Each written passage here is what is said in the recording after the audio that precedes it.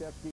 They suspect he has a broken rib, and there could be more damage. Remember, he suffered a ruptured spleen about a year and a half ago. He has been taken to hospital and more than likely will spend a day in hospital to be sure. It could be potentially a serious injury. What a shame for Nikolai Wojciechowski, who just doesn't seem to have any luck. Now, as for the Western playoff race, the change is this. Vancouver with the one point now trails Chicago by one point, but the Blackhawks do have the game in hand, although the uh, Hawks clearly falling right now. Of course, uh, Calgary status is likely not going to change they are going to win their division and finish second in the conference.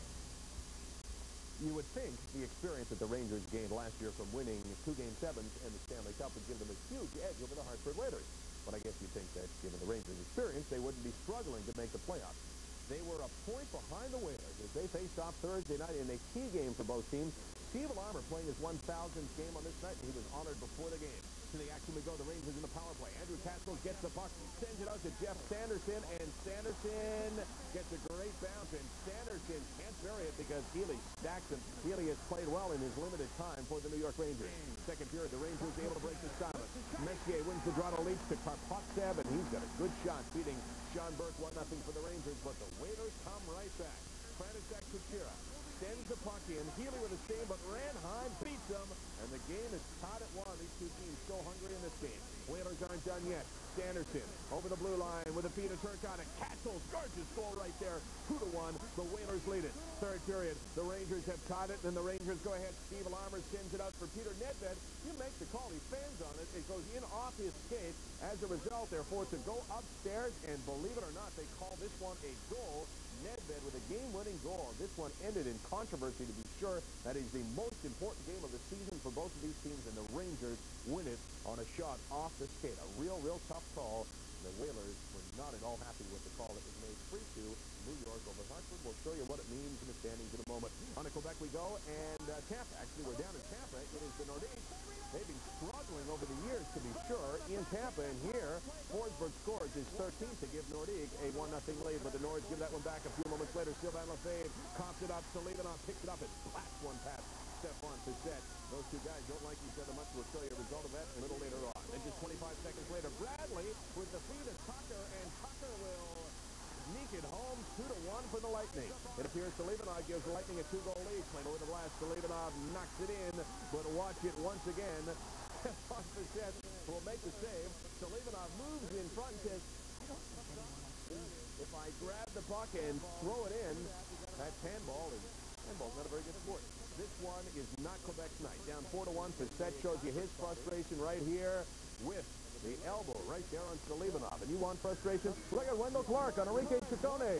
Come on, you want to go? Sees it one more time. Ciccone's laughing in his face, but he won't drop him. Clark with five blows to his face. Either that, to check and see what kind of shave he got. And either way, this is all Tampa over Quebec 5 to 2. A big surprise until you remember that Quebec had uh, struggled in Tampa over the years, and it was, in fact, Tampa now 4-0 lifetime against the Quebec Nordiques at home. Forsberg with both goals for Quebec. Let's go to Florida now. Miami Arena, in fact, the Panthers are facing Martin Brodeur and the Devils, and they were having trouble with him. Bill Lindsay early on carries the puck in. Lindsay with a shot. Brodeur with a save. Rebound. Going to go into the net. Niedermayer, but there is the save by Brodeur with the glove. What a beauty it was.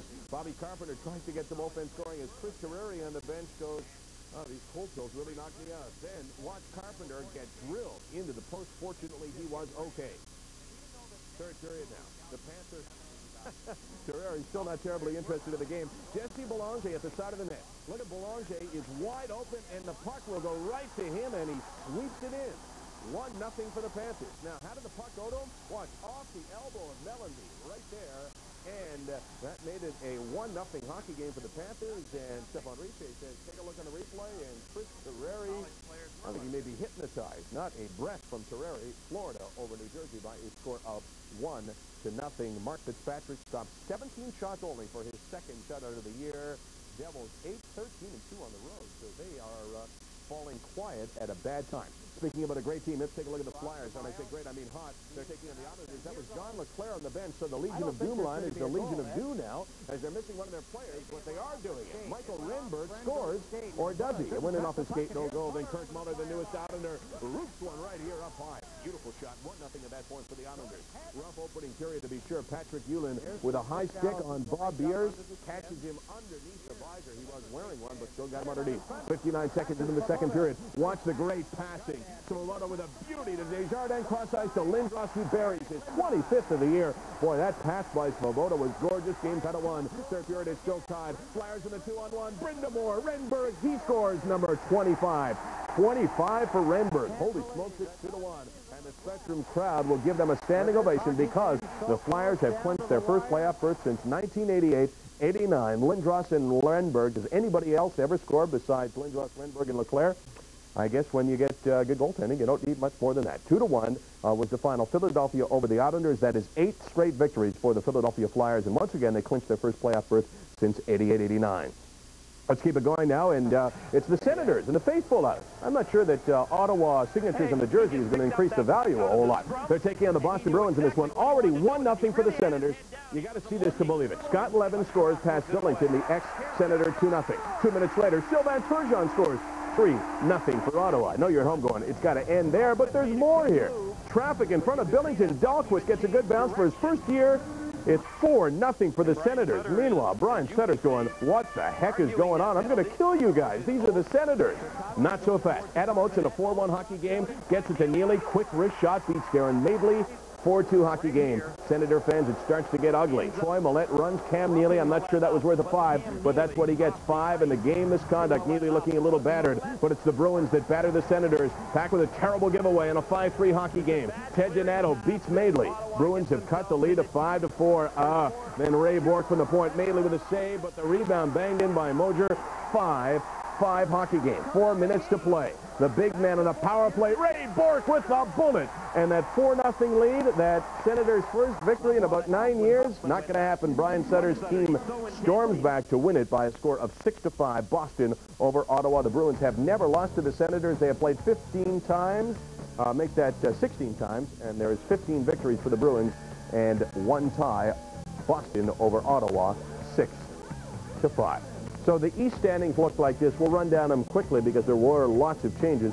Quebec and Philadelphia, they, of course, are not budging right there, although Quebec could be caught, certainly, by the Pittsburgh Penguins. The Penguins have two games in hand in that one. Now look down near the bottom, the final playoff spot. The Rangers, with their two points, now have 41, tied with Hartford and Washington, and that means that Montreal, uh, hard to say whether that's good news or bad news right now for the Canadiens. They stand two points behind.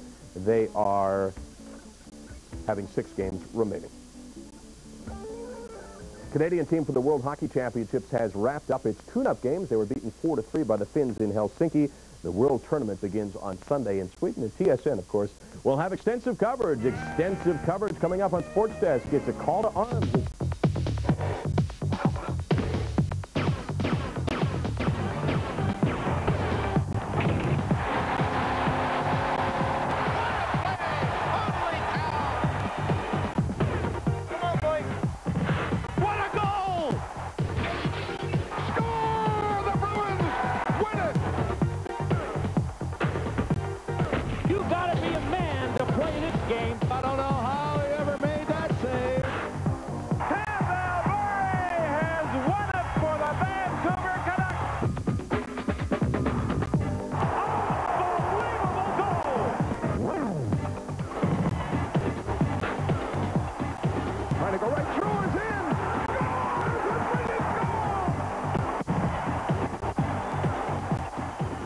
We'll join the Mullen brothers for a New York neighborhood stroll. And we'll check out Owen Nolan, a man who knows the goal. I'm Bob Gallerstein sitting in for Mike Emrick as Brut presents Hockey Week. Hockey Week is brought to you by Brut Active Blue, the essence of man. Hockey Player, the magazine for those who play.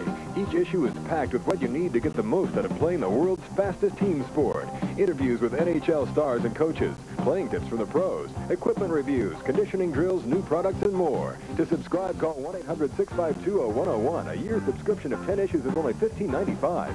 Order now with Visa or MasterCard and receive your free gift, 101 hockey tips. That's 1-800-652-0101. Eastern Conference. It's that time of the year. Time to sharpen up for the home stretch run. In the West, the battle for the final playoff spots is shaping up as an all-out race to the finish line. One team in the jaws of a dilemma is San Jose. Kevin Constantine's Sharks were Cinderellas last year, but this season they've struggled. Much depends on their little man,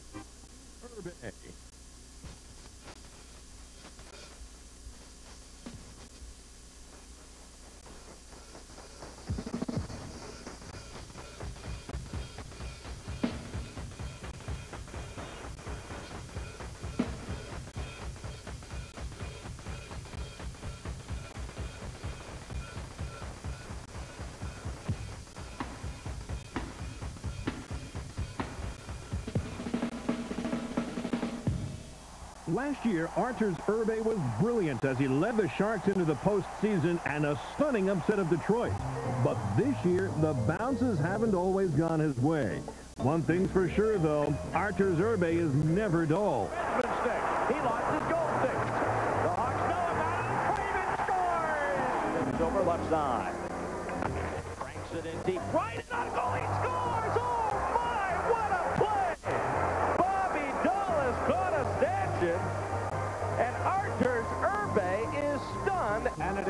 It is Mike outletting it now for Sundin. Sundin to the line. Sundin around the defense, and he couldn't quite control it. He's going to call a penalty shot here. He's going to say Irbe threw a stick at Sundin when Sundin got in alone. Sundin makes backhand scores! Too far for him. Nazarov's got it. Centering pass. That couldn't find Rasky's stick. Tipped by the Oilers down the ice. Irbe will be careful here. as Time runs down, and he gets it right away for a goal. Off Laureana, and Irbe makes a brutal mistake. Recently, however, Arturs Irbe has shown signs of being able to pick the Sharks up by their bootstraps. In a game with major implications, Los Angeles Kings, in the eighth and final playoff spot, were facing the Sharks who trailed those Kings by one point. Gretzky behind the net. Gretzky will bring it out in front. Backhand shot stopped by Irbe. It's up in the air. Rebound is stopped as well. It goes behind the net again. Gretzky gets it to Curry. A high shot. It's in the glove of Arthur Irbe. Wayne Gretzky and company were frustrated all day long. Irbe shut the Kings out 2 to nothing, and the up-and-coming Sharks move, however temporarily, into a playoff position. Well, was without question the star of the game and the reason why the Sharks won again this afternoon. For the Sharks, their fourth win in six games. No better time than the home stretch to find your stride. At the beginning of the week, the Western Conference standings looked like this, with only 10 points separating sixth place Vancouver and last place Edmonton. On a recent Monday night, some critical games were being played. The Sharks had traveled down the California coast to face the Mighty Ducks of Anaheim, who still think they might be this year's Cinderellas. Peter Douris gave Anaheim the lead, and after that, Guy Hebert stole the show as he reeled in the Sharks. Cancel over his shot. Hebert kicks it. Loose in front. Janney had Kite teeing up and pulled it away. There's a shot. Hebert with a great glove save. And Guy Hebert with the stop of the night so far. With a 3-0 win, Anaheim pulled within two points of 8th place San Jose. On the same night, the third-place Calgary Flames were hosting the desperate Los Angeles Kings, who were one point out of the playoffs. Wayne Gretzky helped get the Kings on the board in auspicious fashion.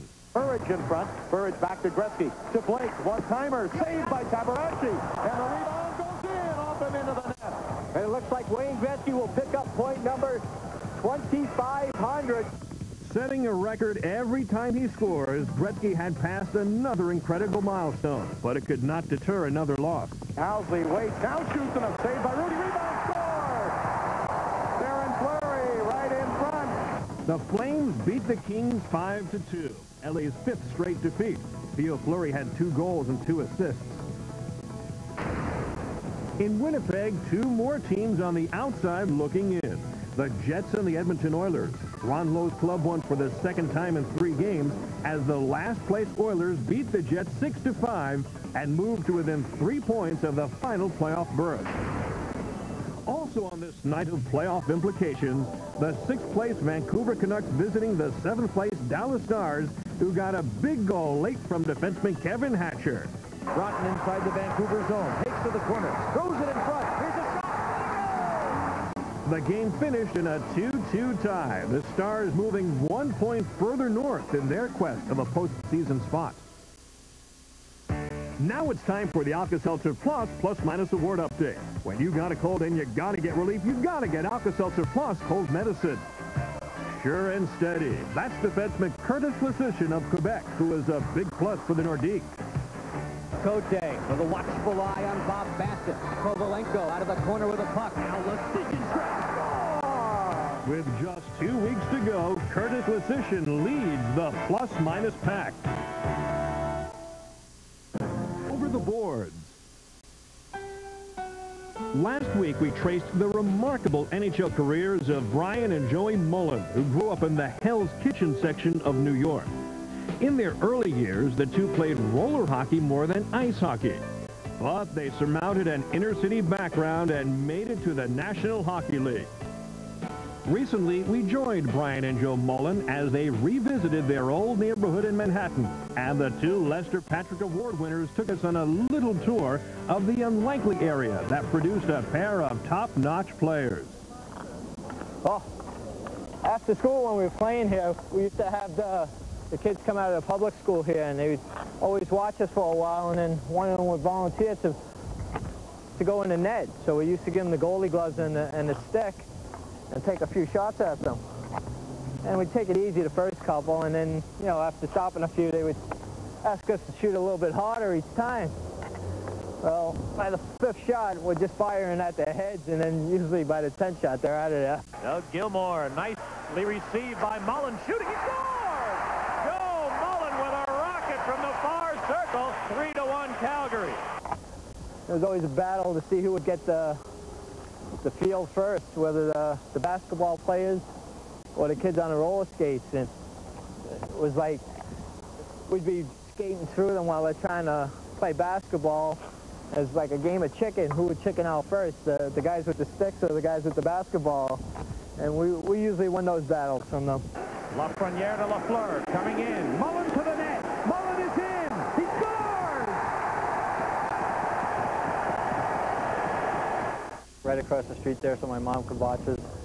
And uh, so it didn't matter if I was, you know, I started when I was four uh, down here roller skating. You know, so she'd throw me out down here with my brothers and uh, she'd watch me from the, the window up there. So if, if anything happened, she came running down. So, uh, which was quite often. Nice pass. Here's Mullen on a breakaway. What's in and scores!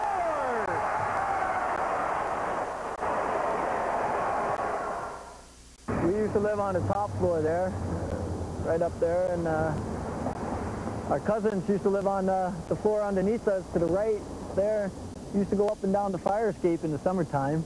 Uh, we, we always come out on the fire escape, He was, uh, who's down here in the street, and uh, then we had a family live right here on the first floor. And they had lots of kids that uh, were our age. We used to play with. They were all great hockey players too. He's one half of the first U.S.-born brother combination to ever face each other in an all-star game. From the New York Rangers, number 18, right winger, Brian Mullen. Hey, over there they used to sell flowers. Uh, they had a big flower shop. Every weekend they'd get the flowers out and pack up the truck. Right over here they had uh, the pretzel wagons and uh, the hot dog wagons and chestnuts. Yeah. Smoke go right up into your own apartment. We used to have to bail out of the apartment once a week uh, to the roof uh, because uh, we thought there was a fire. Used to use the pretzels as uh, hockey pucks. Clearing the zone is Brian Mullen. Out of center and shot right back by Matson to Mullen. He scores! That's the deli over there, the bodega that we used to go to. Yeah, it used to be called something else. I forget what it was called. We used to have to skate up there. We designate one guy. It's like the closest place to go get a soda and, a soda uh, stuff. So, so we used to run across there, get our sodas, and then right back to the, the schoolyard and start playing hockey again. Gates skates it to the right wing. Two men back for Los Angeles. Here's Mullen right in. It's shot to goal. Oh, he scores! Center Kelly Rudy. Hi, Diane. How you doing? How's it going? Okay. How's everything? How are you? Good. How are you? Okay. What are you up to? How do you feel? Good. Real good. I'm Doing good. How you doing? Good. Real good. Ah. I didn't think on you. How are you? Get on the camera? All right. What are you doing? My old love. Yeah. Yeah, look, this is my old love. Yeah. To have a crush on me when I was Yeah. My best friend's sister. For Joe Mullen, 1,000 points in the National Hockey League. First time an American-born player has made that accomplishment. The old garden's right here. Right well, actually, actually um, right here in front was mostly the parking lot, and the garden was set back a little bit more in the, in the, in the street. And, uh, you know, my dad worked there. It was, it was really neat. It was uh, the lights and everything in the front of the garden, always bright, and they had that fancy, like, uh, arch where, where you walked in. It was, it was real neat to go to a game there. The only thing I remember about the old garden was it was a big green building, and I remember him tearing it down. Flatley takes it away, moves into the circle, checked from behind by Graves, save Richter, score on the rebound! New York's Brian and Joe Mullen from Hell's Kitchen to glory. Now Brut presents the Check of the Week. Brut Active Blue. Los Angeles King Gary Shuchuk is about to take a ride for free, courtesy of Calgary's Zarley Zalapski. Check it out. Get mixed up and the Kings move ahead shoot shot. He didn't see it coming. Oh, and he gets rammed into the board right where the glass starts past the bench of the Calgary Flames. Look at Shuchuk. He doesn't know where the puck is, and Zalapski, the defenseman, plays it right. Last year, the Quebec Nordiques failed to make the playoffs. This season, they have the best record in the Eastern Conference. There are many reasons for their success, but the biggest, perhaps, is the man who leads the league in goals, Owen Nolan. Short side, top shelf, Owen Nolan. What a shot by Owen Nolan. Goal number 22. We forget that Owen Nolan wasn't here last year with that team, and uh, he's one of the best goal, goal scorers in the league. And there's no question he's a, he's a tough, rugged player that uh, can score goals. And, you know, with all the, the new additions, guys forget that Owen wasn't here last year, and, and maybe we would have had a much better year if Owen was in our lineup. Unfortunately for the Nordiques, Owen Nolan recently suffered another shoulder injury and will reportedly be sidelined for 10 days to two weeks. No one will feel the absence of the big right wing more than his line mates of recent time. Rookie center Peter Forsberg and veteran Bob Bassen. The trio had been highly effective. That's Cash's hit. Out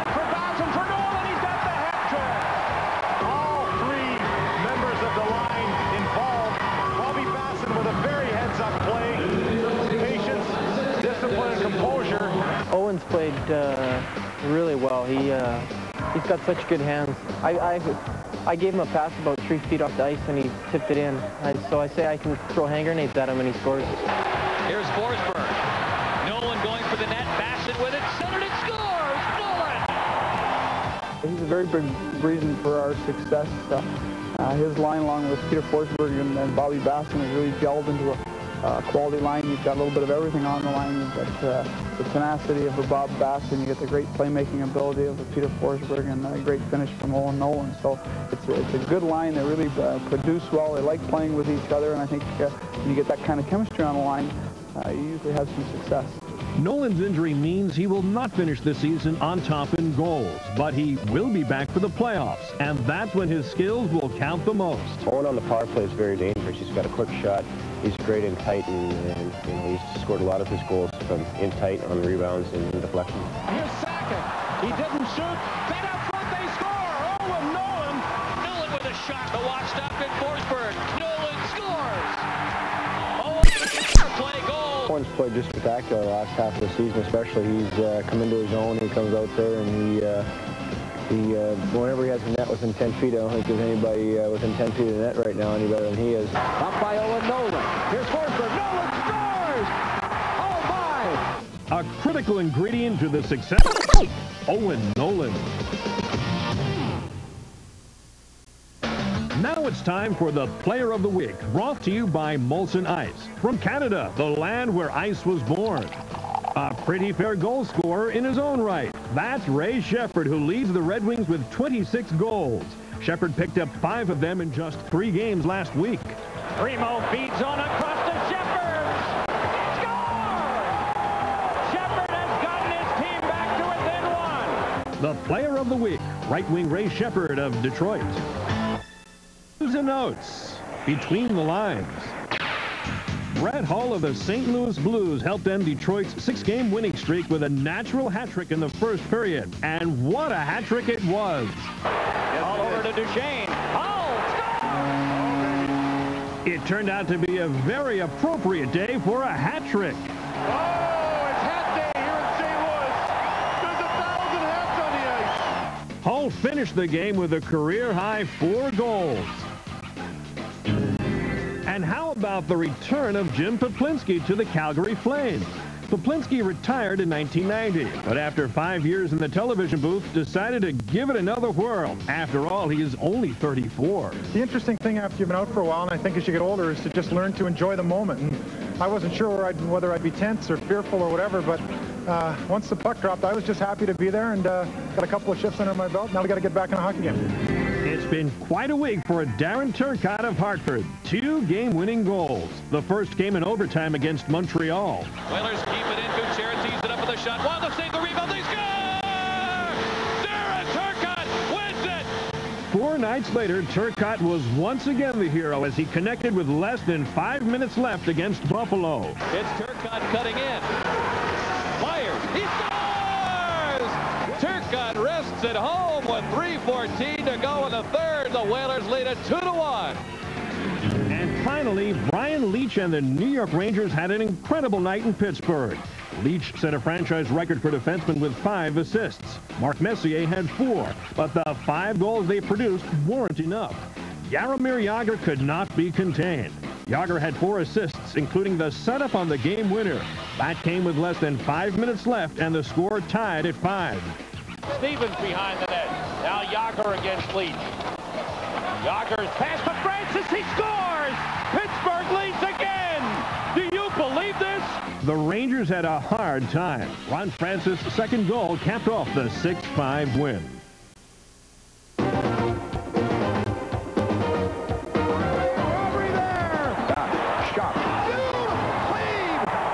Pick up your head. It's time for Top 5 Saves, brought to you by Calcium Rich Tums.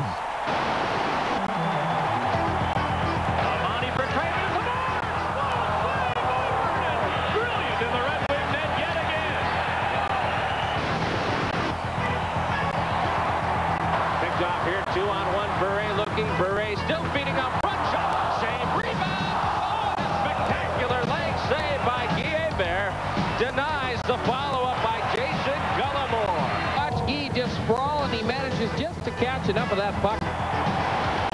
Bellows à Turgeon. Belle feinte de ce dernier. Remise à Bellows. Oh! De Jim Carey. Un lancer, ça n'a pas été un des meilleurs lancers de Malaga. Absolument, il a le meilleur lancé que ça. Était, était un peu près de son patin, euh, cette rondelle. Il n'a pas pu décocher un euh, tir avec autant de force qu'il a l'habitude de, de lancer. Et Carey, réflexe rapide, capter cette rondelle. Here's Theo Fleury trying to split the defense. He does. He's incredible. Shot save.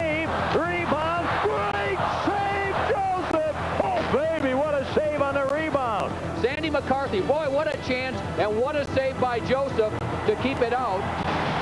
Lau knocked it down. Didn't get it out of the zone. Marinucci to Thomas East.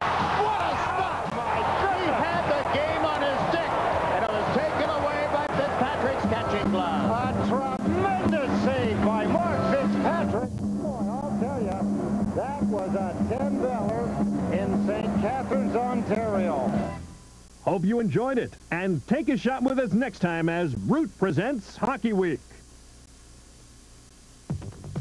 Hockey Week has been brought to you. That was a totally disciplined performance. The Winnipeg Jets have declared it open season on the San Jose Sharks. With three wins and a tie in their last five games, the Jets tied the Sharks for eighth spot in the Western Conference. Sunday night, they were looking for sole possession of the last playoff berth as they took on the Dallas Stars. Mike Torchia looking to repeat the heroics of Saturday's game against the Leafs, but the Jets weren't making things easy for him. Darren Shannon will come in and knock Torchia down with the elbow. That one looked like it hurt. And Alexei Zhamnov will make Torchia feel more pain here. Off the shot from Dallas Drake, Zhamnov will backhand one in for his 28th of the year. Winnipeg's on the board 1-0. Dallas trying to come back any way they can, but I don't know. I don't think you can count this as a goal, Mr. Adams. Okay, the Stars get one the more conventional way. Mike Donnelly centers it out to Trent Klatt, redirects one past Cheveldae to tie the game up at one. Then the Stars will take the lead in the game. Corey Millen to Mike Donnelly, back to Corey Millen. He waits to put in the backhand past Cheveldae. Stars leading it 2 to 1.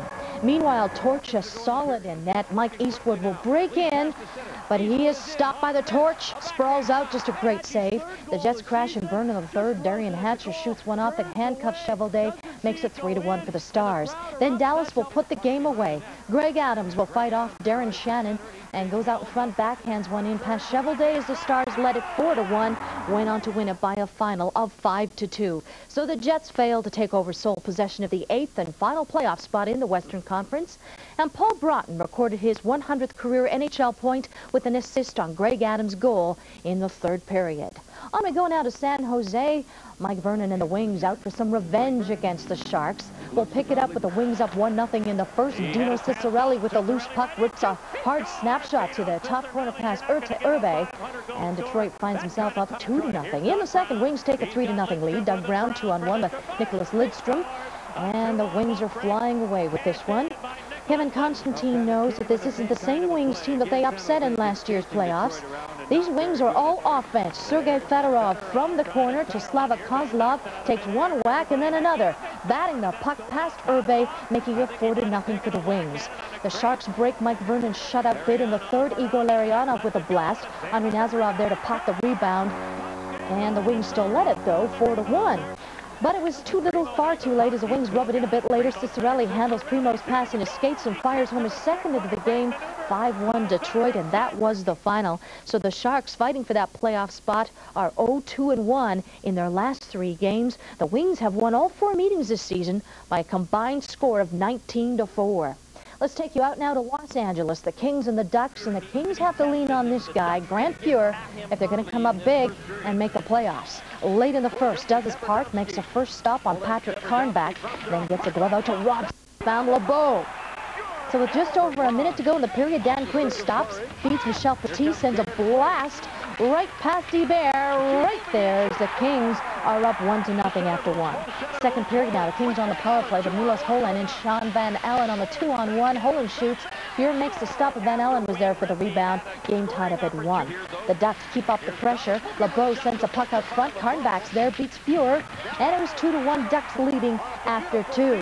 The Kings can't afford a loss. Late in the third, Fuhr on the bench. Yannick Perreault behind the net. Beats Marty McSorley right on the doorstep. Ties it up with 41 seconds left. That's how it ended, though, because overtime solved nothing. The Ducks 0-6-1 in their last seven road games, and the Kings with two ties since firing Barry Melrose on Friday. And other score to tell you about the Blackhawks woes continue. Yeah, they tied up the Blues 2-2, but the Hawks are 0-10-3 in their last 13 games. And Esa Tikkanen's two goals have given him 12 so far on the season, and the Blues are 3-0-2 in their last five. So how does it all rack up? Here's the West standings for you. Calgary and Detroit, of course, locking up those two top spots. Dallas picked up important two points with that win over the Jets. And it's very interesting because San Jose, Winnipeg, and Los Angeles all with 35 points. The Jets and Kings with five games left. The Sharks with six. But don't count out Edmonton and Anaheim, 34 and 33 points, respectively.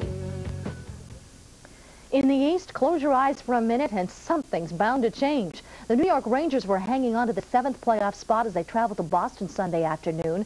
But Cam Neely had at least one trick up his sleeve. Mark Messier and the Rangers starting to resemble the team that won it all last season. Brian Leetch gets things going early in the first, blows around Alexei Kasatonov and buries it behind Craig Billington to make it one to nothing for the Rangers. Then we find the Rangers on the power play. Messier sends it to Sergei Zubov at the point. His blast beats Billington, and the Rangers' lead is up to two to nothing. Let's take you to the second period. Bruins on the power play. Adam Oates sends it in on net. Cam Neely picks up the rebound, and the lead is cut to two to one. Neely and the power play, that's a lethal combination. This is the end of the second. David Shaw sends a harmless shot in, but Neely gets a stick on it, and the game is tied up at two. To the third period, David Shaw with the shot. Now watch the bouncing puck off of Glenn Murray's stick, off of Healy's shoulder, off the crossbar, off of Healy's back, and in. Three to two for Boston. Well, now 4 to 3 Boston. Cam Neely with a superb individual effort picks one up in his own zone, carries it all the way up the ice, off, fights off Pat Verbeek sends it high over Healy for an unbelievable goal, and Neely's hat trick was good as the fans decide to honor it with their shoes as well. And I'd like to know, how's this poor guy going to get home? Well, maybe his friends will carry him. Five to four was the final, so the Bruins move into sole possession of fourth place in the Eastern Conference, two points ahead of New Jersey. And Cam Neely now has 26 goals on the season, 16 of them on the power play. That was his second hat trick of the season. And Ray Bourque had to leave the game with back spasms. Let's go to Hartford now. The Whalers fighting for their playoff lives against the Pens. Kevin Smith sends out in front to Robert Kron. One to nothing Whalers. Let's go to the second period, and Ulf Samuelsson up to his old tricks. Going to have to have this knee bronzed, I think, as he sticks out his knee, takes up Jim Storm. No penalty. Storm stayed in the game, but it seemed to rattle the Whalers. Luc Robitaille steps out from behind the net, sends Len Barrie's rebound past Sean Burke, and it is one all. Then 25 seconds later, Joe Mullen sends a long pass out to Chris Tamer, and Tamer rips it right over Burke. Sends in the blast, 2 to one for the Pens. Just over a minute later, Ron Francis knocks it out to Jim McKenzie, sends a shot right through Burke's legs to make it 3 to one Pittsburgh. At the end of the period, Chris Pronger sends a puck in on Ken Wregget, makes the initial save, but Steven Rice there all alone to pocket the rebound. Leads cut to 3 to the third period now, the Whalers pressing for the tying goal, but Wregget's there to shut the door. Darren Turcotte crosses the line into the slot. Wregget gets a glove on it. Wregget gets his league-high 24th win, the final 4-2 with an empty net goal. So the Whalers fail to take over sole possession of the eighth and final playoff spot in the Eastern Conference. We'll have more on those standings in a minute. And the win moves Pittsburgh just two points behind Quebec for top spot overall in the Eastern Conference to the odd. The Sabres needing a win, but they'd have to get past Eric Lindros and the Philadelphia Flyers. He comes out hitting, giving a bump here to Don Sweeney. Then working the offense feeds Renberg to John LeClair. Hasek was beat, but LeClaire fired it wide. So the Sabres able to get one on the power play. Pat LaFontaine uh, feeds Donald Audette as he fires a quick release, beats Hextall to make it one to nothing for the Sabres. On to the second period. Now the Flyers tie it up. Eric Desjardins shot. Lindros gets a stick on it. A nice tip. This game is tied up at one. The Flyers go up two to one, and Lindros continues to knock him around. To go, yeah, right hook to Doug Bodger. Drops him. Before the end of the second, the Sabres strike shorthanded. Wayne Presley decides to shoot, beats Hextall. It is 2-2 after two. On the third period, the Sabres on the power play. Audette sends it to Bodger. Hextall the save. Mogilny the rebound. Audette finally gets the whack in as the Sabres add another one. Get that much-needed win. 4-2 is the final. That snaps the Flyers' nine-game winning streak. So Donald Audette's two goals give him 22 on the season. And with the win, the Sabres move into seventh place in the Eastern Conference, one point up on the other three teams. And here you can have a look at it. Here are the Eastern standings. Boston picked up that important two points, holds home ice advantage over New Jersey. Buffalo moved up with uh, by two with a win over Philadelphia. But the Rangers and Hartford both blew a chance to move up with losses. And take a look at this one. Uh, Rangers, Montreal, and Hartford all with 41 points. Coming up on TSN Monday night, 7.30's game time. We're going to have Montreal and Hartford going head-to-head, -head, trying to break the logjam in the East. Coming up next on Sports Desk, it only looks like rush hour. More of this? TSN delivers international intrigue live from Sweden at the World Hockey Championships. Sunday, Canada renews its storied rivalry with Russia, only on TSN. You know, no big deal for one team involved, that is Calgary, but a huge deal for the Mighty Ducks of Anaheim and for several others gunning for that last playoff spot in the West. A win Monday for the Ducks over the Flames would put Anaheim right into that race and right into contention. And let's take a look. Guy Hebert and his Ducks needing a victory with the very tough Calgary Flames to stay in the hunt. Guy Hebert very strong at one end. Oleg Tverdovsky with a giveaway and Joel Otto is poke check Johnny Bower style by Hebert. Nice play there. Anaheim on the board first. Look at the number of whacks they get here. Two, three, four, and finally it's chipped in and Todd Krygier helps it over the line. 1-0 Anaheim. Guy Hebert at the other end, standing on his head. Flames on the power play. James Patrick tees it up in the point. Save there. Save on the rebound as he keeps Nieuwendyk from scoring. Flames finally solve Guy Hebert in the second. Theoren Fleury cuts to the net, takes the first shot. Save there, but Ronnie Stern pumps the rebound home. It's 1-1. Some big hits in this game at times. Dave Karpa knocks Trent Yawney down hard and gets his face washed by Yawney for it. Seconds left in the game, still 1-1. Look at Peter Douris sends Shaun Van Allen in alone on the breakaway. Always a good scorer in the AHL and in junior, and he goes to the top shelf on Trevor Kidd. The winning goal with four seconds left and a huge goal for Anaheim's chances in the playoffs. There's your final score, 2 to one. Van Allen with four seconds to go. And as you take a look at our NHL Western Conference standings, you see what that does. It moves the Mighty Ducks into a one, two, three, four-way tie for eighth spot, along with San Jose. Anaheim is in there with Winnipeg and Los Angeles, and Edmonton now in 12th spot, one point back with some big games to play themselves this week. And later on the show, more on that Western race as we take a look at the Vancouver Canucks. Can they turn on the juice again in the playoffs as they did last year? Now, in the East, Montreal has really shown some heart lately, trying to keep that Habs pride up in the face of adversity. A lot of people gave this team up for dead. Pierre Turgeon, though, has been great. 10 goals and 7 assists in 10 games as a Hab. And Patrick Roy has woken up from that sleep he was in a few weeks back. But is it enough? Big test on Monday as the Habs were hosting Hartford tied with the Whalers for eighth spot along with the New York Rangers. So very important game. The Whalers in town. Jacques Demers knows the first goal at the Forum will be a big one. The Habs get it. Brian Bellows with a beautiful feed over there and Turner Stevenson cutting to the net. His fifth goal in eight games. He's contributing. 1-0 Montreal. In the second, the Whalers look for an equalizer. Kevin Smith with a low, hard snapshot, but look at that glove hand snake out there by Patrick Roy. From one Roy save to one he should have had. This one just a little backhander by Adam Burt. A weak one, but it eludes Patrick Roy. It's in, and it's 1-1. Later in the period, Vladimir Malakhov just gets his skates kicked out from under him. He suffers a hip flexor injury on the way down to the ice. The Habs lose one of their top defensemen for the rest of the night, perhaps longer. Jacques Demers is worried about that and unhappy with the fact there was no call on the play. Later, look at this save by Sean Burke on Benoit Brunet. So good goaltending at both ends. That keeps it tied, but the Habs go ahead. Spectacular rush by Damphousse over the line, drops for Recchi. And look at Recchi feed. Turgeon scores! Beautiful. 2 to one lead for the Montreal Canadiens and they're going crazy in the forum. But the Whalers tie it just over a minute later, 2-2. Then they take the lead. Robert Kron cuts to the net. He's stopped, but Jocelyn Lemieux is not picked up, and he jams the rebound past Roy, 3-2 for the Whale. 38 seconds later, Geoff Sanderson, far wing, tees it up, top of the circle, and blows it by Patrick Roy. That was the eventual game winner as Montreal, with just its fourth home loss of the season and a tough time, 4-3. There is your final score. The Whalers with three games left. They have Boston, Philly, and Quebec. The uh, Habs could be in trouble. Pierre Turgeon, though, going on strong. 11 goals in 11 games with Montreal. Sean Burke, 29 saves in this game. He was part of the difference as well. All right, let's see how the Rangers did. We know how the Whalers did. Can Mark Messier lead these guys back into the playoffs? Well, he leads by example here, knocking over Mark Tinordi to start things off and set the tone. Gets his team fired up on the power play because they score here. Adam Graves chipping away at a rebound off a Brian Leetch shot.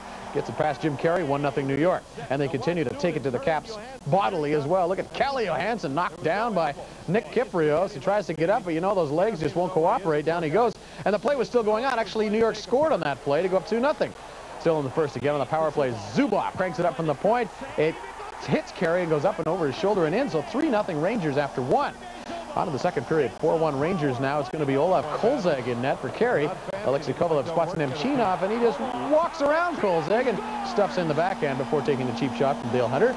5-1 for the Rangers at that point. The Caps do rally, though. They're down 5-3, and Kelly Miller gives it to Cote, sneaking in from the point. He makes it 5-4. The Rangers going to blow another one. Time winding down. Caps pressing. Dale Hunter will show, shove it at the net. Richter stops that, and then stops Bondra on the rebound. What a save that was. Saved the game, too, as the clock ticked down, and the Rangers did win this game 5 to four. Noonan with a couple of goals, Leetch with a couple of setups, and the Rangers are okay for now. They play three of their last four games at home. They have Tampa Bay, Flyers, Florida, and the New York Islanders left in their schedule. I think it looks pretty good for the New York Rangers. So the Whalers and the Rangers winning on Monday, it became imperative that Buffalo get a win as well, or they could drop below the waterline in those East standings. The Sabres starting the day one ahead of that Montreal-Hartford Rangers group, so they definitely needed a win in Tampa on Monday night. Alexander Mogilny knows that and would like to have a big night. Buffalo finds themselves down, though, early on as Tampa scores. Mark Bureau bringing it out in front. Puck gets caught and Bodger skates, and Selivanov scoops it in. 1-0 Tampa. Lightning on the board first at the Thunderdome. Sabres with a good chance in the first, though. Pat LaFontaine will try to feed to Brad May. Puck gets deflected right to number 13, Khmylev in the slot. Zing! And uh, it is kicked out, though, by Daren Puppa. Nice save there. Second period, Sabres pick up the pressure. Brad May out to Donald Audette. He lets it go quickly. Brad May's got that, and he's also got the rebound into the glove off Derek Plante's stick. Wow. Sabres finally do beat Puppa, though. Mark Astley, a soft little wrist shot from the point, skips once. Puppa wasn't ready for the skip, and it goes in. We're tied at one. Third period now. Sabres on the power play. Audette with a nice feed to Mogilny right across the crease. Bang, bang, it's in. Sabres lead 2 to one, but they had to count on Dominik Hasek to step up and preserve this game as Hasek has to sprawl to stop this pass back to Chris Gratton. Selivanov couldn't get it across. Hasek sprawling on his back as usual. And Buffalo added an empty netter, actually, and they ended up winning by a score of 3 to 1 one. A good time for the Sabres to start winning. They've won just three of their last 10. LaFontaine and Audette each had two assists, and Buffalo stays alive in that playoff race because the Rangers won and the Whalers won as well. Okay, off we go to Ottawa next. Roger Neilson and the Panthers have taken all three games against the Senators this year. Ottawa takes the early lead, though. Daig with a nice pass to send in Sylvain Turgeon. Quick burst of speed, quick shot and he beats the Beezer to the five-hole, 1-0 for the Sens. But the Panthers get even later, and you'll get a bird's-eye view of this one from Jesse Belanger. Zings it into the top corner. That is a great shot and a great goal, and it's 1-1. Panthers up 2-1 in the second. Watch as Jason Woolley makes kind of a no-look pass. Good peripheral vision, sends it over to Garpenlov, who one times it into the open net. That is a great goal. 3-1 for Florida. Panthers up 4-1 in the third. Garpenlov in alone on the breakaway, and he makes a lovely move here to beat uh, Beaupre. Beaupre actually made a pretty good effort to get over and save it, but just got there too late. And 5 to one Florida is how this one ended. Vanbiesbrouck with 32 saves, Garpenlov with a pair of goals, and the Panthers sweep the season series and are 7-0-1 versus Ottawa lifetime. Another score to tell you about. Ray Bourque was missing in this game. Back spasm is the problem. And Cam Neely, although he had the hat trick on the weekend, was invisible on the score sheet in this one. Islanders won at 5 to 3. The Bruins' four-game win streak is stopped. Tommy Soderstrom with 30 big saves. So let's take a look at the standings in the NHL East. That's Montreal lost and the Rangers and Buffalo all winning, Hartford winning. Here's how it looks now. The key being the eighth spot, really. The Rangers and Hartford now tied there with 43 points. Buffalo with 44, Washington 45. Montreal and Florida now scrambling to get into the dance of eight and above. And that'll take us to another break on TSN Sports. Regular season. Every one of those days we'll be able to start the show with the line. Some key games in the NHL playoff races. Tuesday was sure no exception. Let's start in Winnipeg. Jets home to the Oilers. Those teams part of a wild five-way race for the final playoff spot in the West. Ron Low said before the game this was his team's most important game of the season, and there is little doubt about that.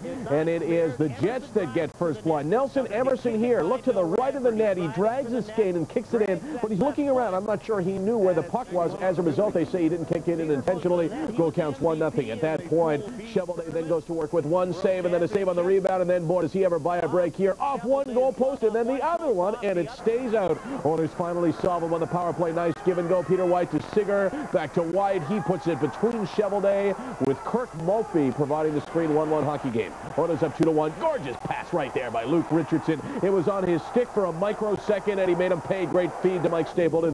3-1 for the Oilers. Meanwhile, the uh, Manitoba election taking place in Winnipeg fans, some of them hoping the PCs will win. Maybe that'll get them an arena even quicker. Then the Oilers throw it around beautifully. The scoreboard they may have liked for the election, but they don't like for this at all. The Oilers Slager and Marchant on a beautiful combination there. Win it by a score of 5 to 3. Uh, Ron Low said this was their biggest game of the season. Let's say it's their biggest victory of the season. Ranford, of course, rock solid. 35 saves. The Oilers lead the season series 2-0 and 1, and they have one game left to play. We'll show you the standings in just a moment, but we've got a lot of work to do before then. We're on our way to San Jose, where Sharks fans were hungry for a victory against the Calgary Flames. Not such a big game for the Flames, a huge one for the Sharks early on. Theo Fleury, and he sells the backhand and goes to the forehand 1-0. What a year for Theo Fleury. Some big hits in this one. Sheldon Kennedy levels Craig Janney. Clean hit. The only problem was Janney didn't have the puck, and he is woozy to say the least. Later on in the second, the Flames in the two-on-one. Nieuwendyk will play it to perfection. Defender gives him the shot, and he takes it, beating Arturs Irbe. It's 2-0 Calgary, and while Craig Janney can use the whoa wake-up call, in fact, all of the Sharks can. They're not playing very well at this point, and they can't contain this guy. Nieuwendyk, grab him, try to haul him down, beat him with a stick, but they can't do it. What a shot by Nieuwendyk, 3-1 for the Flames. Just minutes later, Theo Fleury on the breakaway. Carbon Coffee, he goes forehand, but this time, wide open net, and he rings it off the post. And it looked like that might cost him because the Sharks storm back. Ray Whitney with a quick shot from the slot.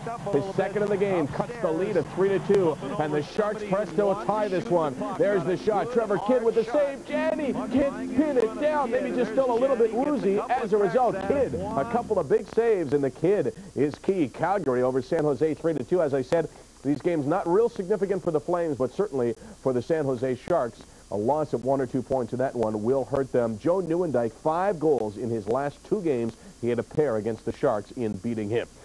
Now, let's go to Los Angeles. This should be pretty easy to call. The Kings and Kelly Hrudey struggling miserably against the Detroit Red Wings. Hottest team in the league. First period, Nicklas Lidstrom will move in. And Nicklas Lidstrom with a wraparound but Kelly Hrudey looking right. It comes left, but he still gets lucky and makes the save. Late in the period, Randy Burridge tips it to Robert Lang, and he will beat a sprawled out Chris Osgood, 1-0 Kings after one. Second period, more from the Kings. Holy smokes, they're cooking. Marty McSorley with a feed to uh, Kevin Todd alone in front, 2-0 at that point. And the Kings don't let up. Kevin Todd picks up the loose puck and flips it over Osgood with the guy on his lap. 3-0 for the Kings. Do you believe in this?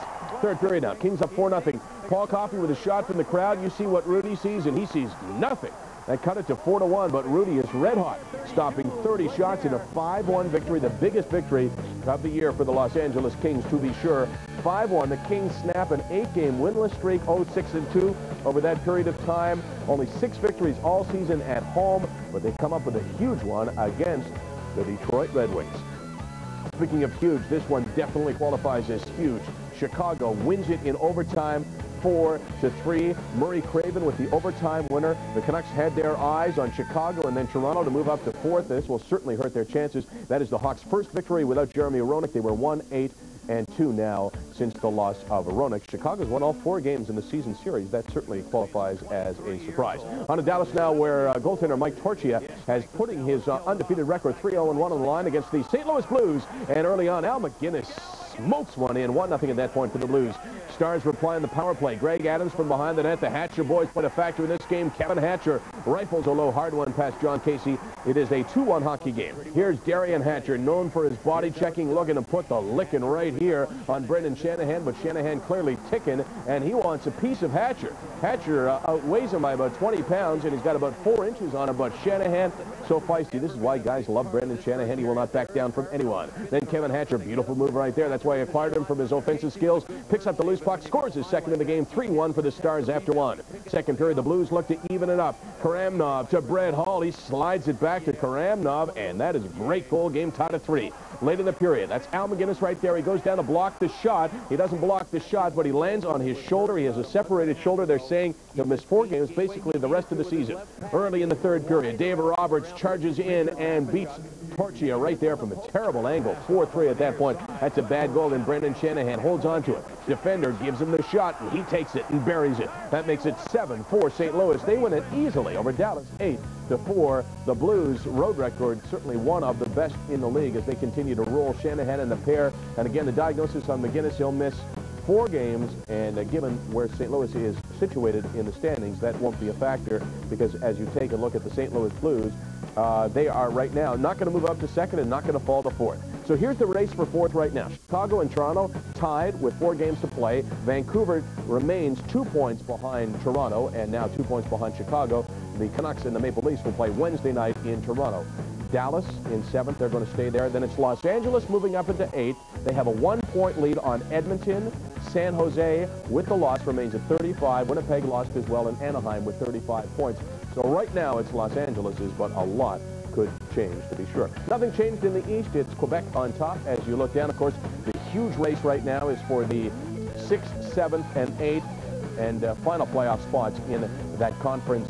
The Whalers right now tied with the New York Rangers, but the Whalers have only third three games to play, so that's why we've uh, given it to the Rangers right now. And Montreal, of course, still in contention, but they have a lot of work to do. We've got lots of work to do when we return. It's play ball, the real deal. Major leaguers get it, which means the all-important home ice in the first round. Vancouver, Toronto, and Chicago all want it.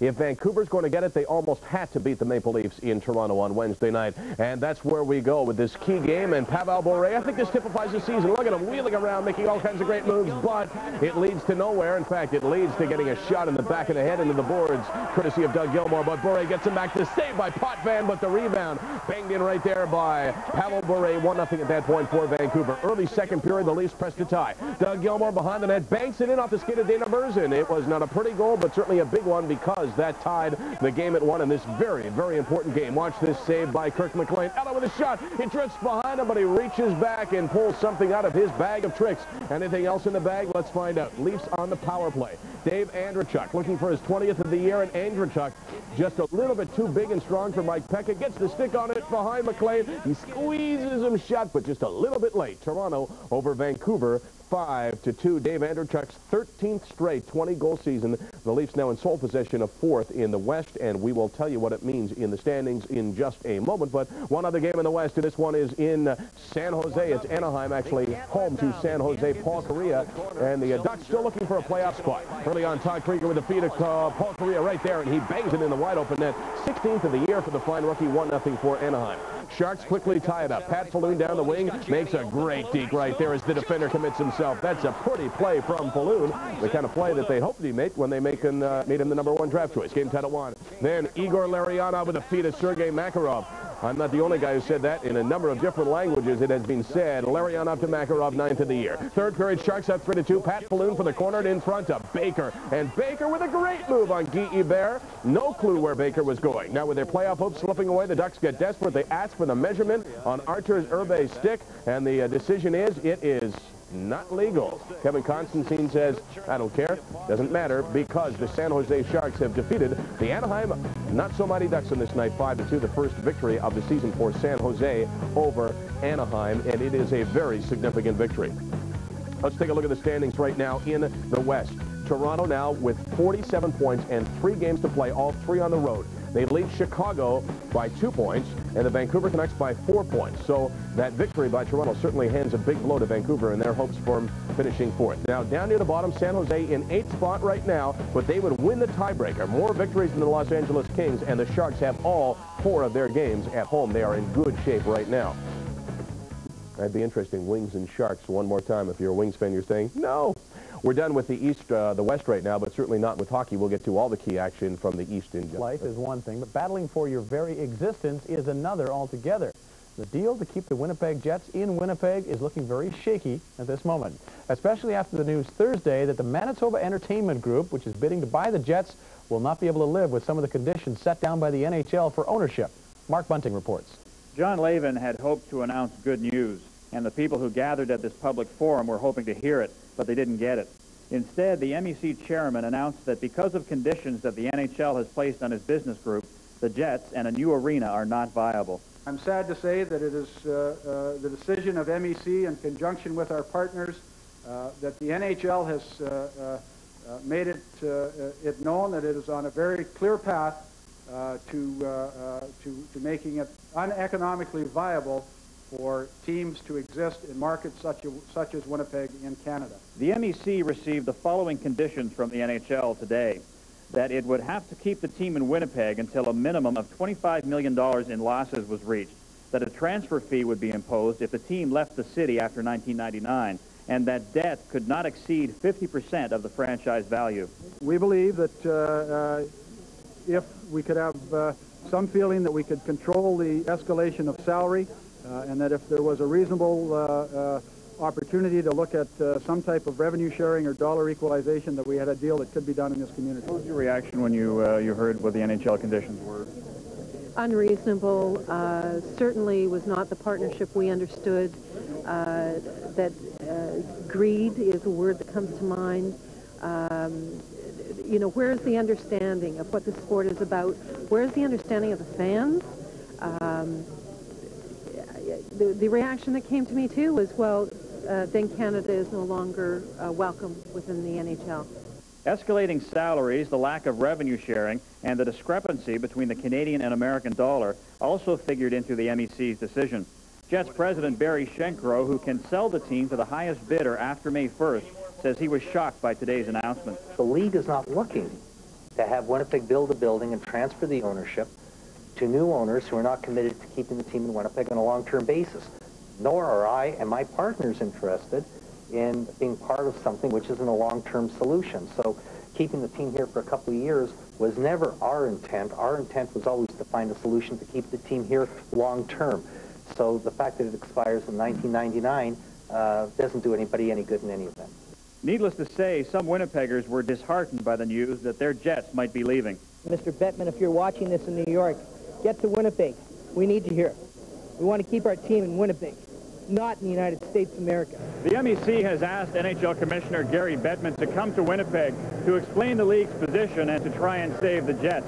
But considering the present economic circumstances in the NHL and the fact that the MEC's business plan is laden with public debt, maybe the Jets can't be saved after all. Mark Bunting, TSN in Winnipeg.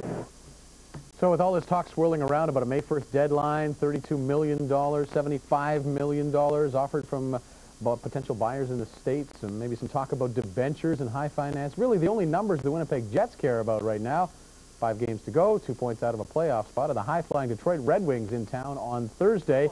Let's take a look at the action. Terry Simpson's task doesn't get any easier as the Jets playing the Red Wings. Red Wings with something on the line, looking to clinch first overall in the West. First period, Winnipeg might lose their team, and early on, they might lose their captain, it appears. Tkachuk taking a shot off the knee, leaves the game. Jets strike first, though. Igor Korolev passes across the goal mouth to Teppo Numminen, and he tips it past Mike Vernon. Jets up 1-0 early. Wings pressuring. Ray Sheppard, slides it out to Keith Primeau here. And Khabibulin comes across and makes a great save. I tell you, Primeau had his stick in the air already. Later, Red Wings on the power play. Nicklas Lidstrom launches a blast to the top of the circle. That'll tie the game at one after one period. In the second, Keith Tkachuk returns, and Tkachuk puts Nelson Emerson's rebound over top of Vernon, so the captain comes back. The Jets up 3 to one with that goal. Keith Tkachuk not playing like he has a sore knee either. Parks himself in front of Vernon here and redirects Teppo Numminen's long shot. 4 to one for Winnipeg. Third period, Paul Coffey will carry it into the Winnipeg zone and hit Slava Kozlov in front. And he tips it past Khabibulin. Red Wings cut the Jets' lead to 4-3, but that's as close as the Wings would get. Dancing, Gabe, can keep on dancing for now in Winnipeg as the Jets win a big one. The score here, 4-3. Tkachuk, the captain, in spite of the knee injury, the sore knee, gets a couple of goals. When the Wings fail to clinch the Western title, but they still had a chance depending on what happened to St. Louis and Edmonton. By the way, the Jets fans have a rally plan for Friday morning at Portage and Main in Winnipeg. All right, let's check out what happened to the Blues in Edmonton. Ron Low, knowing the Oilers need a win to vault into a playoff spot, pick it up in the second. Oilers leading 1-0 on the power play. Jason Arnott with a blast beats Casey, and it's 2-0 Edmonton. 23 seconds left in the period. St. Louis down 2-1. David Roberts, great feed out. Brett Hull buries it. 29 on the year. Blues tied at 2 after 2. Now, late in the third, still tied at 2. The Blues appear to have the winner.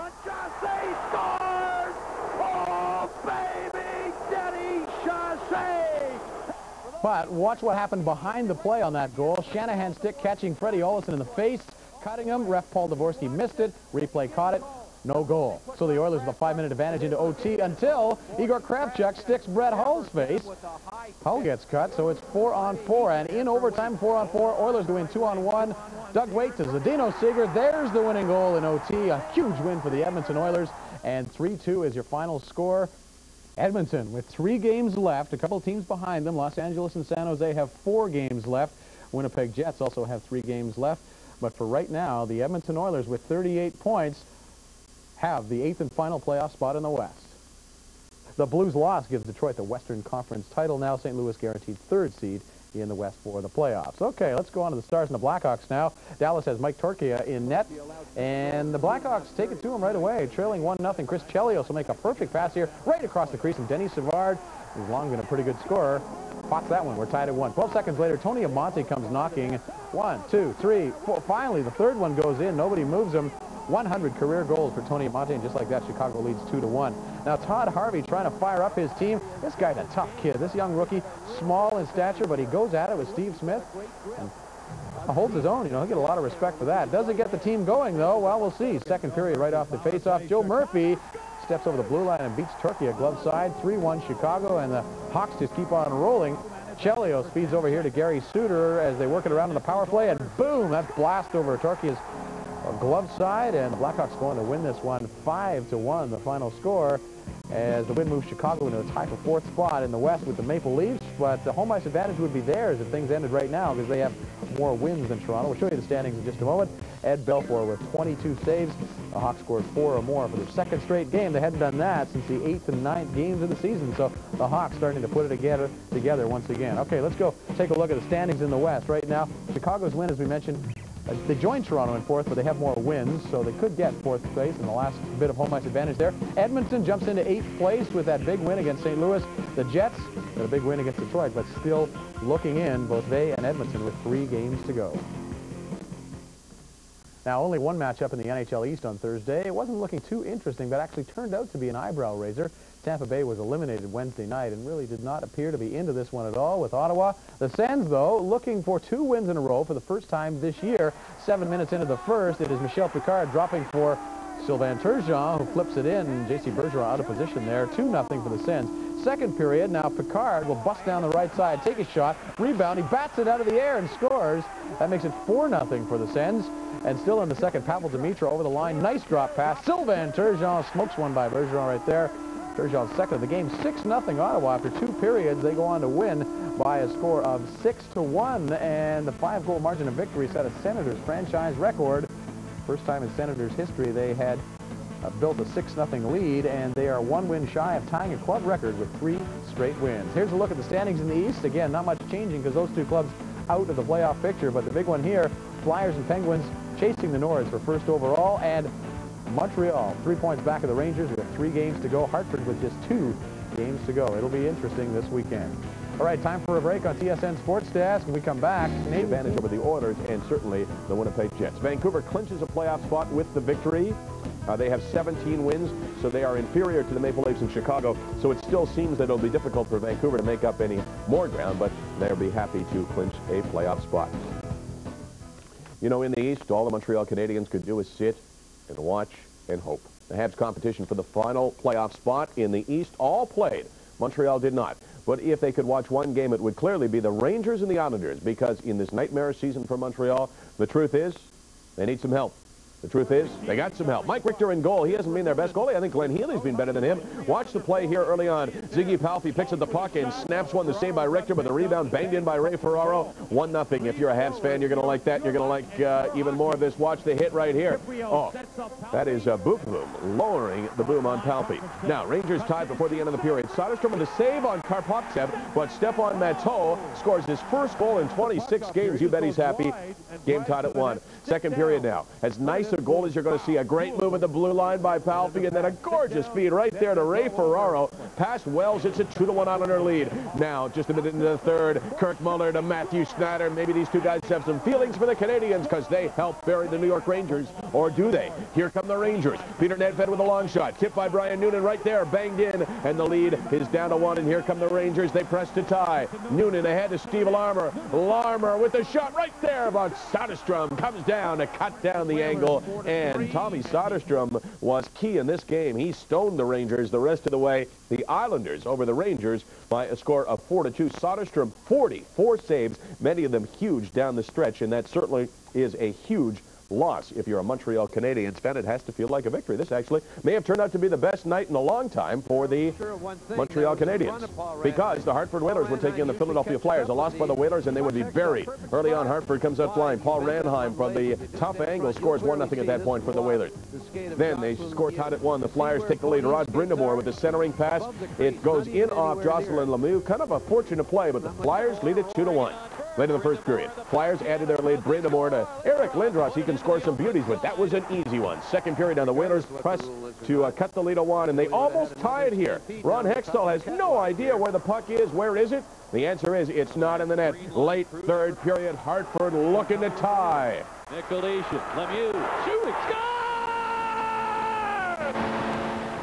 If I do that with my voice, I don't speak for a week. Perhaps a little too excited. Uh, Lemieux making his presence felt along the boards. Chris Therien has his head down, and he is drilled by Lemieux. Minutes later, the Flyers regain the lead. Karl Dykhuis gets the knuckler right there from the point, and this knuckleball will fool Sean Burke. And remember the announcer that got all excited? Not too excited now because the Whalers lose, and the Whalers are now officially eliminated from the playoffs.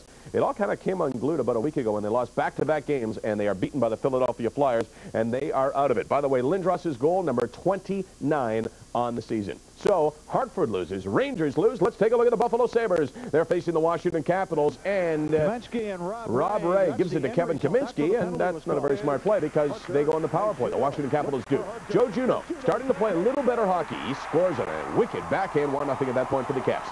Still in the first period, the Caps are now uh, killing off the penalty. Pat LaFontaine behind the net. LaFontaine will move in front and get it in front to Alexander Mogilny. Mogilny's 17th. Game is tied at one. Caps look to take the lead in the second. Terrible clearing there by Zhitnik. He coughs it up. Johnson with a shot. Keith Jones with a deflection. Caps lead it 2 to 1, and then moments later, Caps add another one. Mike Eagles behind the net. Eagles trying to swoop around in front of Lex to give it to Kelly Miller, and Miller is right there in the slot. He buries it.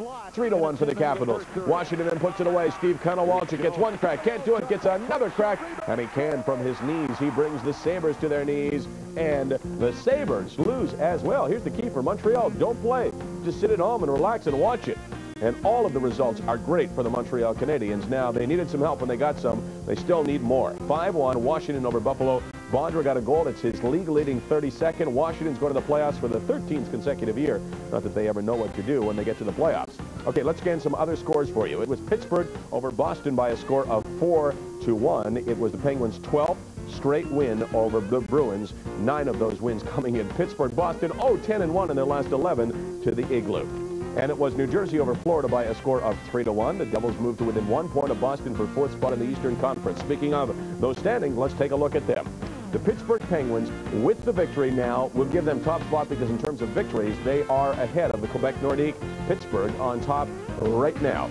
Other significant notes here. New Jersey Devils clinch a playoff spot, so do the Washington Capitals. Then, the Sabres lose, the Rangers lose, the Whalers lose, and they are out. So the Canadian situation is this.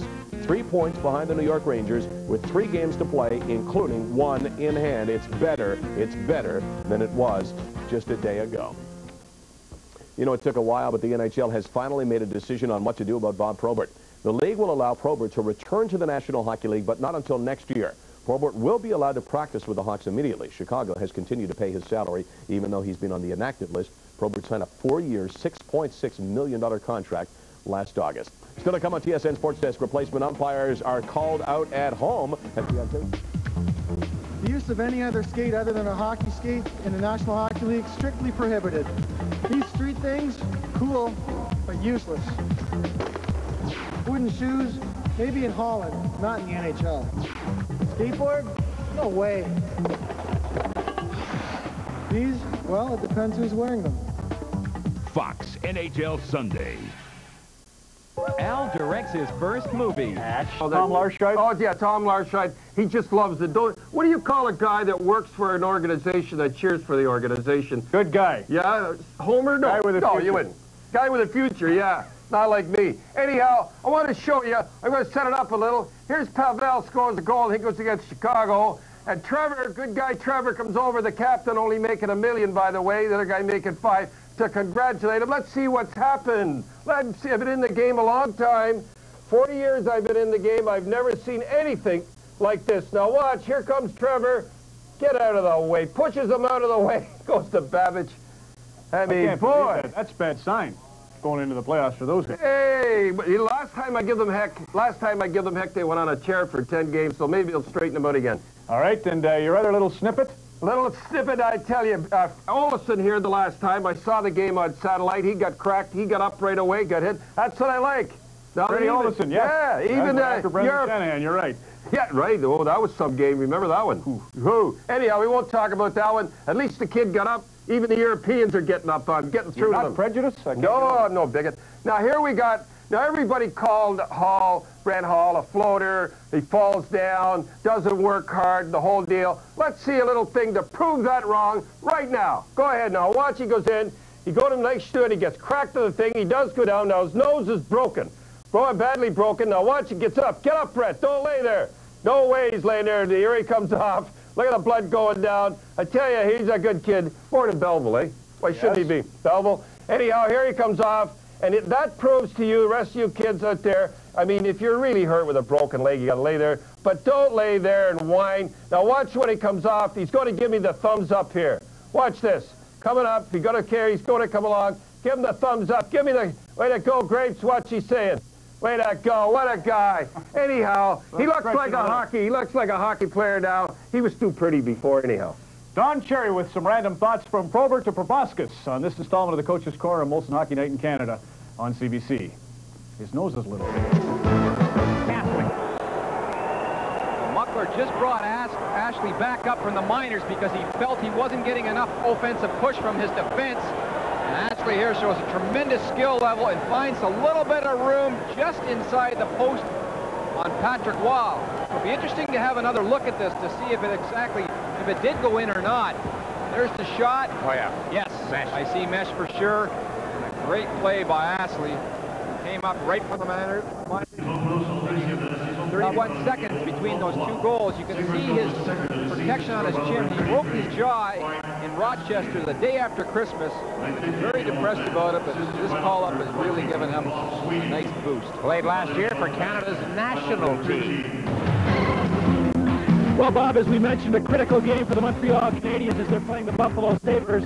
They get a goal to tie it from Brian Savage, and then it's Mark Astley, a Calgary native, goes around everybody, beats Patrick high, his second goal of the year. It's now 2-1 for the Sabres over the Canadiens. So easy again. All he had to do was put it upstairs. Hasek was down and out, but he was down. He shot low. Take the save. Turgeon cannot believe it. This is a highlight reel highlight here, folks. Watch this save. Somehow, Hasek gets his pad. I talked about his quick feet. Another example, Turgeon thought he had a gift, and somehow Hasek gets his left pad on this. Watch him raise his leg. He has very strong legs. And that's why, you know how tough it is to get your pad off the ice in that position? That's extremely difficult. Turgeon let up a little bit. You can't do that on this guy. That's why he's the best, or one of the best in the league. You saw that great And that's another reason that the foot speed I've been talking about, another good save. Ricky is going to have to go high on that. Oh, Dominic Hasek is dominant. And it's still 2-2. And it's a tie game with 9.9 seconds remaining in the second period. Patrick Roy knows it. He banged his stick in disgust. Watch this giveaway here. You don't do this at the end of a period, that's for sure. And as you mentioned, look at how quickly the Sabres turn this over. Stick to stick, Mogilny to LaFontaine. LaFontaine, with tremendous hand-eye coordination, is able to tip this puck as he's falling down. That all started because Patrick Roy just gave the puck away instead of just leaving it behind the net. One minute and 17 seconds between those two goals. That's been the story. The heartland of hockey. The game's grassroots. About to be divorced from its big league.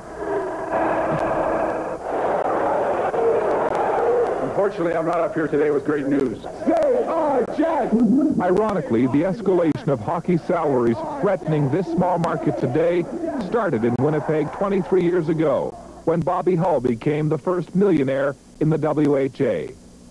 The Jets won two Avco Cups, but even back then, pro hockey was tenuous at best in Winnipeg. Hockey executives had the same concerns. Well, we're anticipating that if we get an NHL franchise, that the city will proceed to build an arena. The Jets' admission into the NHL in 1979 was full of question marks. Those that you think are major, uh, you think you're over, and then one that you think is minor suddenly pops up and it becomes very major.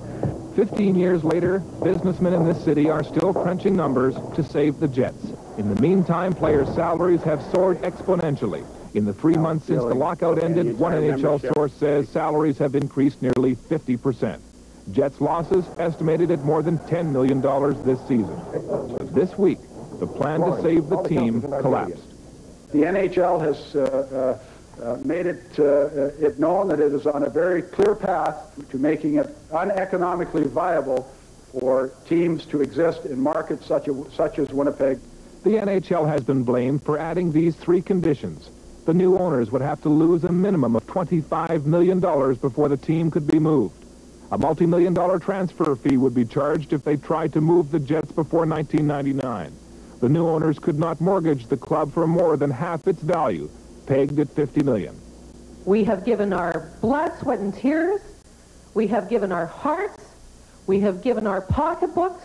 And we cannot give any more. Supporters rallied downtown. On the steps of the legislature, the newly elected premier fanned the emotion. The things that the NHL are demanding are unconscionable. Nobody has ever doubted the emotional support for the Jets in this city. But is the NHL implying with its conditions that it doubts whether this small market can afford big league hockey? A league that is going up cost, upscale, and south. Ron, back to you. Thank you, Mark. Joining us now from Winnipeg is NHL Commissioner Gary Bettman. Mr. Bettman, uh, tell us about your meeting in Winnipeg today and where you feel it leaves us. Well, we had a meeting with uh, the mayor, the premier, uh, the federal government was represented, uh, the MEC was represented, and it was a good, constructive, candid dialogue an attempt to make sure that everybody understood uh, what the issues were, because uh, I have a real sense over the last few days there's been a lot of confusion, uh, particularly with respect to the league's position. What are the issues then? Well, the issues are whether or not uh, the entity, if the option is exercised, that, that owns the club will have the uh, willingness and wherewithal to operate the franchise, and uh, the extent to which the team will be committed to staying in Winnipeg, which is our goal. First of all, in a little soliloquy, you characterized your own thoughts. Uh, are you optimistic? Uh, I'm not sure. Uh, should we take from that that you are pessimistic? No, it, it, it means that uh, there's a lot of work to be done uh, by the people in Winnipeg, uh, independent of the league issues. And I don't know how far along they are or what the depth of their resources are to make an informed judgment. as long as the dialogue continues, and again, I thought we had a good one today, then there's reason to be hopeful. Okay, a final comment, Gary. Uh, I look at these teams a little like the Green Bay Packers. You've made it clear uh, time immemorial that you have a great uh, respect for Canada and its roots in the game. Uh, don't you see the future so bright that network television monies, expansion monies, if you could just carry the Jets through this little period of difficult times, uh, then they would be the beneficiary of your grandiose picture, and uh, it's worth doing? By the way, that's the speech you should be making to the MEC because if that's right, then they should buy into the premise, be prepared to deal with the losses for a reasonable period of time getting into the new building, and then see if they can make this work. The difference between the Green Bay Packers right now and the Winnipeg Jets is, for better or for worse, all NFL teams get over $30 million a year from U.S. network television, and that can deal with a lot of small market disparities. That's where we hope. So, Ken, we're about an hour away from uh, that game, and you can see that early arrivals here at the Edmonton Coliseum are enjoying the Calgary-Toronto game on the big screen at center ice. Well, uh, they're two points behind eighth place for the Winnipeg Jets, one point in arrears of the Edmonton Oilers. The San Jose Sharks are the team they're targeting, and obviously it goes without saying, a huge game for these two teams as they get together in Edmonton. It's the fourth meeting of the season. Edmonton's taken five of six points from the Jets. Both clubs have been inspired by their new head coaches, and we'll start with Terry Simpson. The Jets love him. They say they've made an enormous difference, and here's what he thinks his team has to do in terms of strategy tonight. He was great between the pipes and a fellow with a pretty good set of pipes, uh, Dick Irvin, are standing by for the accounts of the third period of the Buffalo Sabres and the Montreal. Playoffs is a game on every night. I always enjoyed and idolized and watched uh, everything Guy Lafleur did. And I remember a lot of great Montreal Boston games, watching them hoist and skate around the cup. Uh, childhood dream. The Stanley Cup playoffs on CBC begin May 6th. Well, we don't know who will be skating here. Two and a half minutes left. A reminder that we will have our Molson three-star selections for you at the end of the game, and certainly the guy in the crease for Buffalo will get more than a little bit of passing consideration for those goals.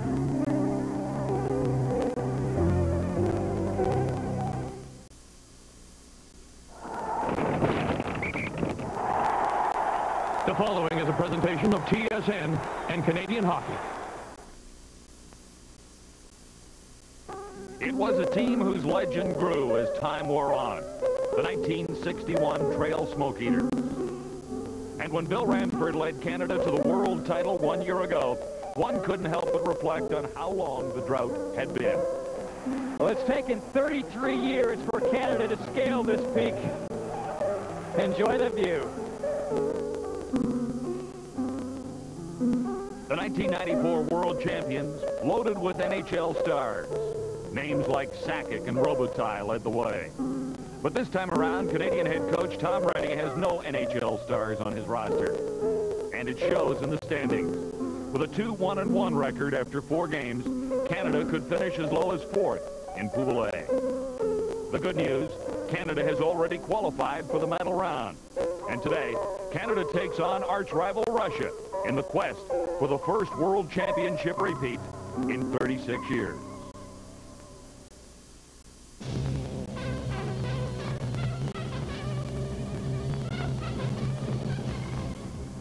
Canada is looking to Olympic veterans to lead the way. And so far, Corey Hirsch has been solid in goal. Rock-solid defenseman Brad Schlegel anchors the defensive core. And Todd Hlushko provides plenty of scoring punch up front.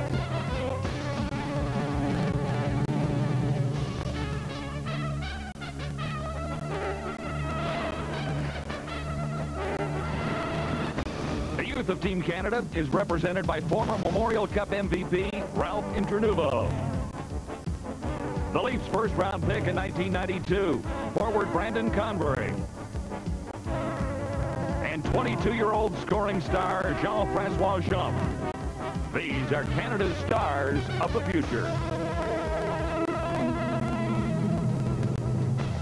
TSN and Canadian Hockey are pleased to present exclusive coverage of the 1995 World Hockey Championship.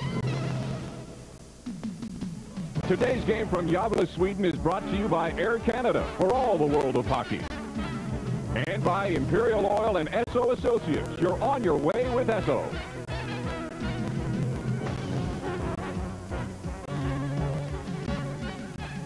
Hi, everyone. I'm John Wells at TSN Hockey Control. The latest edition of Canada's team has spent a week in Sweden with few notable headlines back home. The loss to France seemed unthinkable, in yesterday's tie with Italy did not help increase hope at the 1995 World Hockey Championships. This year, there are no stars from the NHL to carry the Canadian flag. Then again, Matt Sundin isn't playing for Sweden, and Jari Kurri won't play for Finland. However, the American team looks solid after three wins and a tie in B-Pool play. Canada has two wins, one loss, and a tie in four games so far. After winning the opener 6-3 over Switzerland, Canada had an embarrassing 4-1 loss to France. Then, in game three, a 5-2 win over Germany. And yesterday's 2-2 tie with Italy. So that brings us to today's final game of the preliminary round against Russia. The eight quarterfinalists from the preliminary round are already known. Still to be determined the final order of finish in the matchups for the medal round. In Pool A, Russia leads the way, followed by the surprising French team. Canada stands third, and Italy is in fourth place. In B Pool, the Americans are on top, followed by Sweden, Finland, and the Czech Republic. Then there's the crossover into the medal round, first against fourth, and so on. Today, the real tough slugging begins with Canada against unbeaten Russia in the final game of the round robin. So let's join Gord Miller and Ryan Walter in Gävle, Sweden. Thanks very much, John. After four successive days of snow here in Sweden, Ryan Walter and I have stopped making snow angels, and today we'll see Canada take on Russia at the World Hockey Championship. Ryan, people look at Canadian results from this tournament so far. A loss to France, a tie with Italy. This is clearly not the same kind of team that Canada had last year. Yeah, that's, that's very true, Gord, but you have to realize, too, this tournament is a different tournament. You don't have the top players playing here. Obviously, Canada doesn't, but either does Russia, Sweden, a lot of other teams. It's a better tournament for Italy and a better tournament for, for uh, countries like France. There's a lot more parity today at the World Championship than ever before. For Canada internationally, a traditional problem has been scoring, and it is a prominent problem for the Canadians this year. Yeah, relying on one line too much. They need to spread out their goal scoring. You know, the McKim Fraser and Intranuovo line have got uh, 8 of 13 goals, and they're going to have to have more balanced goal scoring. Tonight also, obviously, they're going to have to have tremendous goaltending from Corey Hirsch to be in the Canada-Russia game. And, of course, they remember Corey Hirsch well here in Sweden from the shootout in the Olympics in 1994. Canada-Russia coming up right now. Let's go back to John Wells. All right, guys, it's a little difficult to get a read on this Canadian team. Coach Tom Renney has been juggling his roster since arriving in Sweden. He has used four different lineups. Renney is hoping to have the right combination out there today against Russia. More in a moment.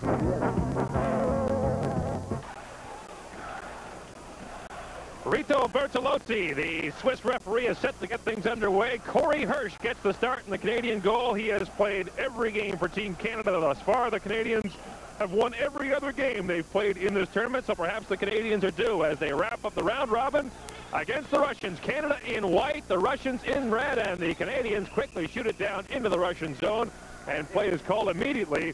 Icing is the call against Team Canada. Word, I think we're going to see a lot of dump-ins tonight. It's been a real difference that I've picked up since I was back here playing in the World Championship years ago. There wasn't much dump-in. There was puck possession most of the time. That time, Canada gets an icing. We're going to see lots of dump-ins by both teams. And you can look at Tom Renney behind the Canadian bench with his assistant coach Pierre Page with him. Mike Johnson also down there, a veteran Canadian coaching staff, especially when you consider their experience internationally. Andrew McKim steps in for the draw, wins it cleanly for Canada. This is Jamie Heward behind the Canadian goal. Heward forecheck, tries to flip it ahead, but it's shot back into the Canadian zone. And now the Russians on the forecheck. Vorobiyov down in the corner trying to force a face-off. Heward is down there as well, along with the Canadian captain Brian Tutt. Try it the other way, ahead for Ralph Intranuovo. And Intranuovo gets it up to neutral ice. Here's Sergei Sorokin, number two, and Sorokin has it go off a skate into the corner. Sorokin gets wiped out in the corner as the Canadians forecheck aggressively.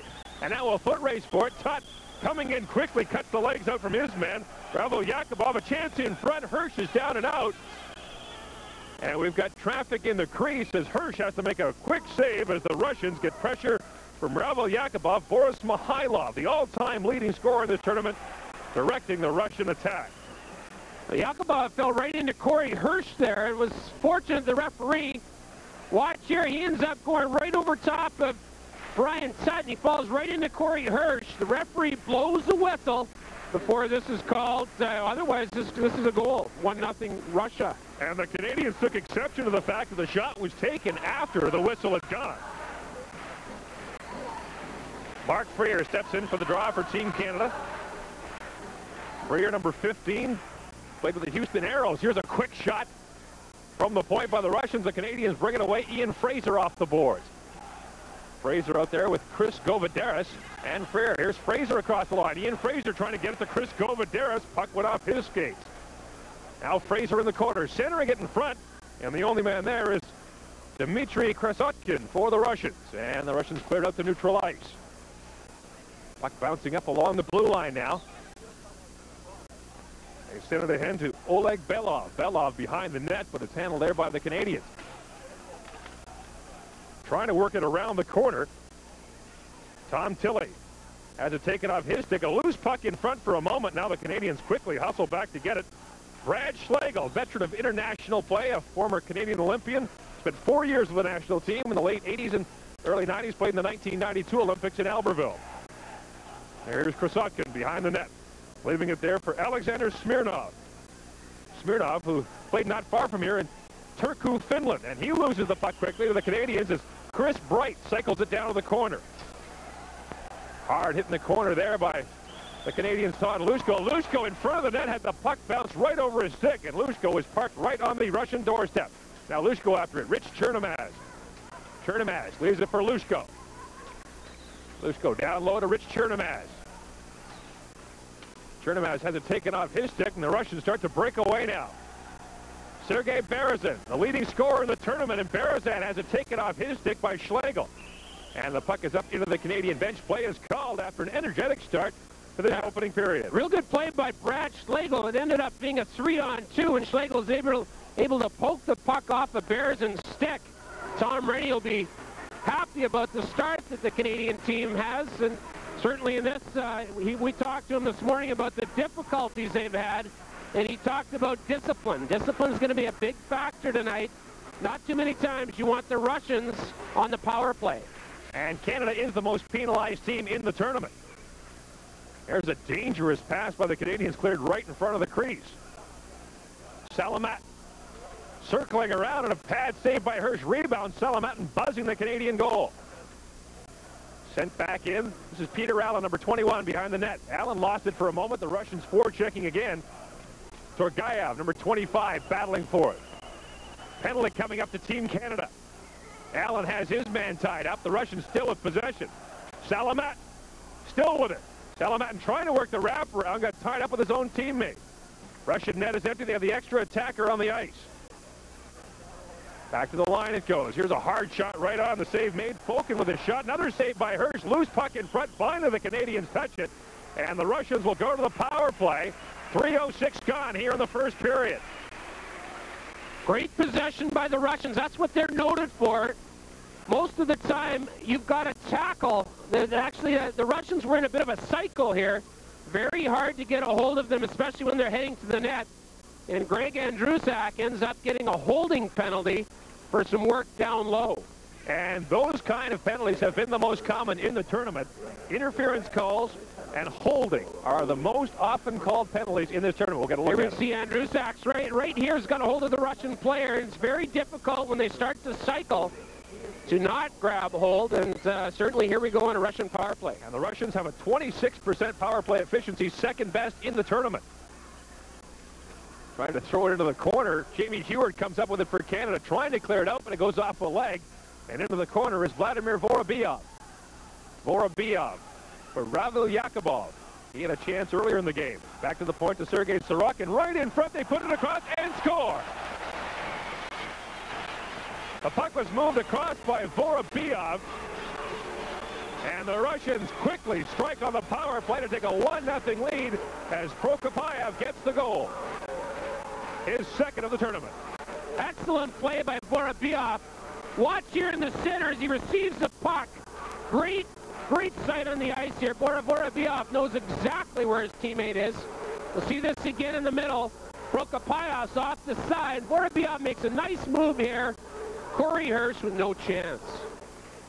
And quickly a 1-0 lead for the Russians on the power play goal and the penalty by Andrusak. And Canada, as we mentioned, the most penalized team in the tournament, and the penalty killing comes back to haunt them. Offside is the call at the Russian blue line. Well, just what the Canadians didn't want to do, get behind early to the highest scoring team in the tournament. And Corey, that was that was Tom Renney's point, was that they were going to have to be extra disciplined because as everybody knows, this is not the most talented uh, Team Canada, uh, team that uh, has been here, and they have to be, number one, extra disciplined, number two, extra hard-working. And nobody gives up on the Canadian spirit here. They can do it, but it's going to take some extras in their game.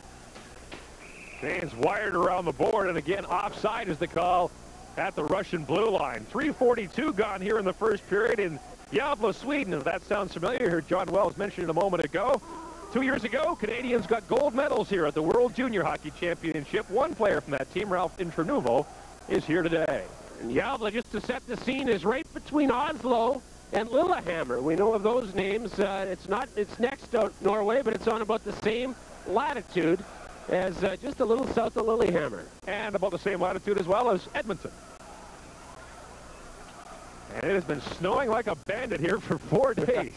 here come the Russians again breaking in. Oleg Belov sent it in front of the net, and the Canadians thwart that scoring try. Canadians haven't had many opportunities. Todd Hlushko had the best as the puck bounced off him in front. Now here comes Ian Fraser looking for Freer. And quickly, Sergei Abramov, the Russian goaltender, comes out to make the stop. Now the Russians bring it back. Stanislav Romanov crossed the line. Romanov trying to leave it there for Tarasenko. Andre Tarasenko loses the puck, and now the Canadians break away. And play is called as we've got an injured player on the ice. We'll return for more from the World Hockey Championship right after this. Where Mark Freer has gone off for hooking. That was what caused the Russian player to go down. The Russians, who are one for one already on the power play, get a second opportunity with the man advantage. And the faceoff wasn't done fairly. They'll have to do it again. That was a little bit accentuated by the Russian player. I didn't think that uh, the referee, uh, Rito Bertolotti, was going to call it at first. The crowd reacted, and Freer ended up getting the interference or hooking penalty. But I think it was quite accentuated. The Russian player really uh, took a bit of a dive. James cleared down on Abramov, the Russian goaltender, who has not been busy thus far. And the Russians set up their power play. Berezin wheeling in the corner, number 28. Seven goals, one assist for Berezin. He was bearing down on Hirsch, so Hirsch sends it right down to his opposite goaltender. Shendelev, number 22. setting up the power play. Sergei Shendelev played in the German league last year. And Shendelev sending it ahead to Homutov, a dangerous Russian player, Andrei Homutov. Homutov lost it to Todd Hlushko, and Hlushko flips it up to neutral ice. 120 to go on the man advantage. Russians setting up very deliberately. Smirnov being watched closely by Chris Bright from Team Canada. He'll hustle off for fresh penalty killers. Vyacheslav Bykov drops it to Homutov, a hard shot wide. Now here's Bykov.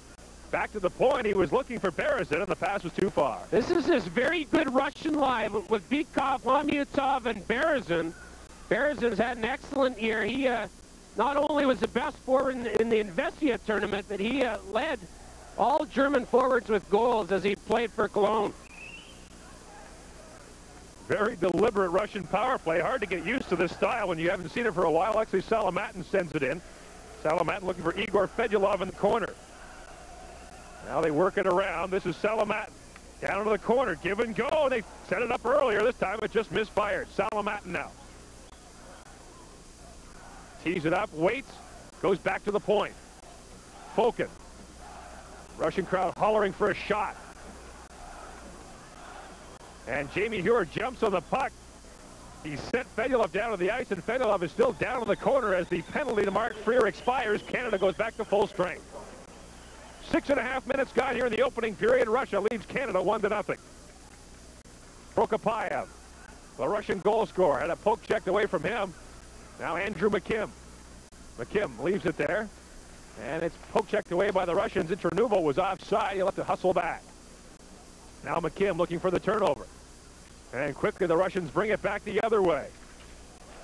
Yakubov with a shot right on. Hirsch the save. Canada leads 1-0. Back with more from Gävle right after this.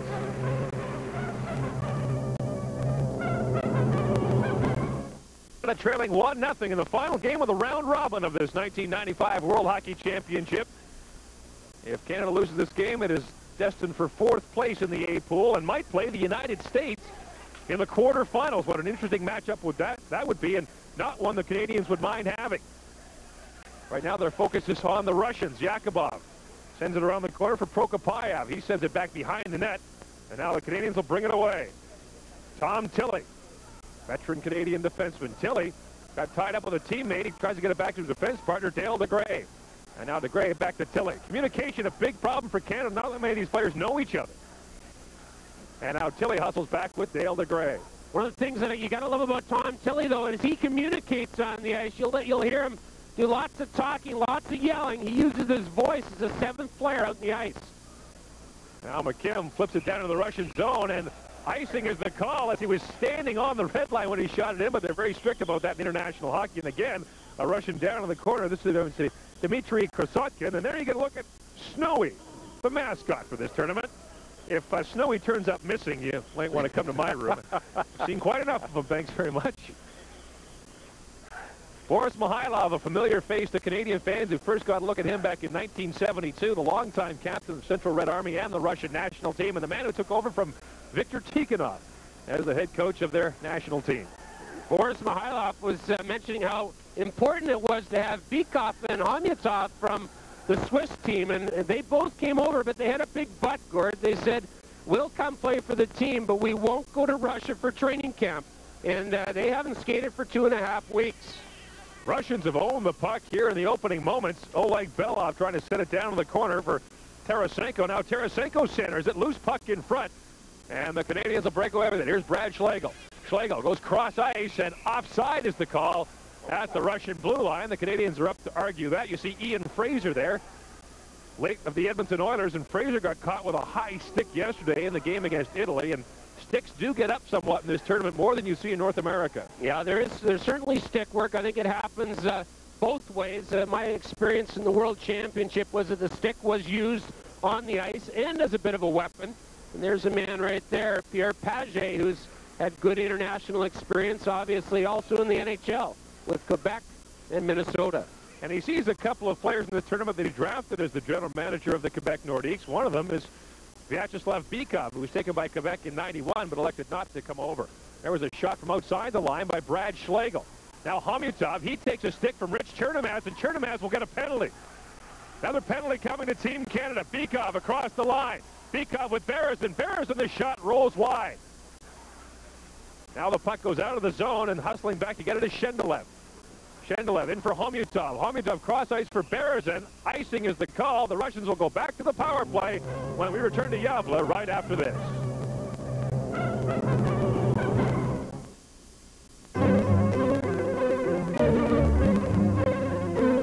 Once upon a time, in the land of great Canadian cheeses, where the mighty cheddar burst with flavor. Wow! The mild melted mozzarella flowed. And imagine, it snowed delightful Parmesan. there were gardens of delicious cheeses as far as the eye could see. It's so good, Mommy. Of course it is, dear. Cheese, please. Third penalty of the opening period to Team Canada. This time it's Rich Chernomaz for high sticking in the Russian power play. One for two in the hockey game goes back to work. Sergei Fokin setting it up behind the net, number five. Here's the pass up to Torgeyev across the line. He quickly gave it away to Brian Tutt. And Tutt will send it down to Sergei Fokin, number six. The Russians like to, to get their, their speed on the backside. Watch them always away from the play is where they pick up their speed, especially in the power play. You can see the speed coming not only from behind, but from the backside. Fedulov, it's taking them 25 minutes, to get, 25 seconds rather to get out of their own zone. It just seems like 25 minutes. Now Fedulov, back to the point. Fokin goes cross ice. Back to Fokin. Tees it up, shot through traffic, off a skate, and up over the mesh and into the crowd here at the Gävle Rinken. Talked with uh, a couple of the Italian players yesterday about different ways that you play this extra 20 feet in width on this ice. It's 200 by 100 instead of 200 by 85. Their point was that you play the Canadians in more of a box situation as the Canadians are playing the Russians here because they're used to the small ice. If you're playing a team like the Swiss, you like to pressure them because they don't like pressure. So we'll see. It'd be, it would be fun to see how the Canadians adjust here as the Russians ended up with a great first power play and scoring on it. And the Russians controlling off the draw. Shendelev trying to get it back, and a great play there by Jean-Francois Jomphe to send it down to the Russian zone. One minute to go, and the penalty to Rich Chernomaz. Here's Bykov. Bykov hit Homutov on the fly. Homutov lost the puck to Peter Allen, and Allen sends it down the ice. And the Canadians will get fresh penalty killers on the ice. The big line is out there for the Russians. Bykov, Homutov, and Berezin. And Homutov is poaching up near the Canadian blue line. Here's Bykov. Gets around one. Gets it to Berezin. Berezin along the boards to Homutov. This guy can fly. In front for Bykov, and Bykov's pass is broken up and sent back down the ice. Talked to a gentleman that coached both Bykov and Homutov. He said they're very different. Bykov's very likable, likes to talk. Homutov likes to be home. He likes to, he just stays home with his family, does lots of fishing. Very different guys. Here's Homutov with it now. Bykov goes behind the net. Five seconds to go on the power play. Bykov looking for Berezin, sends it in front, and it was knocked away by Jamie Heward. Chernomaz is back on the ice. The puck sent it in front for Berezin. A dangerous backhand shot stopped by Hirsch. And now the Canadians bring it back. Chernomaz. Drop pass for Mark Freer. Fraser goes to the front of the net. Here's Heward with a shot just over the net. Now Chernomaz. Trying to get it back behind the net for Ian Fraser. Fraser with the steal now. Fraser drops it back to Brad Schlegel. His shot drifts well wide, and at the other point, Len Esau can't keep it in. Now Esau being pressured quickly by Bykov at the end of a long shift. Bykov finally heads off the ice as icing is the call against Canada. 11-15 gone in the opening period. Again, we see some, some dump-ins. That time, Len Esau not able to reach the red line. But uh, we're going to see lots of puck placement deep. You want, uh, obviously, the puck between their uh, 200 feet down so that you've got five players between the puck and your net, and you'll see puck placement uh, very deep in this tournament. Well, thanks to three power play opportunities in the opening period, the Russians have really carried the play to Team Canada so far. Andrew McKim, who had a hat trick against Germany, steps in for the draw. And it's taken by Ralph Intranuovo. Intranuovo sends it away, and here comes Across the line, McKim with a shot, and Abramov makes his toughest save so far of the hockey game. And that time he steered the point shot up into the mesh behind the net. Great burst of speed there by Andrew McKim. Andrew McKim is second in scoring in this tournament, at least up until today. And uh, watch McKim here. Gets a good. This is actually that's the rebound that Abramov ends up putting up over the stands. McKim just before that had a great shot, probably Canada's best scoring opportunity. And Andrew McKim was fourth in the American Hockey League in scoring, playing for the Adirondack Red Wings. 90 points in 74 games, including 36 goals. And goal scoring is at a premium for Canada in this tournament. The Canadians depend upon this line, as you mentioned in the opening. Now McKim off the draw got tripped. Crowd thought there might have been a penalty here since they've called just about everything in the opening period. Russians set it down, and no touch icing here in international hockey, so quickly we brought down into the Russian zone with 8.25 to go in the opening period. You were talking about this line. Let's set this up a little bit, Gord, for the first period. There you go. There's some uh, Forsberg fans here. Come. Certainly there will be here in Sweden. But McKim is uh, is with Ralph Intranuovo, and they've switched up this line. Before they had Ian Fraser, such a successful line. And they've been putting different uh, right wingers in and out with McKim and Intranuovo. Right now we've got uh, Lucien Borsato that's in. He's going to take the face-off here, putting McKim right behind him. Borsato, the former Winnipeg Jet, seventh round pick for them 10 years ago, spent four seasons with the Jets.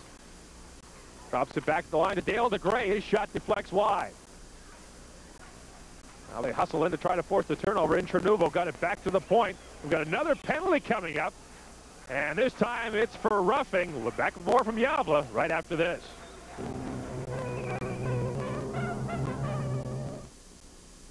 To make room for so far. And again, you didn't get a chance to see the replay while we were in commercial, but it looked like kind of a marginal call, right? Yeah, it really did. I thought Borsato obviously very aggressive, but not over-aggressive. And uh, I think what happens, there's a tendency here, Gord, as a Canadian, to overplay when you play against the Russians. And you can see that here in the first period. There's not, not necessarily tentative play, but almost overplay, over-aggression. This, this Canadian team wants to do very well today. There is Todd Hlushko with the steal at the Russian line, forces them to regroup.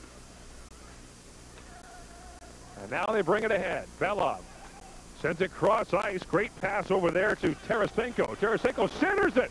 And it went right through the crease. Now to the side of the net and deflected just wide.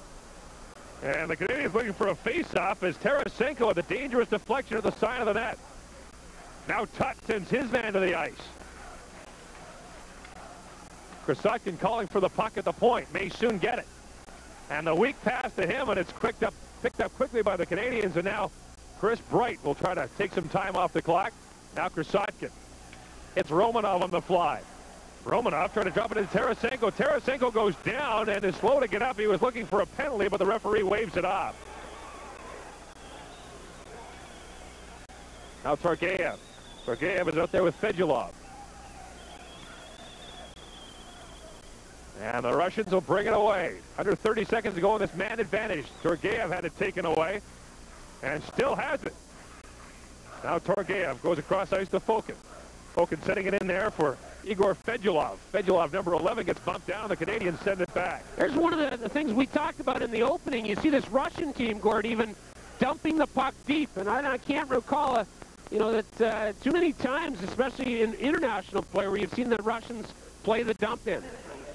Penalty has expired. Russians bring it in. Torgeyev looking for the puck in front. Now number 25, Torgeyev working from the board. Torgeyev still with it. Passes it across. They score. Igor Fedulov, 2-0 Russia.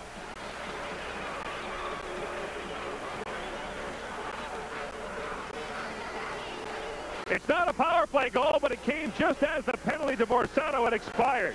Well, Igor Fedulov gets an open net goal. So far, you cannot blame Corey Hirsch on either one because they both been open net. Torgeyev right here makes a great pass. Corey Hirsch has got to leave that side of the net open. Watch Hirsch. He's telling him, play the other guy. I've got to stay in front of the puck. And it's just a wide open net. Andrew McKim back playing defense for Canada.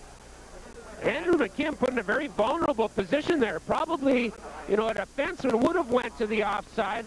you know, sort of faking the guy with the puck, taking the man away from the puck. That time he had to leave him wide open. Now here's Homutov across the line. Homutov, another Quebec draft pick, taken back in 89. They go back to the line to Smirnov. Smirnov. They get back to Shendelev. And the Russians look like they're on the power play now. Bykov battling forward along the boards, and the Canadians send it ahead. Now heads to the hospital for precautionary measures. You can see that wicked gash. Who doesn't want to see him? The Montreal Canadiens don't want to see him there. They want him on the ice. Now, we talk about between the legs five-hole. What's going on five-hole, Mike? Goalies are going down nowadays. You can see big hole when he goes down. Rangers clinch a playoff spot. They are in in the East.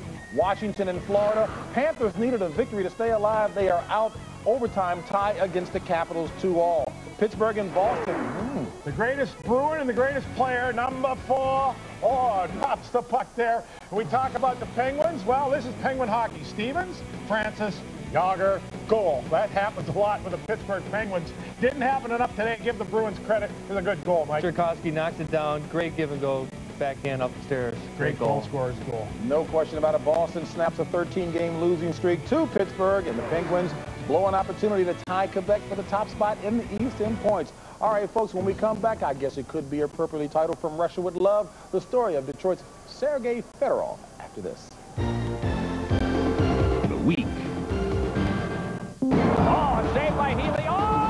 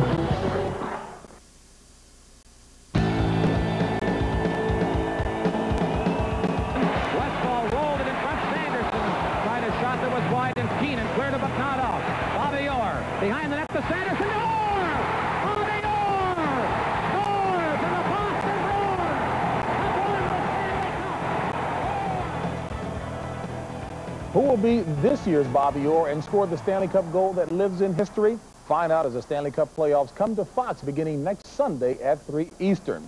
Now, perhaps that person will be Sergei Fedorov. However, if you think back just five years ago, the odds of a Russian star doing that would have been like, oh, say, Ottawa winning the Stanley Cup this year. But as I had a chance to find out, sometimes the odds don't really matter.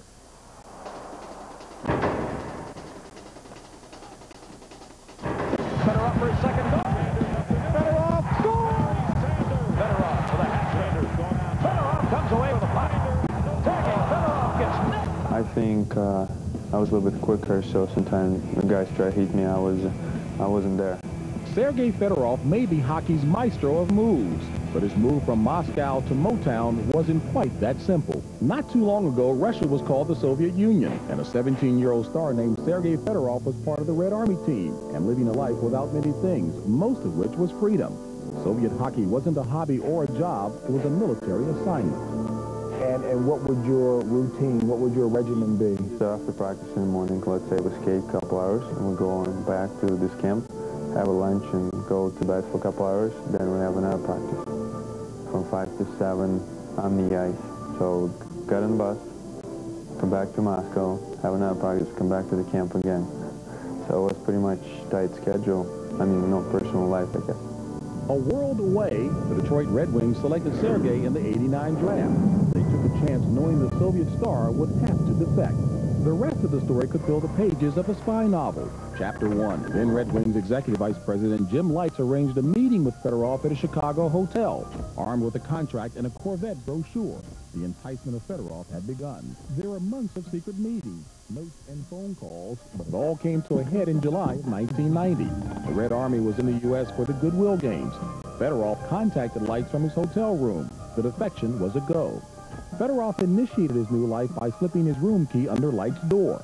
As the Soviet team headed to practice, the Wings moved Sergei's bags from his room to a waiting getaway car. I was last guy off the bus. I see, I saw Jimmy sitting in the couch and uh, I said, uh, probably, Jimmy, uh, I'm ready to go, or something like that, you know. That was English, first, first three, four words I said. And uh, we took a car to the airport and four hours later, in a very sunny morning, I, I've been in Detroit. The Americanization of Sergei Fedorov did not take long. His impact for the Wings was instantaneous, quickly developing his own style with a punch. And what is your favorite music? My favorite probably Guns N' Roses. Sergei has accomplished many feats, including winning last year's NHL MVP award. But he isn't the only Russian making waves. His former line mates are Pavel Bure and Alexander Mogilny. From $60 a year to millions, these players have realized the American dream. It's amazing what been happened to me last five years here in North America. If I think about the time before I came here, sometimes I feel like it wasn't me. Already an MVP award winner, think how much greater Sergei Fedorov's hockey dream would be if his very talented Detroit Red Wings win the Stanley Cup. Fox NHL Sunday continues. Eastern Conference continued on Sunday. Going into their game with the Calgary Flames, the Vancouver Canucks trailed the fourth-place Leafs by three points with just two games left to play. So home ice advantage was on the line for the Canucks, and there was an added incentive for them, their last regular season game to be played at Pacific Coliseum. Vancouver off to a good start. Christian Ruuttu shot from the point, tipped by Dane Jackson in front, his first goal of the year. Canucks were up one to nothing. Vancouver up two nothing in the second. When the wheels come off, Wes Walz gives it to Alan May driving to the net. Backhands it in as the Flames trailing two to one at this point. Then with the game tied up at two, Zarley Zalapski's shot deflected in front by German Titov. Titov's first goal in 25 games gives the Flames a 3-2 lead. Then 19 seconds left in the second. Reichel on a breakaway puts a great move on Kirk McLean as the Canucks blow a two-goal lead and trail 4-2 after two. But Vancouver chips away in the third, tied at four. Roman Oksiuta fires one from the slot past Trefilov as the Canucks back out in front. 5 to four, and when it all finished, Vancouver beat Calgary by a final of 6 to four. And the Flames, I can tell you, sat out seven regulars, some with injuries, others are resting for the postseason. The Canucks have clinched at least the sixth seed in the West. I'll have more on the standings in a moment. We're going to take you to Detroit. Ed Belfour and the visiting Blackhawks have given up the fewest goals in the league. Here's why. They're taking on the Red Wings. Wings on a two-on-one. Tim Taylor stopped. Konstantinov has a yawning cage, but Belfour robs him with a goal stick. Hawks get a two-on-one in the second. Joe Murphy decides to go five-hole, and that's a good decision. Mike Vernon gets a piece, but not enough. 1-0 Chicago. Then off a draw, Jeff Shantz wins back to the point. Gary Suter hammers it past Vernon to make it 2-0 for the Hawks. Chicago up 3-0 in the third. Vernon gets it to Denis Savard. Savard centers it to Eric Daze and pops his first career NHL goal. Now, big win for Chicago as they hammer the Red Wings 4-0. That is Belfour's fifth shutout of this season. And the loss snaps Detroit's seven-game winning streak versus the Chicago Blackhawks. The win moves Chicago one point past the Leafs for a fourth spot in the Western Conference. Two teams clinging to life in the West went head-to-head -head in Los Angeles Sunday. The Ducks and Kings were both on the outside looking in, and Anaheim knew that they were in a must-win situation, a tie or a loss, and they could pick up their golf clubs. And Rogie Vachon's Kings knew that they were in this crucial game as well, but it was Anaheim that jumped out in front. Two Ducks behind the defense. Mike Sillinger feeds to Todd Krygier for the goal, making it 1-0 Anaheim. Still in the first, tied up at one. Wayne Gretzky winds up and lets it rip. The Great One's 814th career goal, but first since April 6th, Kings up 2 to 1 after one. Scary moment for Anaheim in the second. Michel Petit with a shot. Eric Lacroix goes to the net and crashes right into Guy Hebert. Lacroix ends up on top of the net. Hebert was forced to leave the game with an apparent head injury. So Mikhail Shtalenkov Shtalenkov came here to play for the Ducks. He's steady the rest of the way, as is Grant Fuhr. Kings still up 2 to 1 in the third. Ducks pressing Bobby Dollas there to Bob Corkum as Fuhr shuts the door. Grant Fuhr with his first win as a King, and it couldn't have come at a better time as L.A. wins it by a final of 2 to 1. The Kings need at least one point in their final two games to have a chance at postseason play. Now on to San Jose, the Blues and the Sharks, Kevin Constantine. And the Sharks' first period, Sharks on the attack. Jim Kyte with a point shot redirected by Jeff Friesen beating Curtis Joseph. San Jose leads it 1 to nothing. Game tied at 1 in the second. Steve Duchesne tees one up with a blue line, blows that 55-footer past Arturs Irbe for a 2-1 St. Louis lead. The Blues tally again before the end of the period. Rick Zombo with a point shot. Brendan Shanahan chips in the rebound, and the Blues lead it 3-2 after two. Midway through the third, Steve Duchesne moves in. Let's go with the backhand. Glenn Anderson deflects it in, making it 4-2 St. Louis. And the Sharks add a late one, but lost it by a final of 4 to 3 to St. Louis. And the Sharks remain tied with Winnipeg for that final playoff spot in the Western Conference. So let's check in on the West standings. Detroit wrapped up first place last night. Calgary has locked up second. St. Louis has locked up third. Then she gets interesting. Chicago and Toronto, one point difference, each with two games left to play. The best that Vancouver can finish now is fifth. One thing is certain, they will not have home ice advantage. They're going to start on the road, but hey, that didn't seem to bother them in last year's playoffs. Then we have San Jose, Winnipeg, LA, Edmonton, one point separating these four teams, all with two games left. But I can tell you that San Jose has the best shot because they have the most wins with 18. For 25 years, the Montreal Canadiens have made the playoffs and in that span have held the Stanley Cup eight times. But this year they found themselves on the ropes with their playoff hopes resting on the Rangers. A New York win and the Rangers would clinch a playoff berth and would all but eliminate the Montreal Canadiens. The Rangers would have to do it without their captain Mark Messier out with back spasms. Early in the game, bad news for the Flyers. Eric Lindros' shot hits Jeff Beukeboom and snaps back into his own face. He would leave the game with a cut under his eye. The Rangers get on the board first. Steve Larmer with the puck behind the net spots Brian Leetch sneaking in from the point, beats Roussel, making it 1-0 Rangers. Then Eric Lindros near the dressing room, the eye looking pretty swollen. So they were taking him to the hospital. Glenn Healy showing off some tricks on this day. Under pressure, gently nudges that net. It's up the magnets. That would get him a whistle. The Rangers add a goal in the second. Mikael Renberg with a bad clearing pass. Leetch picks it off. Nets the second of the day to make it 2 to nothing for the Rangers. Glenn Healy playing well in the game, has got a shutout going into the third, so takes a little bit of breather and a drink of water and then goes back to work facing the Philly power play, shoots across to stop Peter Svoboda. Healy would make 24 saves with the shutout. The final score, 2 to nothing for the Rangers, so the win clinches a playoff spot for the Rangers and all but eliminates the Montreal Canadiens from postseason play. Eric Lindros is going to spend the next two to three days in bed to keep the swelling around his eye to a minimum. He is listed as day-to-day. -day. But the Montreal Canadiens, of course, disappointed with their season. At the beginning of the year, we didn't have a happy team. You know, that's, uh, some players felt that they should go play somewhere else, and some of those players went to play somewhere else, and they they had worse years in, the, in their career. But um, the arrival of Turgeon has given me hope. Malakhov. Um, Turner Stevenson has given me a lot of hope for the future. Ryan Savage. Those are kids we stuck with. We were back in the hunt, and, uh, you know, we just let it slip through our fingers. But, uh, you know, there was times throughout the year, like you said, there was uh, there was times where, where we won hockey, where we should have won hockey games, and, and we didn't. And, uh, we're, we're uh, packing our bags early this year. So as the Canadiens pondered their future, the Quebec Nordiques were looking to stay ahead of Pittsburgh in the East. The Nords had a two-point lead over the Penguins as they took on New Jersey, but the Devils had a few concerns of their own, and that was battling Boston and Washington for fourth place and home ice advantage in the first round of the playoffs. As the Devils just seemed to want this one early on, though. Neil Broten takes it off the backboards and feeds John McLean in the slot, goes in, beats off the set far side, making it 1-0 Devils. Joe Sakic with a great chance to tie it in the second. Valeri Kamensky puts it right on his stick, but Joe fans on it with the open net. So the Devils take advantage. Scott Niedermayer with his shot. Bobby Willett gets a stick on it, and that was two to nothing for New Jersey. The Devils get another one a minute and a half later. McLean's shot is stopped. Neil Broten jams at the rebound, just trickles past Fiset, making it three to nothing for the Devils. So that left Larry Robinson talking with Jacques Lemaire behind the bench. And the Nords try to rally in the third. Down 4-0. Wendel Clark back to Adam Foote. Spot to Joe Sakic, side of the net. And his shot trickles past Brodeur.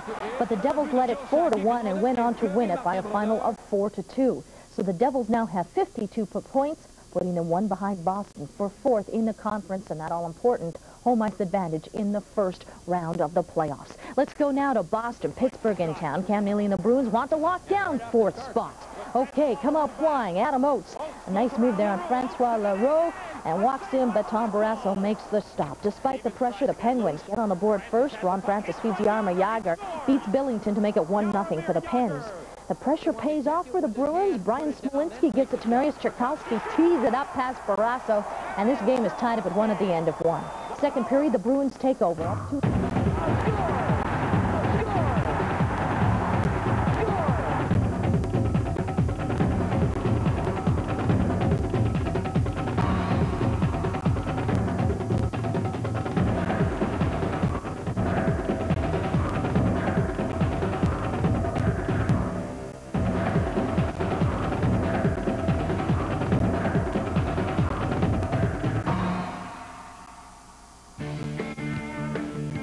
Game Night, brought to you by the all-new Chevrolet Cavalier. The best-selling car in Canada just got a whole lot better. It was a struggle from the start, but the defending Stanley Cup champions finally qualified for the playoffs.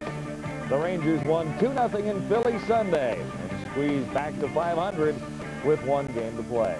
Hi, everyone. I'm John Wells along with Bob McKenzie. Welcome to GM Game Nights. First, the New York story. The Rangers are in, Mac, but they never really dominated. You know, the historical part of it goes, you know, you know, we're sorry. You know, that's the thing we are. You know, uh, we, we, we tried the hardest we can, and, uh, you know, unfortunately we came up short. It's really hard to describe. I mean, how we failed and all that, but, you know, uh, I guess uh, to make to make the playoff, you, deserve, you have to deserve it, and uh, we were uh, so bad on the road this year, then I don't, maybe we didn't deserve to make the playoffs. Canadiens are in action tonight playing out the string first period. Richard Smehlik from the corner steps in front and beats Patrick Roy to give the Sabres a 1-0 lead. And Montreal tries to come roaring back. It's Pierre Turgeon on the big line. He feeds Vincent Damphousse out in front. Damphousse shoots, and he hits the post. Dominik Hasek does the backflip, and uh, 1-0 for Buffalo at the first intermission. Uh, they have reached the first intermission at the odd. Mac, the Habs broke a lot of hearts in Montreal all season long. Simply put, this team was really not good enough all year. No, and you look at the road record, and that really let them down. And you say, well, why do you have a bad road record versus such a good record at home?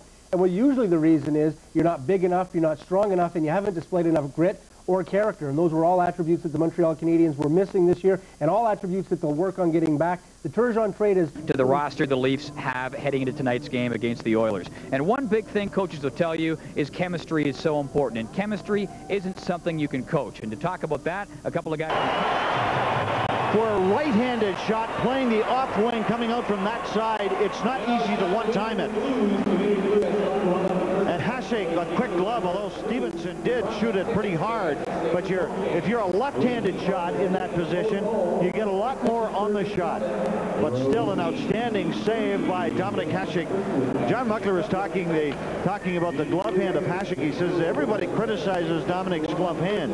He looks awkward, but he says he gets the job done. And that's not uh, perhaps uh, one of his greatest assets, but he gets the job done with that glove. Very strong weapon, especially in the situation that Buffalo is in right now. Shy of man for the next two minutes and 15 seconds. Charlie Huddy is thrown out of the game. Don Koharski through about 15 pages of the is going to come down to the last couple of days of the season. For the Oilers, it might have come down to Monday's game against the Toronto Maple Leafs. A win could have put the Oilers in eighth, a loss, and they would need a miracle to make it. And they had to go at it without defenseman Todd Marchment, suspended for the remainder of the regular season for punching Denis Chassé from the bench. So the Maple Leafs not only get a break there, but also in goal. Bill Ranford still out with back spasms. Fred Brathwaite in goal, which is good. The Maple Leafs trying to move into fourth place. Edmonton gets an early power play chance here. Igor Kravchuk fires a wrist shot and beats Felix Potvin. And Potvin not real sharp early on 1-0 at that point. But after that, the Maple Leafs take control. Mike Ridley wins the draw to Dave Andreychuk, and Andreychuk quickly makes it 2-1 for the Maple Leafs. And 11 seconds later, Randy Wood picks it up. This is almost off the face-off. Here comes Wood. Puts Head down and buries it 3 to one. The Leafs up again after Brathwaite gave up four goals in the first. Joaquin Gage comes in for the Oilers in the second, and that proved to be a great move. He played well, and the offense came alive. Peter White with a move, and White, far side on Potvin. Game is tied at four. All of a sudden, the lead is gone for the Maple Leafs. Key game for the Oilers, and the Leafs press to win it. Mats Sundin faked the slapper. He took a little half job, and it was exactly what they needed. 6-5, Sundin and the Maple Leafs all smiles They beat Edmonton, and that is an important two for the Maple Leafs, but I guess of more importance than what it means to Toronto, it's what it means to Edmonton. This means uh, they are in big, big trouble. We'll tell you just how much trouble they are when we take a look at the San Jose Sharks. Right now, though, let's take a look at the Chicago Blackhawks taking on the Winnipeg Jets. Another huge game for the Jets. Game tied at one. Oh, the old chicken. The beautiful drop pass right there to Zhamnov. His shot is deflected into the corner, but here it is Olczyk in front to Darryl Shannon. He puts it away. Jets led it 2 to 1, but the Hawks fight back. All of a sudden, they're doing okay without Jeremy Roenick. Jeff Shantz strips the puck from Quintal, and here it's a two-on-one, and Shantz will put the head down and bury it. He beats Khabibulin, and the game is tied at two. But the Hawks go back up on top right now. Murray Craven circles, and then it opens up for him. Craven with the shot and a good one. That proved to be the game winner. Excuse me, the Hawks over the Winnipeg Jets 3 to 2. The Blackhawks now on a roll, 4-0-1 in their last five games. Remember when Roenick was first hurt, they couldn't win a game? Unfortunately for the Jets, they could win this one. 3-2 Chicago over Winnipeg. The Jets are in big trouble, and again, we'll show you the standings in a second. Let's go to San Jose now. Bob Gainey Stars have not beaten the San Jose Sharks all year, and if the Sharks win this game, the Jets and the Oilers would be officially out of it. After scoreless first period, Mudd scramble. Kevin Miller will bury the loose puck right there. Sharks up one to nothing. The Stars press to tie it. Greg Adams with the feed of Dave Gagner. Dave Gagner, no hesitation at all, but look at Arturs Irbe slide across. And boy, can he ever get those pads in unusual positions. Now in the power play, Adams to Kevin Hatcher. Todd Harvey has his back to the goaltender, but he gets a stick on it through his legs, then the goalkeeper's legs. Nice play by Harvey. He's having a fine year. 11th goal game, tied at one after two. Third period, Janney to Falloon, and Falloon makes it two to one. And yes, Oiler and Jet fans, the news gets worse from there. Jamie Baker slides it over to Pat Falloon, and Falloon scores his second of the game. 3-1 for the Sharks, and that's basically how it would end. San Jose wins it 3-1 and moves to within a point of the Stars for seventh in the West, and that will do it for Edmonton and Winnipeg with uh, their losses and with San Jose's victory, they are officially eliminated. Dallas, by the way, has no games remaining. The Sharks have one on Wednesday versus Vancouver. Okay, one other meaningless game, and then we'll show you what it all means in the standings. St. Louis over to Anaheim 5-3. Ducks' third straight loss. Uh, Paul Kariya, by the way, had his 17th goal of the season in the game. The game meant nothing. St. Louis already knows that they will play Vancouver in round number one, and Anaheim knows they'll be playing no one. So the standings look like this in the Western Conference, and here's, uh, here's really what we know from Monday night. St. Louis, as we know, will take on Vancouver. Chicago and Toronto will play in round number one. It's still an issue of where. It's now official, St. Louis and Vancouver, Chicago and Toronto. The question on the Leafs and Hawks is who has home ice advantage. Both of those teams have one game to play. Right now, the uh, Blackhawks lead by a point, and the Blackhawks would win the first tiebreaker as well, so they're in pretty good shape there. Now, as for the other race, Los Angeles is the only team still alive, not in a playoff spot. Winnipeg and Edmonton have been officially eliminated. The Kings will play Winnipeg on Tuesday. If they lose, they're out of it. If they tie, they are still in it, but Dallas would be officially in if Los Angeles ties that one. But for uh, Winnipeg, a disappointing night, and for the Oilers, too, a disappointing loss and a disappointing end to the season. I know everybody in this dressing room uh, wanted to make the playoffs, and I think we've uh, busted our butts for the last three weeks, played a lot better hockey, and showed we're a good hockey team, and uh, to come back like that, and uh, you know, to lose it, um, I know every guy in this room's hurting right now, but we were just wishing there was another period left or another couple minutes left. Just talking to Tyler Wright, and I just said it felt like somebody ripped your heart out. You know, I mean, uh, uh, it's one of the most depressing feelings when you find out that your season's over. And um, what you do from here on out, uh, it's tough. You know, it's a, a feeling that you, you never want to feel again. Sure, they're thinking that in Montreal. Sure, the Montreal Canadiens still had a shot at the postseason if they finished their season with two wins, if they scored 27 goals, more than they allowed, while the Buffalo Sabres went winless and let their goal differential slide. All moot points, of course. But the Habs did have a point to make at the auditorium that despite being out of the playoffs for the first time in a quarter century, they still had their pride. But John Muckler said, check the pride at the door. We're going to the playoffs, and we got to start playing some good hockey. His team, very average so far this season. Montreal uh, gets it taken to them right away. Holzinger moves in. He's poke checked nicely by Roy, but it ends up on the stick of Richard Smehlik, and Smehlik will move in for the corner, and Roy gives him a little room. He takes it 1-0 for Buffalo. Canadiens try to respond. Pierre Turgeon with the feet of Vincent Damphousse, but he will ding it off the goalpost, and Hasek keeps it up. Second period, the Habs keep coming on the power play. Valeri Bure to Turner Stevenson in front, and Dominik Hasek makes the terrific glove save. Still a power play. Racine to Turgeon, but he blasts it wide. But Turgeon generates more scoring opportunities. Here he comes, Pierre Turgeon with a shot, but Hasek this time with the poke check. He's got to be frustrated. Third period, the Habs press. Again, it's Stevenson on the doorstep, and again, Hasek will rob him. Sabres put it away. Jason Dawe leaves it for Alexander Mogilny, and Mogilny leans into one. He hasn't had a great year, but that was a great shot. 2-0 Sabres over Montreal. Montreal officially eliminated in this game. Not that it uh, really made any difference. It was unofficially done before. The Habs missed the playoffs for the first time in 25 years. The Habs' uh, last sub 500 season was 1983-84, and there's no question where this season fell apart. 3, 18, and 3 on the road. Sabres move into seventh in the East, two up on the eighth place New York Rangers. Okay, let's go to Boston now. We won't have many chances to go to Boston in this location. Uh, the Boston Gardens final regular season game. It's the Bruins against the Ottawa Senators. All of a sudden they are alive.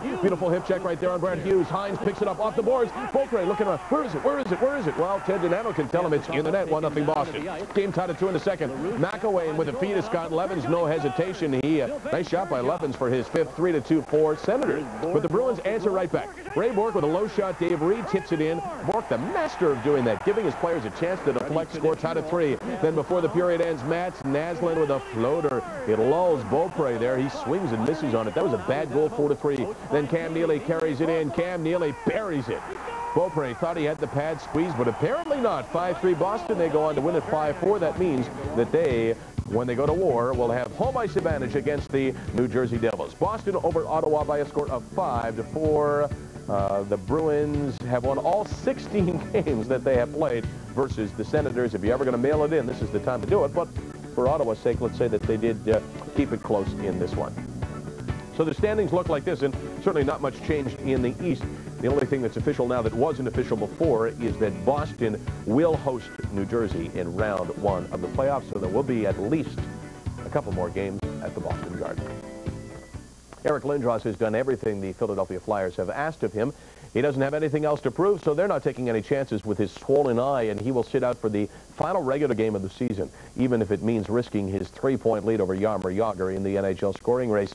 Lindros suffered the injury early in the first period of Sunday's game against the New York Rangers. His slap shot deflected off the hip of Jeff Beukeboom right back into his face, cutting him under his eye. Lindros was taken to hospital for six stitches. He is listed as day-to-day. -day. The Flyers' final game is Tuesday against the New York Dolphins. Vancouver Canucks won't be finishing the regular season unscathed either. They'll be without defenseman Jeff Brown and winger Martin Gelinas. Brown has a bum shoulder. Gelinas is suffering from a knee injury. The Canucks will also be a little thin in the muscle department without Gino Odjick and Tim Hunter for their last regular season game against the San Jose Sharks. When we come back, the Jets' deadline is moved back as the federal government wants to talk things over. The Jets are fighting for their very survival. More on that later on. The Kings are fighting for their playoff lives. A loss in Winnipeg, and the Kings would be dead.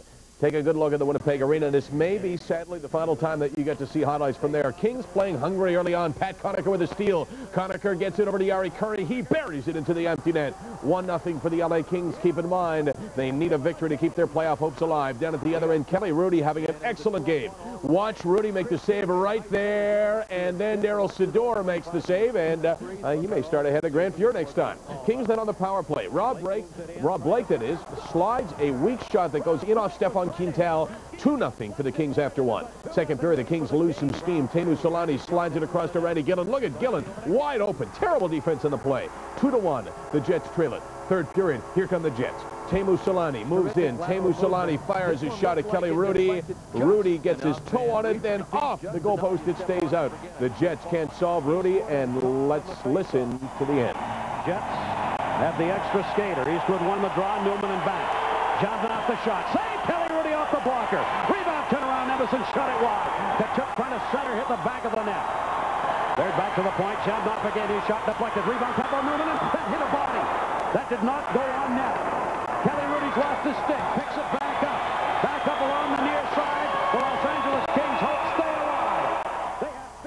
We wanted you to hear the end of that, not necessarily because of the call and because the Jets did not score, but because of the crowd. They were right into it, cheering for the final 30 seconds of the game and perhaps saying goodbye. More on that in a moment. But Los Angeles beats Winnipeg 2-1, and we want to show you the standings and tell you exactly what that means in terms of the standings. Los Angeles now tied with San Jose with 41 points, one behind the Dallas Stars. The Stars have no games left. San Jose is at home versus Vancouver Wednesday. The Kings are at Chicago. Now, you're probably wondering what happens if teams are tied. Well, remember this, the Kings cannot win a tiebreaker. If all three are tied, Los Angeles loses out, the other two make it.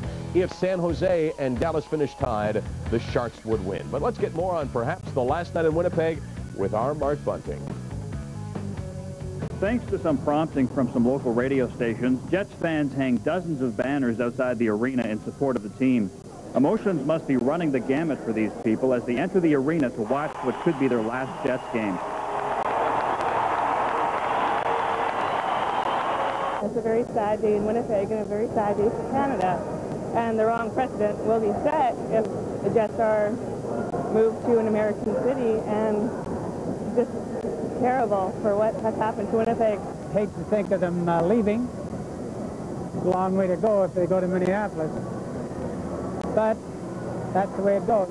I'm hoping the Jets aren't going to leave because this is the closest city with a National Hockey League team, and I really like to come and see, like all, whenever I can, I love to come and see the Jets play. Amid wild speculation that the Jets have already been sold, Jets president Barry Shenkarow holds a news conference. For four years have provided an option to anybody in Winnipeg to buy the team at far, far less than market value on the premise that the team would stay here long term. It wasn't about building a building, it was about keeping the team in Winnipeg. I've spent a very hectic three days, and, uh, you know, uh, right now, I wouldn't say that I would be very optimistic about the outcome of, uh, of what's happening. Almost lost in all the frenzy is the fact that Wayne Gretzky and the Kings are gunning for a playoff spot. At the end of the game, the Jets leave the ice 2-1 losers, but their fans don't care.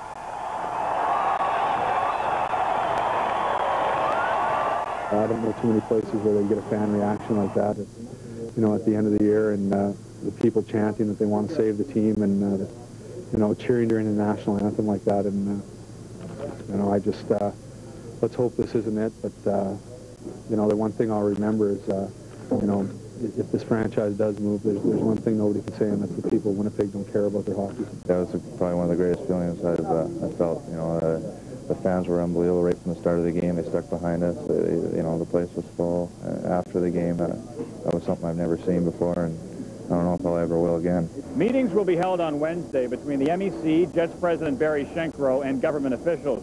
A news conference is supposed to be called later in the day. Maybe then it will finally be announced whether the Jets are staying or going. Mark Bunting, TSN, in Winnipeg. And of course, we will keep you posted. You know, it's been a duel between the Penguins and the Nordique all season, and that duel continues right to the end. Penguins were two behind the Nordique. Nordique have one game left Wednesday with Hartford. Penguins used their game in hand Tuesday to face the Washington Capitals. Two points behind. They wanted the two points, and let's find out if they could get it. Jaromir Jagr needs three points in the final two games to surpass Eric Lindros, who's finished playing for the season. That's in terms of the point scoring. Meanwhile, Peter Bondra looking to take the goal scoring title. He enters the game with 32 goals. Ken Wregget keeping the Capitals at bay early on. Bondra with a pass to Khristich. He has stopped not once, but twice as well. The second uh, great glove stop. Outstanding. And then he falls over the puck. Meanwhile, uh, summer's coming, so they're tying the shirts up. Floodgates open in the second. The Caps break in. Calle Johansson with the pass to Miller. And the nice drop pass to Ken Klee. And Klee scores with glee there. Big smile. 1-0 for the Caps. 2-0 for the Caps. Steve Konowalchuk breaks in, and Konowalchuk puts his head down and buries a slapper past Kenny Wregget. 3-0 the Capitals lead it. Then the Pengs come back courtesy of Jagr. I was going to say watch the shot, but you couldn't. He snaps it. A laser beam 3-1 hockey game.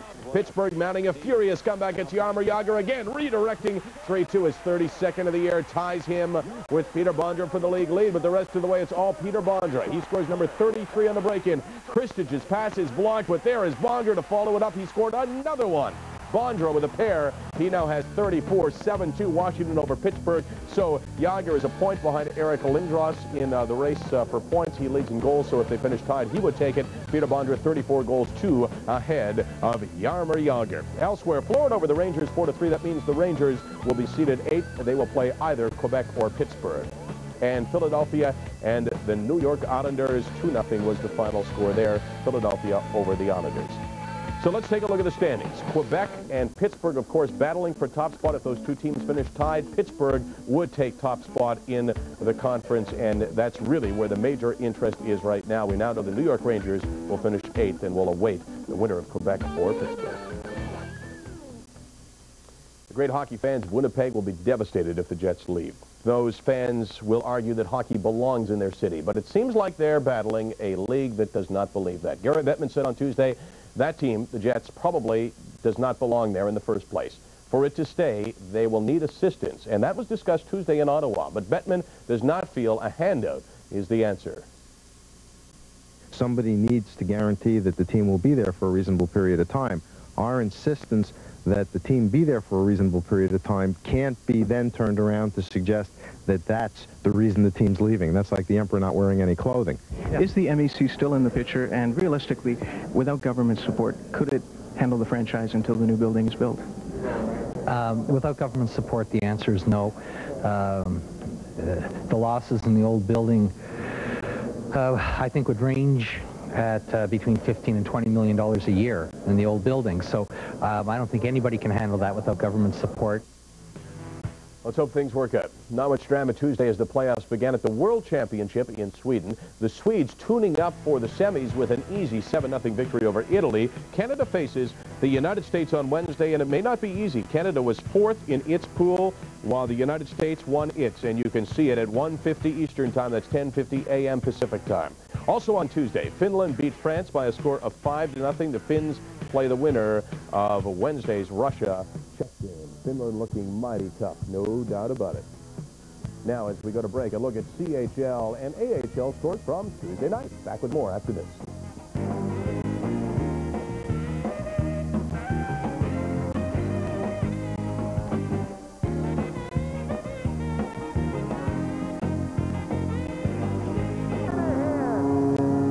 And that's the last five years. Some goals which meant the end of the line or a chance to move on in hockey's second season.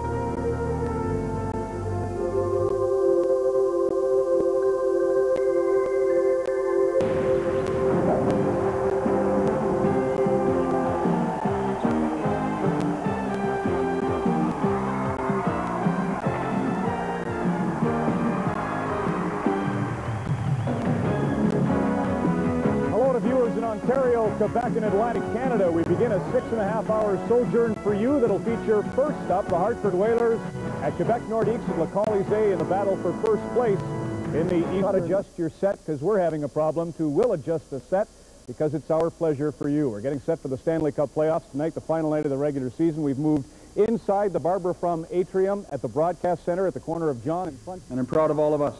We came a long way. We accomplished a lot, and we did all we could do. In the, in the end, Winnipeg hasn't changed. It's the NHL and professional hockey that has changed. One way or another, hockey will always be a part of Winnipeg, and no one can take the game from us. I'd like to thank everybody, the people of Manitoba, all the Jets fans, and especially the staff of the Winnipeg Jets, MEC, all the levels of government, and everybody who has supported the hockey club in the past. Thank you. It was an extremely passionate uh, time in Winnipeg today. There was some bitterness at the press conference, especially directed at levels of government. Barry had the right to bemoan the tardiness with respect to a new arena.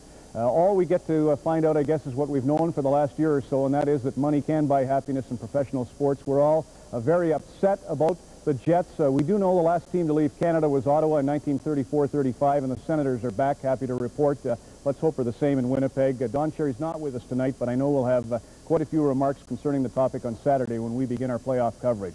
Well, as they say, we're on in Eastern Canada right now. Later in the West, we'll show San Jose, Vancouver.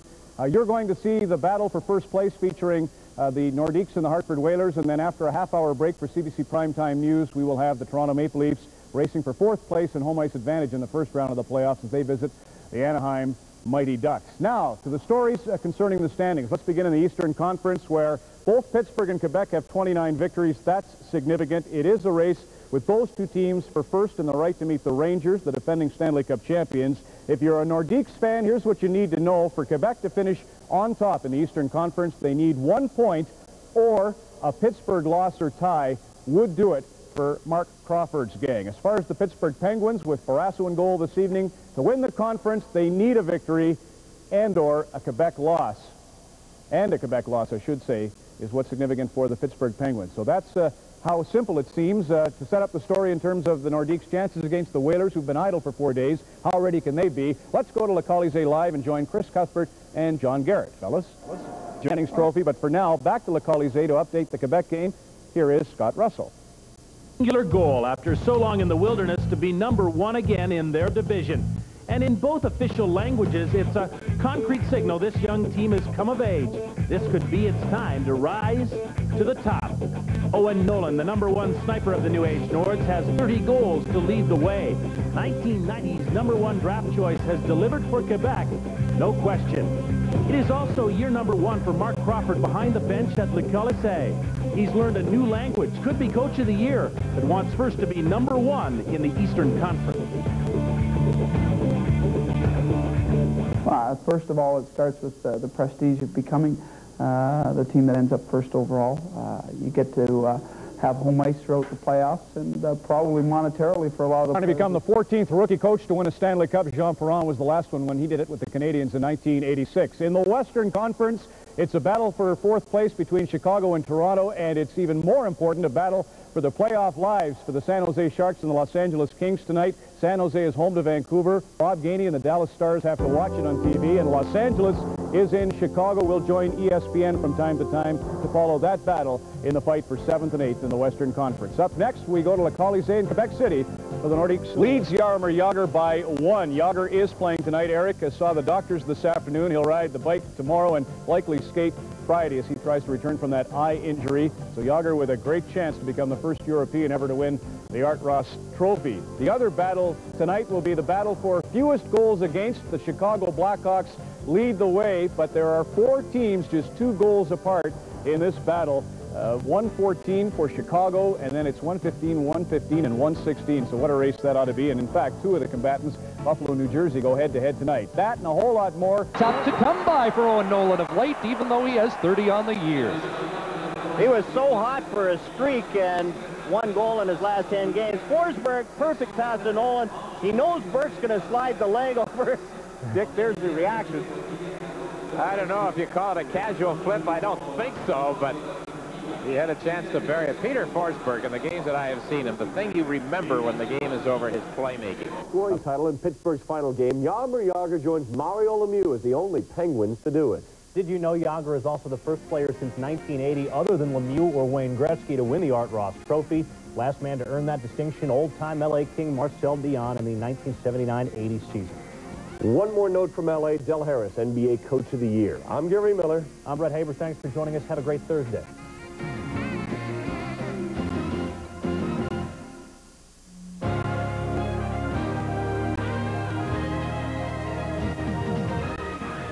Want a hand in it, while Jagr went after a scoring title and Winnipeg as the Jets are cleared for takeoff right out of town. The Kings enter a last regular season game with great expectations for the playoffs. The Nords look to score a top seed in the East.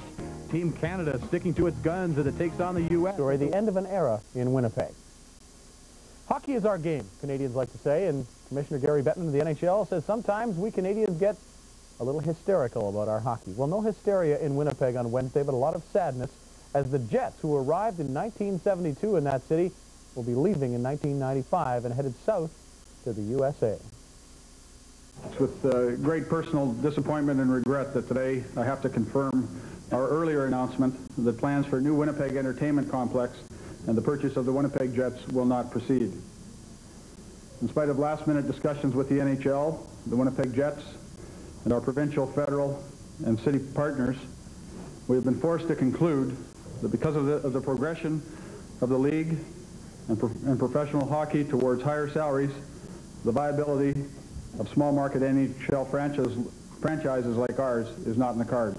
The continuing escalation of salary costs and the lack of a firm commitment to revenue sharing in the NHL does not allow NHL hockey to be viable in Winnipeg. No matter how many times that MEC has gone over the operating costs of the Jets, they have concluded it is not a reasonable risk to take. Personally, I believe it's a very loud wake-up call for the NHL and for all of the small market teams. Hockey will continue in Winnipeg, NHL or not. We have a strong, organized community sports program that we have even more reason to support now. Will it be moved very quickly, or when, when do you uh, perceive you'll move this? Well, if it's possible, uh, I would expect to deal with it immediately because the intent of, of the 91 agreement was that if a long-term solution couldn't be reached, that uh, we would, in fact, move the team so that we wouldn't have ongoing losses paid for. Um, at the time, that was a good investment because we hoped that there would be a long-term future. If there's no long-term future, then we should do this as quickly as we can. In the end, Winnipeg hasn't changed. It's the NHL and professional hockey that has changed. One way or another, hockey will always be a part of Winnipeg, and no one can take the game from us. It's our game. It's part of being Canadian. Our kids will always play it. And the sound of skates on ice, sticks, and slap shots will continue to echo off arena walls far into the future. Wonderful fans. Everyone tried their best, and from the bottom of my heart, I thank you all. Everybody, the people of Manitoba, all the Jets fans, and especially the staff of the Winnipeg Jets, MEC, all the levels of government, and everybody who supported the hockey club in the past. Thank you.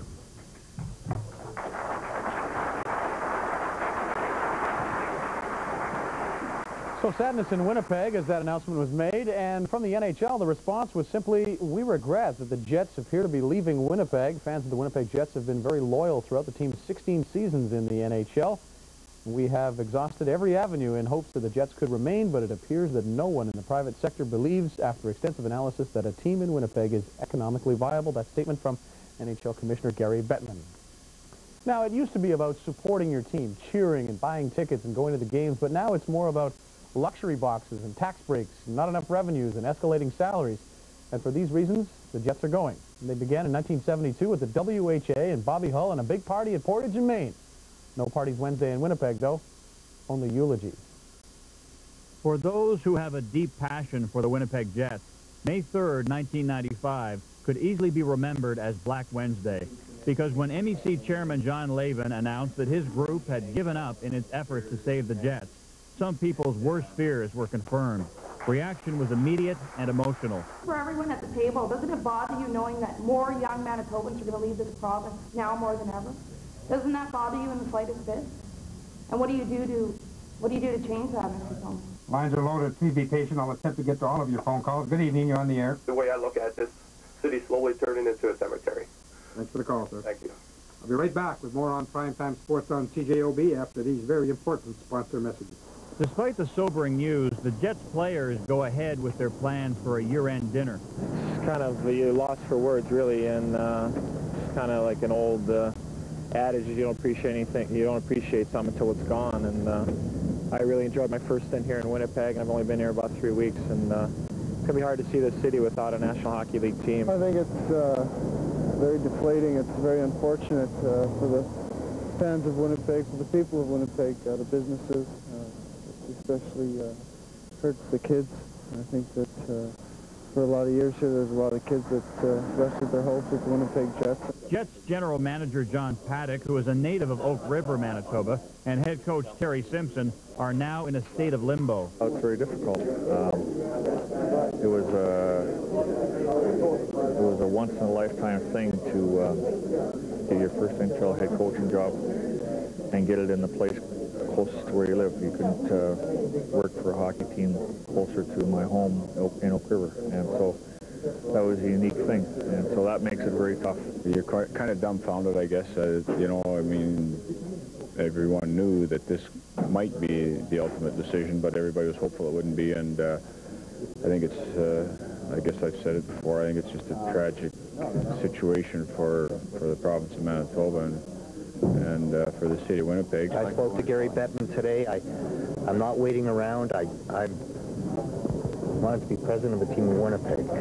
So my job is now to get out of Winnipeg. Sure, your, uh, your thoughts on the Jets leaving town? Well, I think it's very sad if they in fact do leave. I, uh, I'm actually in town from Regina, being a former Winnipegger and season ticket holder.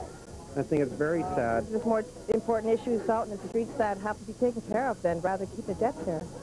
Like take care of the kids, like the street kids, and do some other things for the community. That it's, it's like I don't know why so many people are like so gung ho about the Jets. It's like it's an important thing here, but it's like there's more, way important more issues there.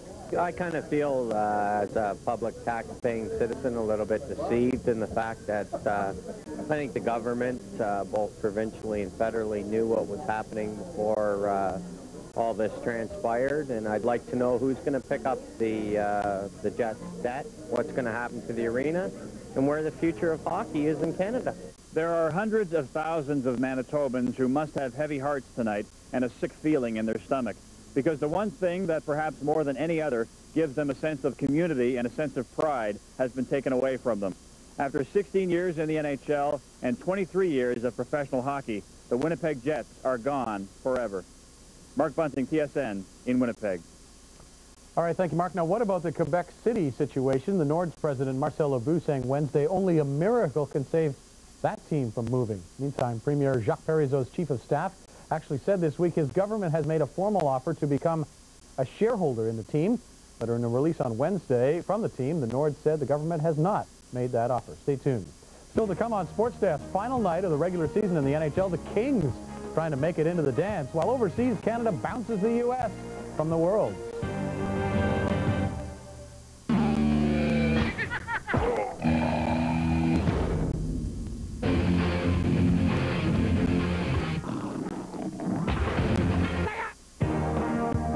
available, the eighth spot in the West. The L.A. Kings simply had to win in Chicago to get the spot. Hawks win, and they would get fourth in the West and home ice in the first round as they will take on Toronto. And Marty McSorley and Bernie Nicholls, former teammates in L.A., a little laugh before the game. On the ice, it's Nicholls who gets the first laugh. He brings the puck up, kicks it to Patrick Poulin, scores. Hammering it past Grant Fuhr, who got the start for L.A. Hawks with a big chance short-handed. Later, Michel Petit, brutal giveaway. Dirk Graham blasted wide, though. And then Brent Sutter will miss on the follow-up. A little bit later, the Hawks get a bad one in the second. Eric Weinrich, wrist shot from the point, somehow beats Grant Fuhr. Low to the corner, 2-0 Hawks. The Kings a bit frustrated. Marty McSorley takes it out on Jim Cummins. Although Cummins put up a decent battle later on. Weinrich uh, describing to Chris Chelios just how that fight went.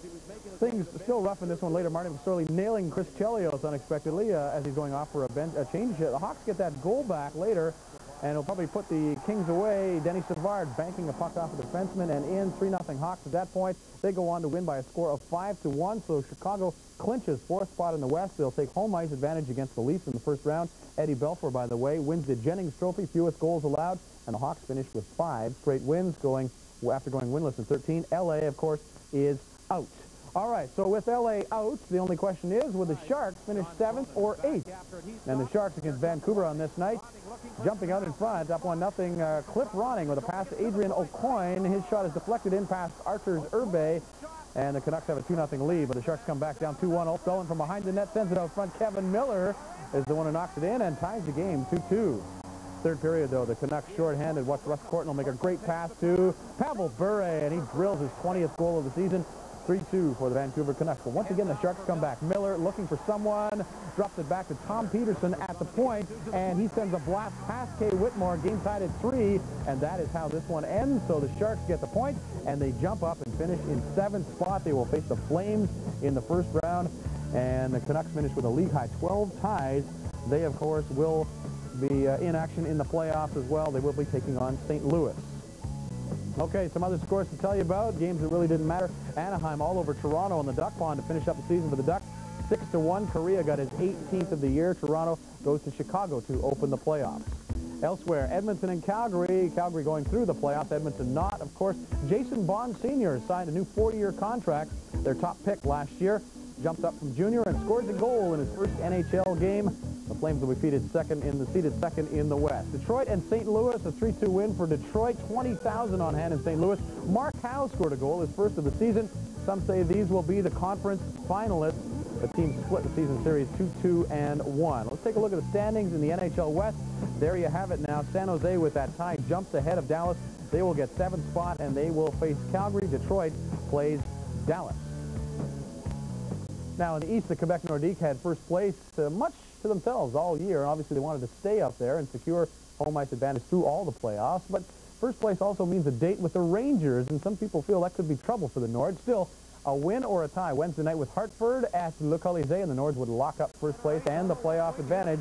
And no score in the first. Watch this play. Forsberg to Nolan. Nolan, a good finisher usually, but can't believe he didn't finish that one. He's been stuck at 30 goals since mid-April. The Whalers open the scoring in this one. Second period, Jim Storm will keep the puck in at the point, flip it toward the net. Darren Turcotte able to gobble it up there and bank it in off Stephane Fiset. That's the first goal of the game. 17 on the year for Turcotte, 1-0 Hartford but the Nords quickly quickly equalize. Joe Sakic moving in on Sean Burke. He'll get the backhand away. It'll be stopped, but Andrei Kovalenko pops the rebound in, and the Quebec Nordiques are on the board 1-1. Then a minute later, it's Quebec again. Sakic at the point. Zing off the post it goes.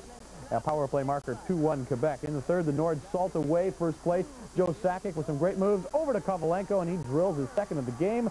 The Nords win it, and the crowd show their appreciation.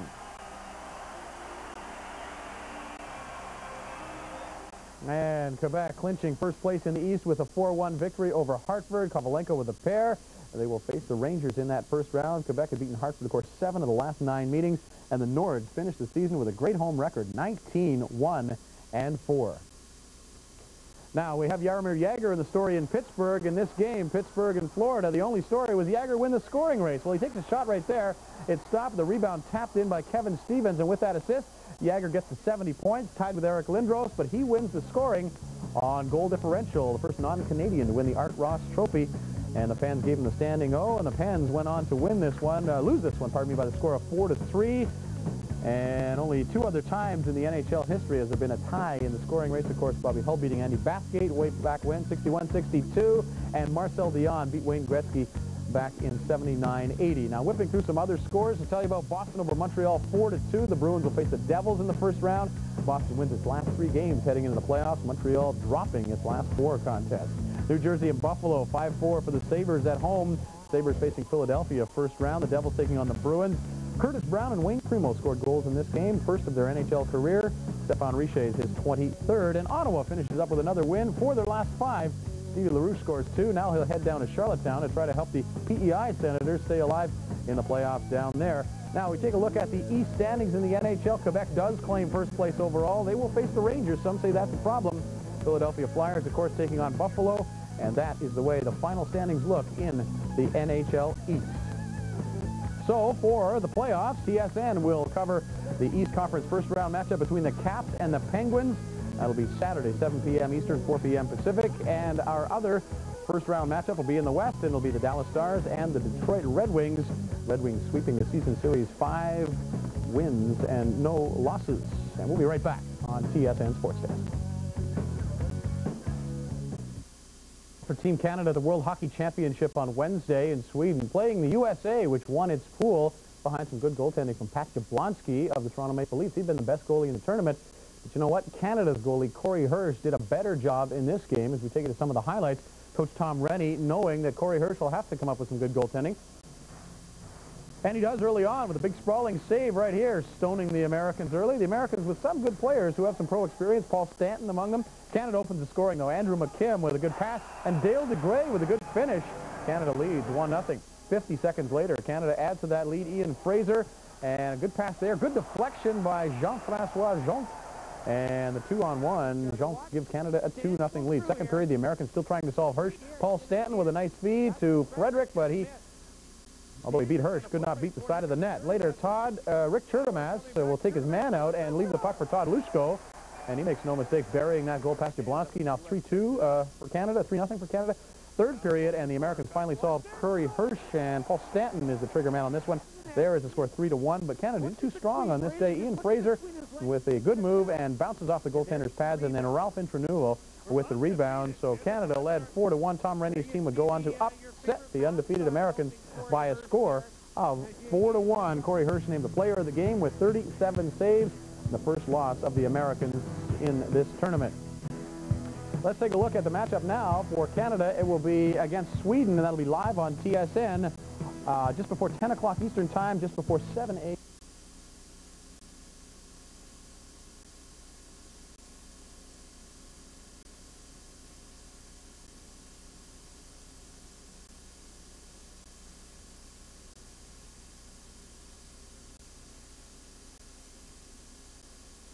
For the firing, their 15 wins was probably a close second.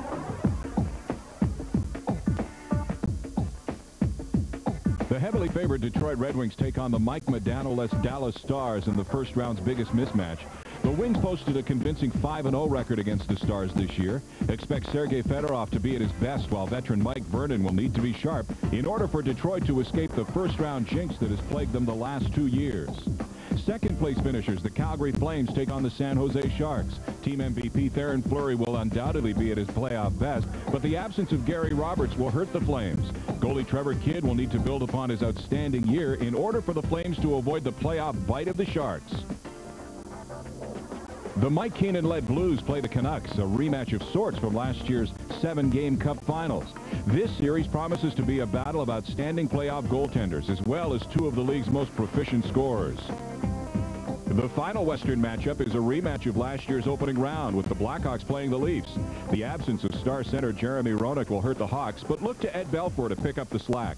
The Leafs will need Felix Potvin to recover the form of last year's playoffs and leader Doug Gilmour to regain his scoring touch. In the East, the Quebec Nordique face the winner of last year's Stanley Cup. All-world Mark Messier and his line mate Adam Graves are capable of playoff brilliance. Quebec's lack of a proven playoff goaltender could result in an early exit from the spring festivities. The Philadelphia Flyers will be playing their first playoff game in six years and will be without Eric Lindros. The Flyers need their big line to produce and a consistent Ron Hextall. After all, the Sabres have a potent offense and the league's best goaltender.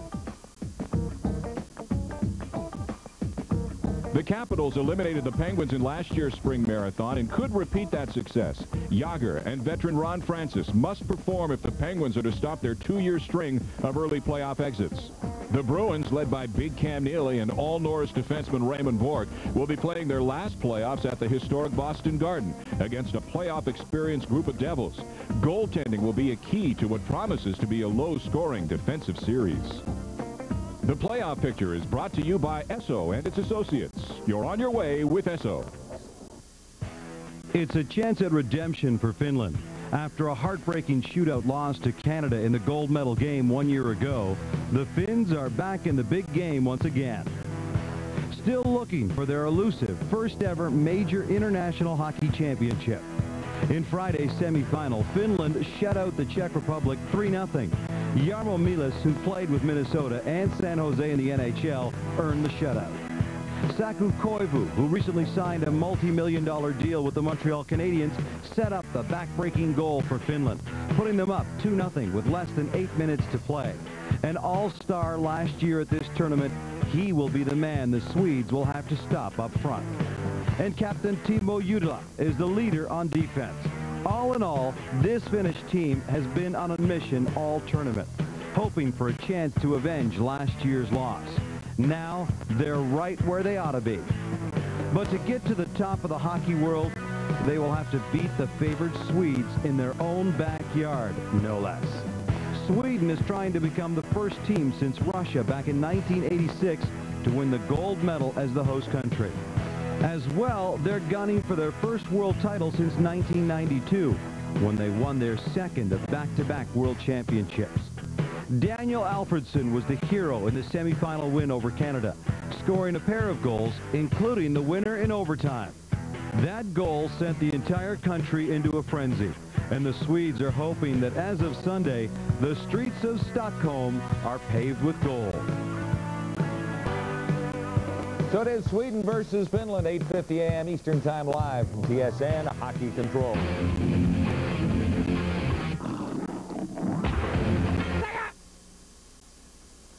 Starting Monday, wall-to-wall coverage comparing to two-on-one Canada. It's Chris Bright and Todd Hlushko.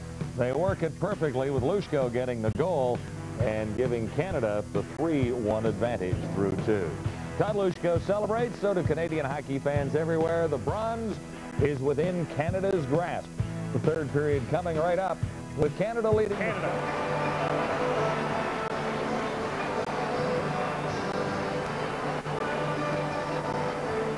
Jean-Francois Jomphe, a very gregarious young man. And they're going to love him in Anaheim. He'll be a crowd favorite. Watch him here, though. He's watching the Czech defenseman's feet. And as soon as the feet move, he pulls back against the play and is able to get the puck past Turek. We'll get a chance at this again. Look at him watching the feet.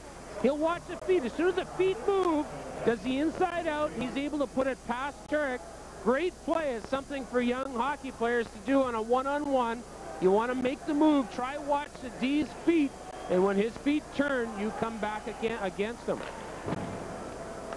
Well, a second short-handed goal for Canada makes it four to one now. Ken Reagan, a backup man, come number one, also a pesky playoff performer. Ford Motor Company of Canada Limited. And by 7-Up.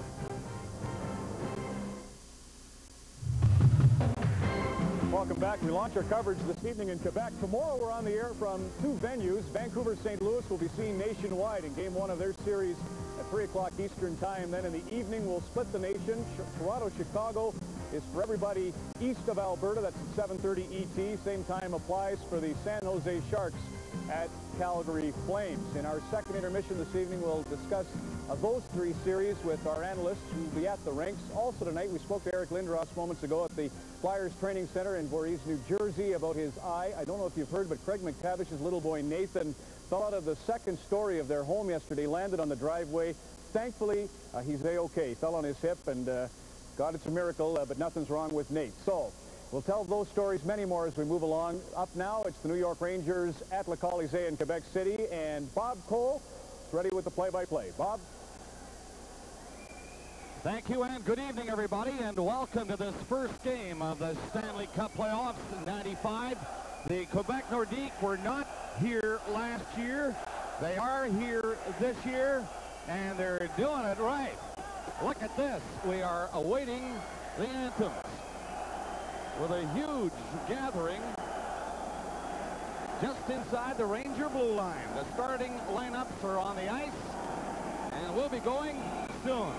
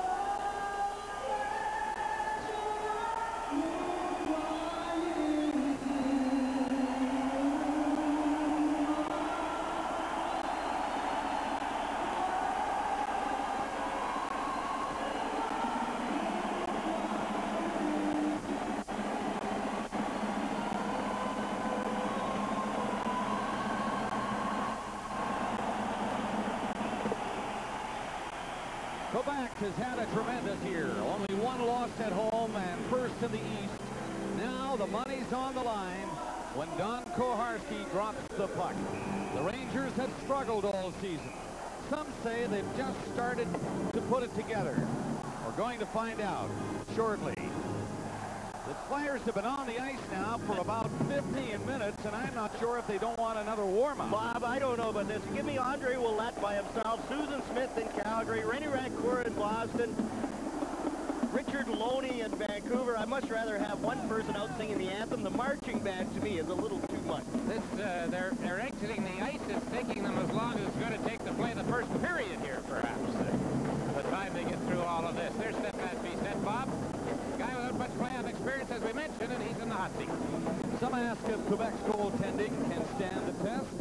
Well, they've done something right all year, haven't they? Marc Crawford is quite confident. Stefan Fiset can handle the Stanley Cup pressure. Here's Koharski, the referee. Swede Knox and Brad Lazarowich will work the lines. You see the alternate, Mark Faucette. And the off-ice officials are from Ottawa. Interesting thing with the linesmen, they've switched over conferences for the first round of the playoffs, Dick, and I don't know their reasoning behind that. Uh, you have linesmen that work the shortened season as it was in the Eastern Conference. They're out west, and Brad Lazarowich and Swede Knox are here in the East. Well, you tell me, does familiarity mean anything to linesmen when it comes to handling different teams and the way different teams do different things? Well, here we go, folks. The marchers are still marching off the ice.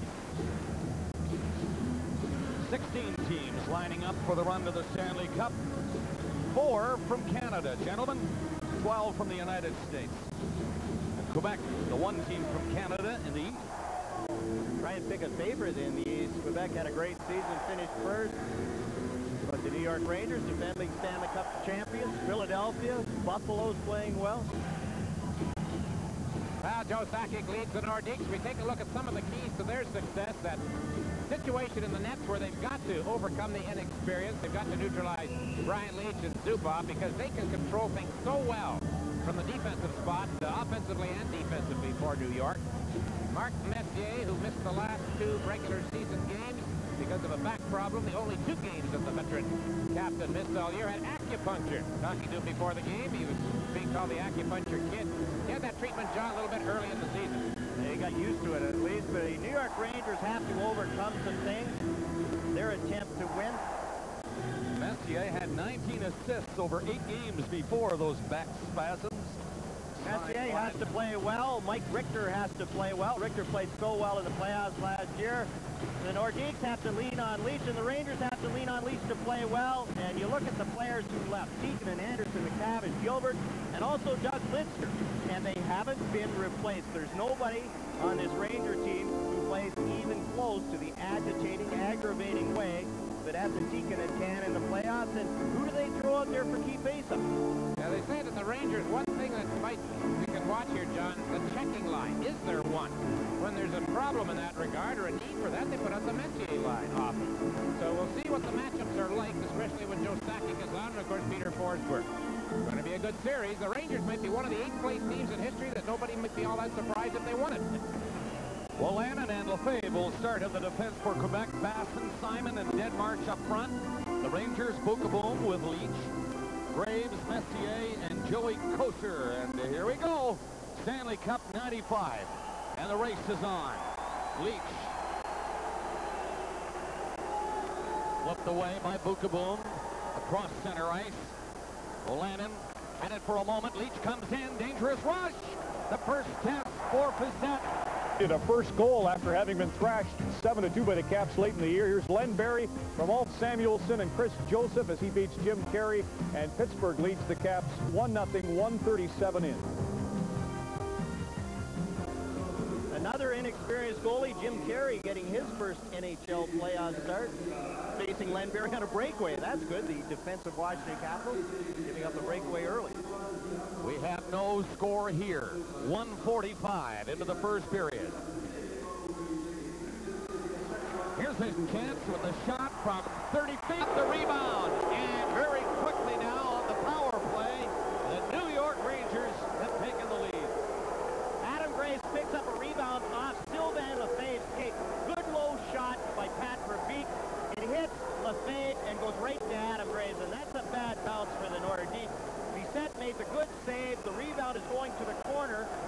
hits the feint, goes right to Adam Graves. He's on his forehand, and no chance for Stefan, Stefan to be set.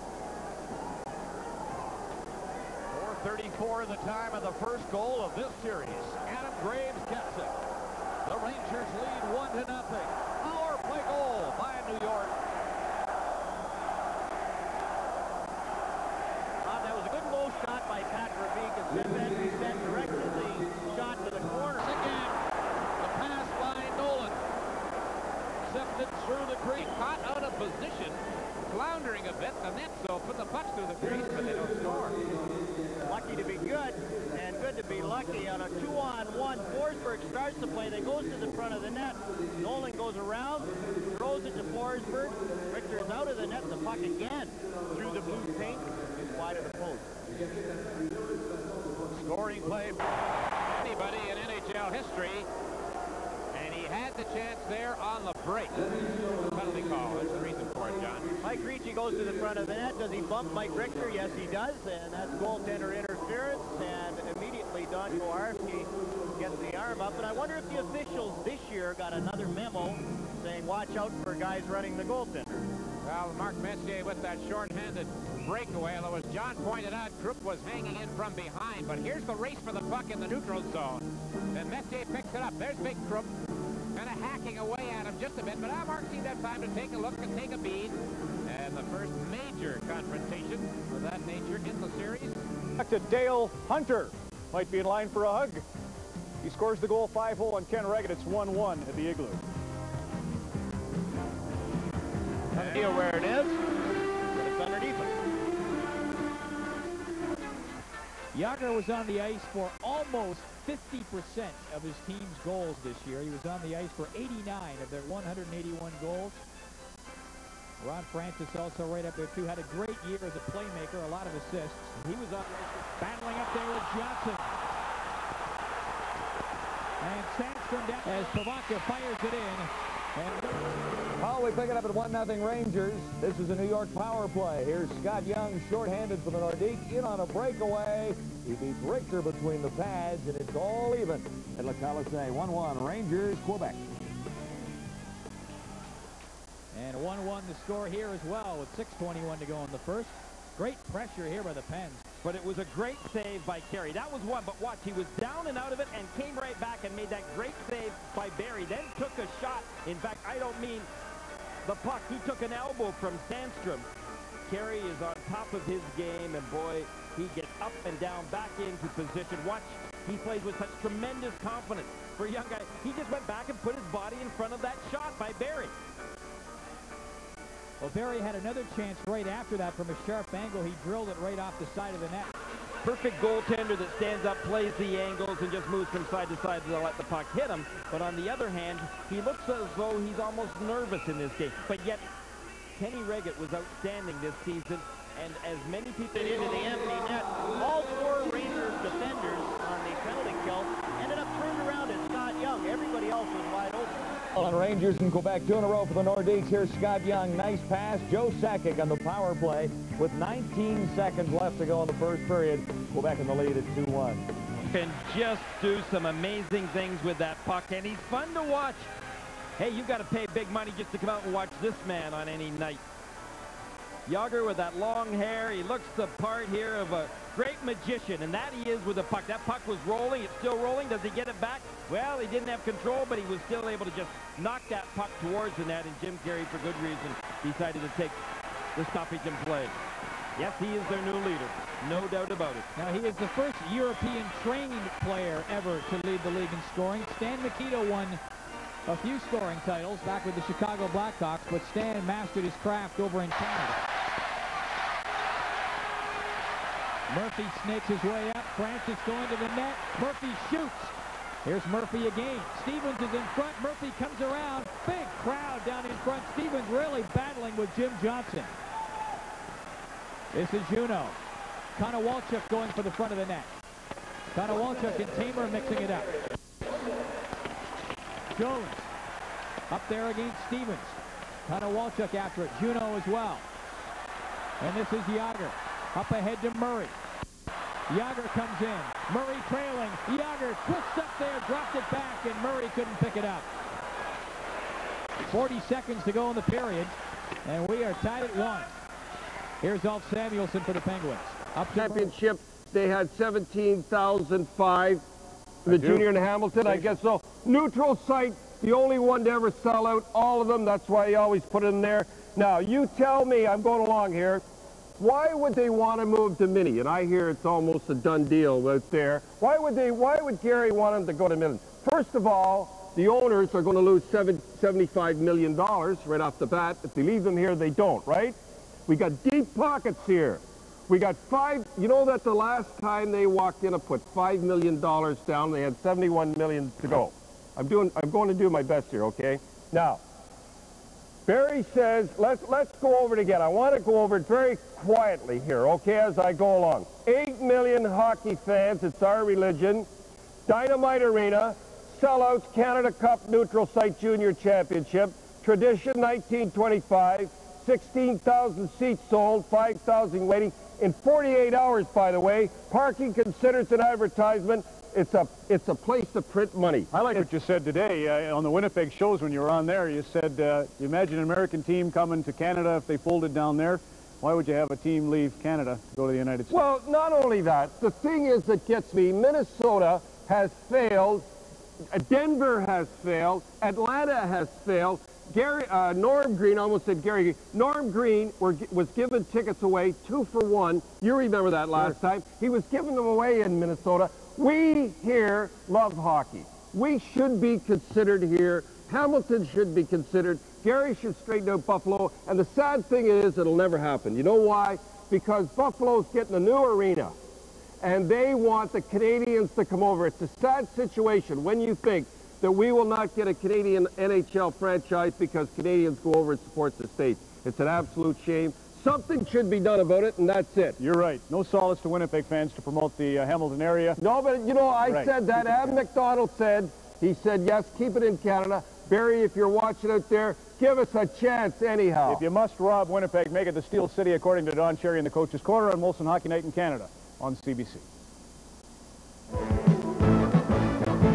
What's happened so far. Early first period Rangers power play. Pat Verbeek takes the point shot. Graves gets the loose puck and beats Fiset 1-0 Nordique.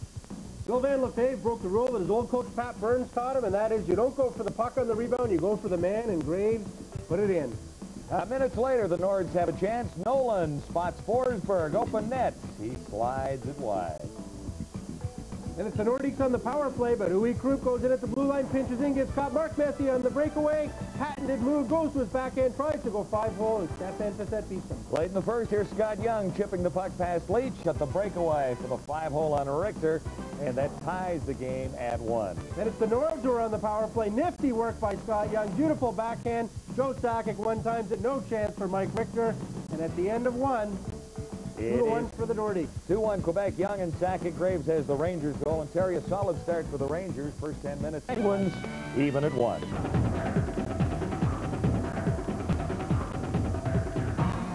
The Stanley Cup playoffs on TSN. Our game rocks. Tomorrow in Philadelphia, the Flyers open the playoffs against the Sabres without their most dominant player, Eric Lindros. Buffalo feels confident after a strong finish with five wins in the last seven games. He's been the main guy uh, on our hockey club, and uh, along with Lindros again uh, on the other side. I, I imagine both of them will be in the finals for the MVP, the National Hockey League, and that's how good the Hatties played for us all year long. Yeah, pretty good team and uh, a big team, I mean.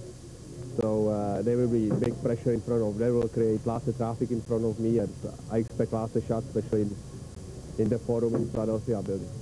We anticipate them. They're a hard-working hockey team. They're a big hockey team, and they've played us well in this building. So uh, we're going to have a, a great challenge tomorrow afternoon, and we're looking forward to it. But I think you'll see a great game. A couple of notes on this series. ADI is out for the first couple of games, at least. The Flyers' first playoff appearance since 1989, and Dale Hawerchuk for the Sabres remains doubtful for the entire series. One other note, the Dominator is the key to Buffalo's success.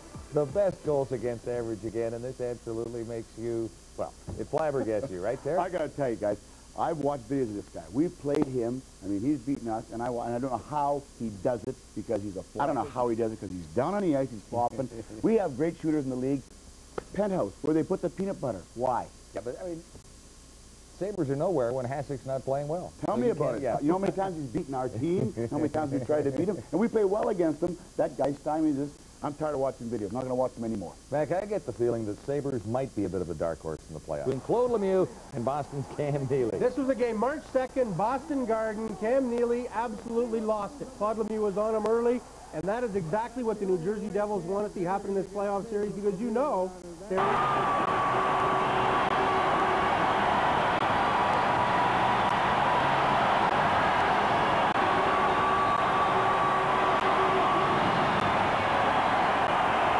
Joe Sakic, and a great play. His speed down the middle and the defense back in. Respect the speed, the shot through the legs, beats Mike Richter from well out. Jeff Kuzma had to back in. Foley, we were talking about the best players being the best players. Joe Sakic had not played very well until this third period, and he has taken charge. He has been the leader that the Quebec Nordiques thought he could be, and he's been that this year and in the third period here tonight. Now, we've heard a lot about Joe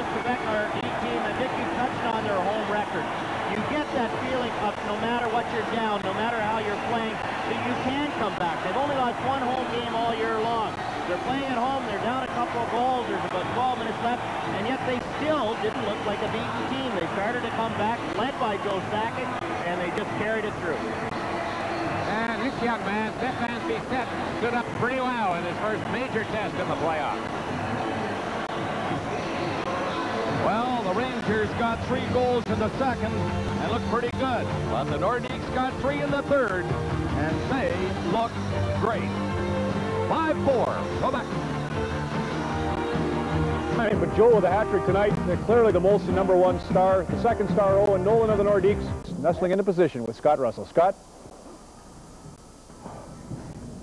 Joe Sakic, the winning goal with 38 seconds left. He had three on the night as the Nords win 5-4 to beat the Rangers in game one. Tell us about that third period. Your team was outstanding. Well, we, we were pretty bad in the second period, and uh, you know we just came out flying in the third period. Uh, we knew we were down two goals, and uh, and I think everybody just uh, got down and, and worked a little bit harder, and, and we started taking it to them, and, and we got the win. Joe, let's have a look at the game winner. It was a beauty with 38 seconds to go. Uh, how did this all develop? Well, Uwe, uh, Uwe Krupp made a great pass up the, up the middle to me, and I just skated down. And I thought it was a two-on-one, and, and then I just looked up, and it was just uh, me against the defenseman, so I just tried to shoot through his legs, and, and fortunately it went in. Great celebration at the Colisee. Uh, the bench just erupted. The crowd seemed to be with you at the start of the game. There was a lull, then they came back. What's it like to play here when the crowd's with you? it's good. It's tremendous. Uh, uh, they, have been uh, uh, cheering for us all year, uh, just like that. It's unbelievable. we didn't give them much to cheer about in the second period, but I think in the third period, uh, we, we gave him a lot to cheer about. What are the real turning points in the game? Uh, maybe the uh, turning point, Joe, was the tying goal again by you. Uh, we've got to look at it from the net cam. Did you know that this thing was in the whole time? Well, uh, I thought it was anyways. It looked like uh, I shot it and his glove went in the net with it. So I thought I thought it was a goal. I wasn't too sure. Well, there's proof positive right there as Mike uh, Richter has the puck, but he also has a piece of the net, and there's no question the puck is in there. Where do you go from here? Uh, first of all, Mark Crawford's words of advice uh, during that second period intermission when you guys were quite clearly down. What did he say? Well, he just came in and, uh, and uh, gave us a little bit, bit of a boost. You know, everything was positive. He just said, you know, we, we, we all knew we could play better, and and that was pretty much what the meeting was about, and everybody just responded. Uh, Joe, I want to ask you one last thing, and that is that this team, uh, you've been here for seven years. Uh, you've been keen towards getting back to the playoffs and performing well. You had a chance a couple of years ago. It just didn't go right. Was the team too excited at the start of this game? I think uh, I think we were pretty nervous at the, start. It took us a while to get our legs going, and, and, plus the delay with the band and everything else. we're sitting there for, for 20 minutes, so I think it took us some time, but, but we got going, and then afterwards the butterflies sort of went away, and we could just play hockey. Joe, congratulations. You got the win, and thanks for stopping by. All right, thanks for having me. Joe Sakic, three goals tonight. The winner with 38 seconds to go as the Nords win at 5-4 and take the series lead over the Rangers. Now back to the broadcast center. Scott, you're doing a wonderful job. Interviews all around the Colisee. You're getting them on the show. Vancouver and St. Louis. Mike Keenan and the Blues host the Canucks at 3 o'clock Eastern. That game will be seen from coast to coast. Viewers from Saskatchewan East, you'll get the Toronto Maple Leafs first endeavor at the United Center in Chicago. If you don't see that game, it means you're in Alberta, British Columbia, where the San Jose Sharks, seventh seed in the last two years, the seventh seed has won the West. They're at Calgary, where the long. I'm Brendan Connor, and the quest for hockey's holy grail, the Stanley Cup, again on Saturday. Two games on the slate, and we will begin in Quebec. Yes, we begin our Molson Canadian NHL playoff report with quite a matchup. The defending Stanley Cup champion New York Rangers scramble, of course, to get into the postseason dance. The Quebec Nordique missed the playoffs a year ago. This year they win the East in the shortened season, and they hosted the Rangers at Le Colisée to open things up on Saturday night. And here is a study in contrast. Nord's captain Joe Sakic has played in six playoff games. Mark Messier, the Ranger captain, has played in enough playoff games to earn six Stanley Cup rings. And at his Rangers draw first blood power play. Pat Verbeek shot from the point. Adam Graves rebound, buries it 1-0 Rangers. But the Nords tie it up in the first. Brian Leetch gets caught at the blue line. Scott Young shorthanded, skates in all alone. Five hole on Mike Richter. Richter gets a piece. That's all. Game tied at one. Second period, the Rangers once again storming out of the gate early. Messier has Fiset down, but not out. Fiset gets back to make a great blocker stick. Can you believe that? And you got the great view of it, too, from the net cam. And how about an incredible hit? Wendel Clark on Sergei Zubov. Welcome to the 95 playoffs. Still in the second, Rangers up 3-2. Sergei Nemchinov's pass gets through to Zubov. Zubov fakes the shot and spots Kovalev side of the net. He tucks it in. Nice Soviet goal right there, 4-2 New York. The Nords trailing 4-3 now, looking for the equalizer. Owen Nolan, great pass out. Bob Bassen redirects by Richter. Game tied at four. Now 38 seconds left in regulation. Joe Sakic over the line, quick shot through the defenseman's legs and beats Mike Richter. Hat trick for the, on the night for Joe Sakic and the Nords. Take game one. There you see the bench reaction. They win at 5 to four on the last minute goal by Joe Sakic. The Nords snapping a four-game playoff losing streak. Adam Graves got a couple of goals for the Rangers, but game two goes Monday, and Quebec leads the series one game to none. Let's hear from the captains of both teams. Uh, we got a little bit better in the first period. Uh, as, as the period went on in the second period, they, they totally outplayed us and uh, uh, showed the type of team that they, they are. And, and I think in the third period, uh, uh, we just geared up a little bit more and started skating and, and getting some opportunities. And, and unfortunately, uh, we buried some. We got to win. We got to win one out of here, and sooner or later. And um, you know, we're just taking it one game at a time. We're not looking at anything as a must-win or this is a crucial win or a devastating loss. Now, the Caps and the Pens opened on Saturday as well. Washington, of course, beat the Pens out early last year, one of the few impressive things that Washington has ever done in postseason play. Now the Caps have that hot goalie, Jim Carey, and Peter Bondra had a great year, leading the NHL with 34 goals. But, you know, at playoff time, it is scrappy types like Dale Hunter who lead the troops. And we will show you that Dale Hunter had a role in this game. Ken Wregget, with 25 wins on the year, gets the start for the Pens over Tom Barrasso. Not a big-name goal scorer for Pittsburgh, putting the Pens on the board. Actually, big-name scorer in junior. Len Barrie scored a million goals in junior with Victoria and later with Kamloops. Nice move there for the first goal. The Pens up 1-0. Another unlikely happening here. Look who this is. Not heavyweights. It's Ron Francis and Peter Bondra going at it. Playoff intensity, I guess. And Washington catches a break. The Pens with a bad line change. Dale Hunter walks in and blows a long slap shot past Ken Wregget, and the game is tied at one. Pens reply, though, with two quick ones in the second. This one is a weird one. Follow the puck on this if you can. Shot from the point, goes high in the air. Jim Carey says, I got it, but drops it. And George Bell in the outfield, it falls in the crease, and Tomas Sandstrom bangs it in. 3 to one for the Pens. And with that, Gaff, Carey is pulled from the game, and Olaf Kolzig takes his place. Maybe some playoff jitters for Carey? Pick it up now with the Pens up 3-2 on the power play, and Paul Romanuk calls this one. Konowalchuk fights his way up and scores. What an effort.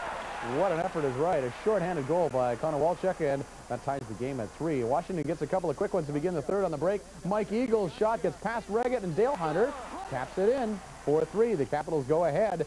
And then moments later, Hunter will be stopped on the spin around by Wregget. Sergei Gonchar, two goals all year. That's his second goal in this game. That made it 5-3 for the Caps. Deja vu all over again for the Penguins. The Caps beat them 5-4 in the opener. And they beat the Pens in game one of a playoff series actually for the fourth time since 1991. Game two will be on Monday. Once again, as we said, the man was Dale Hunter with a couple of goals and a couple of assists, and he spoke afterwards with our Gary Green. In your face, you know, it's kind of hockey where, you know, when they have the puck, we have to have a guy on them, so they can't make the good plays that they can make. So it's it's more, you know, you say in the face, it's more, you know, pursuit of the puck. When they get it, it's got to be a guy on them, and then the next guy they pass to, there's got to be another guy on them. So it's more pursuit hockey, in your face kind of hockey. Okay, let's go overseas to the World Hockey Championship, and after some angry comments and a ton of frustration Friday over the officiating, Canada's coach Tom Renney revved up his team to try for a bronze medal against the Czech Republic on Saturday. Okay, they're not playing for the gold, but still a lot of pride on the line for Team Canada and the fans over in Sweden. 1-0 Czech Republic early, but Canada would battle back. Ralph Intranuovo played most of the season Cape Breton Oilers. Rips a wrist shot from the slot into the top corner there. Canada pulling even at one. Czechs come looking for the equalizer on the power play. Vejvoda stoned by Corey Hirsch right there. The play comes back the other way. Todd Hlushko on the two-on-one. Watch this great fake of the pass and then moving across the crease. And the goalie is picked out by his own defenseman. A short-handed goal by Hlushko. Nice one, 3-1 Canada. And then they put it away in the third. Short-handed again. Jean-Francois Jomphe one-on-one. Cuts in front and squeaks it in. And it's another goal. 4-1 Canada. And yeah, handshakes all around for Tom Renney and Team Canada. Why not? They'll have to wait to get it, but the bronze medal is definitely theirs. Canada winning over the Czech Republic. Andrew McKim, who played most of the year with Adirondack in the Red Wings organization, finishing with six goals and seven assists as the leading scorer for Team Canada. And coming up a bit later in our show, we'll look ahead at Sunday's NHL playoff matchups as the first round opens up on six more fronts. And in Winnipeg, they said goodbye to the Jets for one last time. Very emotional day, so stay with us on that front. This the Vancouver Canucks open up their Western Conference quarterfinal at the Kiel Center on Sunday afternoon. These two clubs split their four meetings during the season. It's the first time, though, they will meet in postseason play. And as TSN's David Pratt reports in St. Louis, the Canucks and Blues know each other well. When it comes to the Canucks and the Blues, everything that is old is new again. Many of the same faces that were a part of last year's Stanley Cup final will meet in this opening round series. And both sides will take the memories of Game 7 in New York into Game 1 here in St. Louis. I think that uh, definitely that's in the back of every player's mind that was here last year. I mean, um, I think that uh, that's a natural incentive for us. I mean, we'd like to obviously have a little payback for last year, and it's our chance right here. There's certainly uh, some memories for both uh, groups of players. Uh, it's only a small portion of our team and a greater portion for their team, but uh, both uh, sets of players will remember it. Despite the differences, the Blues and the Canucks have a lot in common. Both are dealing with key injuries. Jeff Brown of the Canucks did practice Saturday despite his sore shoulder. As for the Blues, Tikkanen skated and will play in Game 1, as will Al MacInnis, although MacInnis spent more time in the training room than he did on the ice. Most expect the series to get down to goaltending. Kirk McLean for the Canucks. Curtis Joseph for the Blues. As a goaltender, you got to be confident. You got to be uh, trustworthy in your teammates, and they got to have the confidence in you, and you got to have the confidence in them. So I think we feel that all the way around. I feel pretty good. I think uh, the guys have had good practices through, through the week, and uh, you know, we got ready today, and uh, we're really, I, I think, chomping to get at the bit. You know, there's, you get a little bit of time to think about it, and uh, as soon as the regular season's over, you just want to get right at it. So although both teams are being careful with what they say before this series begins, there is some recent history that cannot be ignored. And both teams have enough veterans who know that although you cannot win a Stanley Cup in the first round, you can lose one. David Pratt, TSN, St. Louis.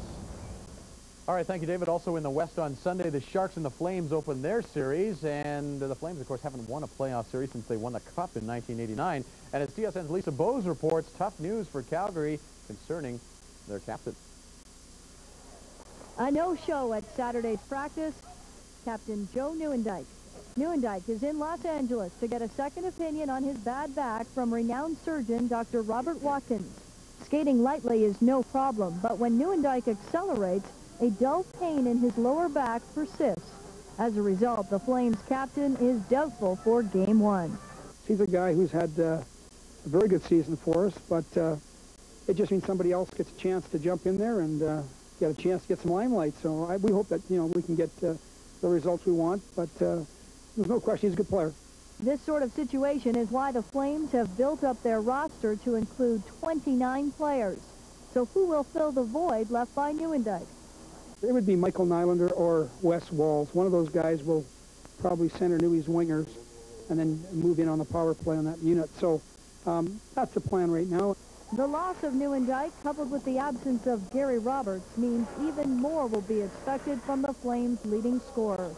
You're not going to replace a guy like Joe Nieuwendyk. Uh, he's had six goals in, in, four games against the Sharks this year and, and uh, whatnot. So that means that guys like myself and Robert Reichel and German Titov are going to have to pick up their offensive game and, and uh, make up for, for Joe not being there. Whether or not Nieuwendyk will play in this series is uncertain, but the Flames told us this morning that they don't expect him back in Calgary until as early as Sunday morning. So clearly he is out for game one. The diagnosis from L.A., we don't know if we will get the real truth behind his injury because this is the playoffs, and typically those things are kept under wraps. But the good news here is that the Flames have gone through injury after injury all season long. So if there is one hockey club that can come back from an injury like Joe Nieuwendyk's, it is the Calgary Flames. For TSN Sports Desk, I'm Lisa Bowes in Calgary.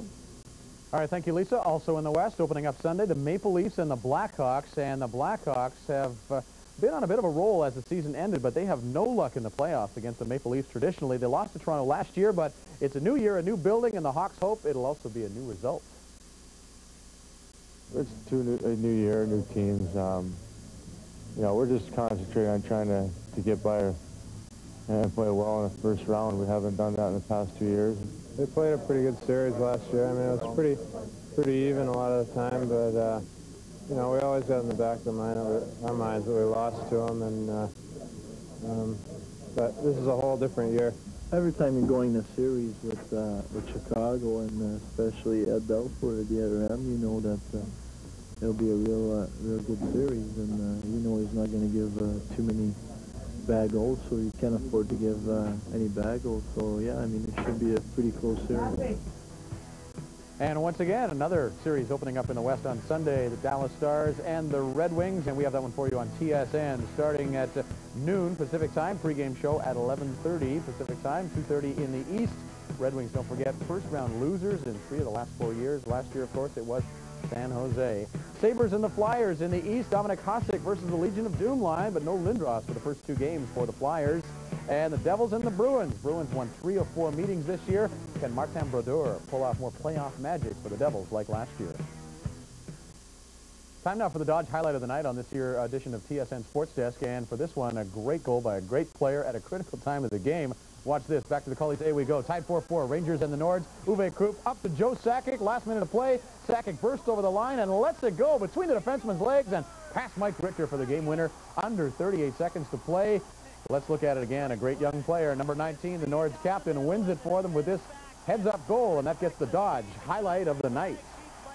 The highlight of the night has been brought to you by Dodge Stratus, the cure for performance. taking a trip to Winnipeg this week where that city learned it was losing its NHL team, the Jets. We'll call it a wake or a memorial service. Whatever it was, it was impressive as the city came out in force on Saturday afternoon to say goodbye. TSN's Mark Bunting was there.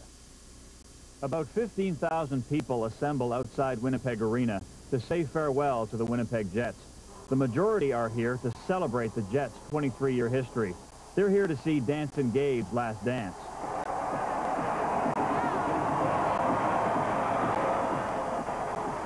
And they're here to make one last desperate plea to save the team.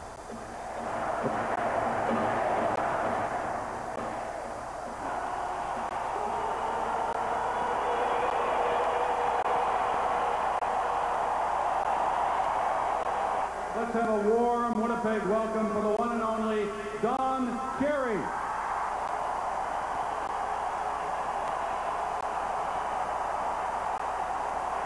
And they might have taken your but they haven't taken your heart and soul. You're the greatest. Thanks very much.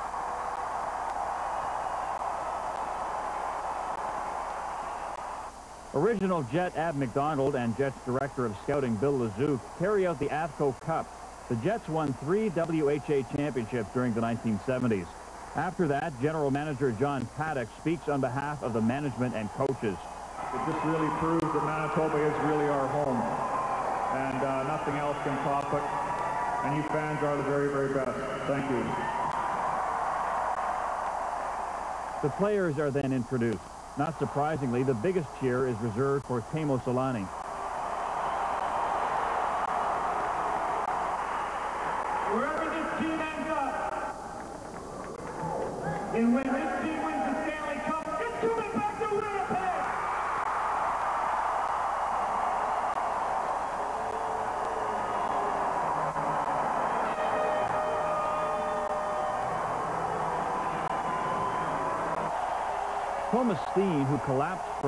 And anxiety yesterday, is considered the ultimate Jet because of his determination and skill on the ice and his involvement in the community. He's joined by his wife Mona and three children. The Jets are retiring Steen's number. You're the greatest. And uh, I'm really going to miss you and your Ferrari.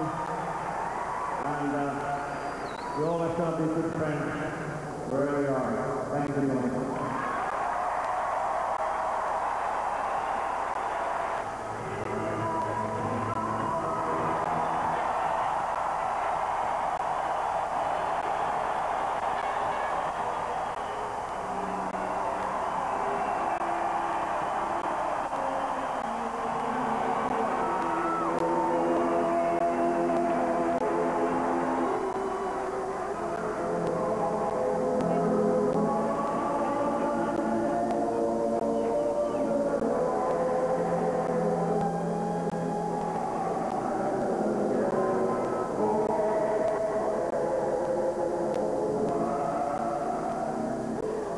Mark Bunting, TSN, in Winnipeg.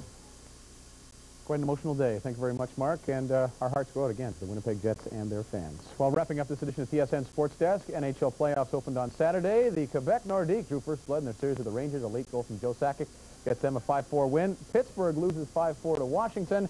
And TSN has Dallas and Detroit as they open on Sunday afternoon. I'm Brendan Connor. Thanks for watching. Stanley Cup playoffs on TSN. Our game rocks.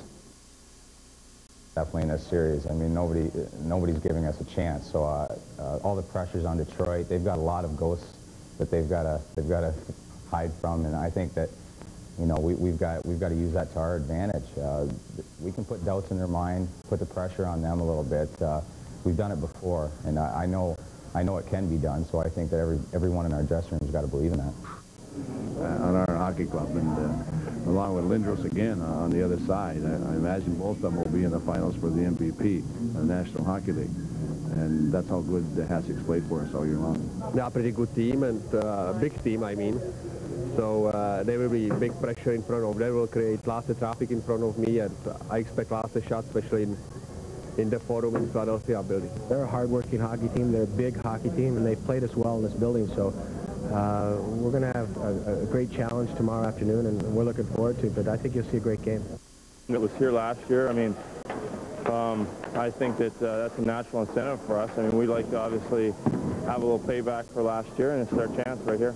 There's certainly uh, some memories for both uh, groups of players. Uh, it's only a small portion of our team and a greater portion for their team, but uh, both uh, sets of players will remember it. Despite the differences, the Blues and the Canucks have a lot in common. Both are dealing with key injuries. Jeff Brown of the Canucks did practice Saturday despite his sore shoulder. As for the Blues, Esa Tikkanen skated and will play in Game 1. Most expect the series to get down to goaltending. Kirk McLean for the Canucks. Curtis Joseph for the Blues.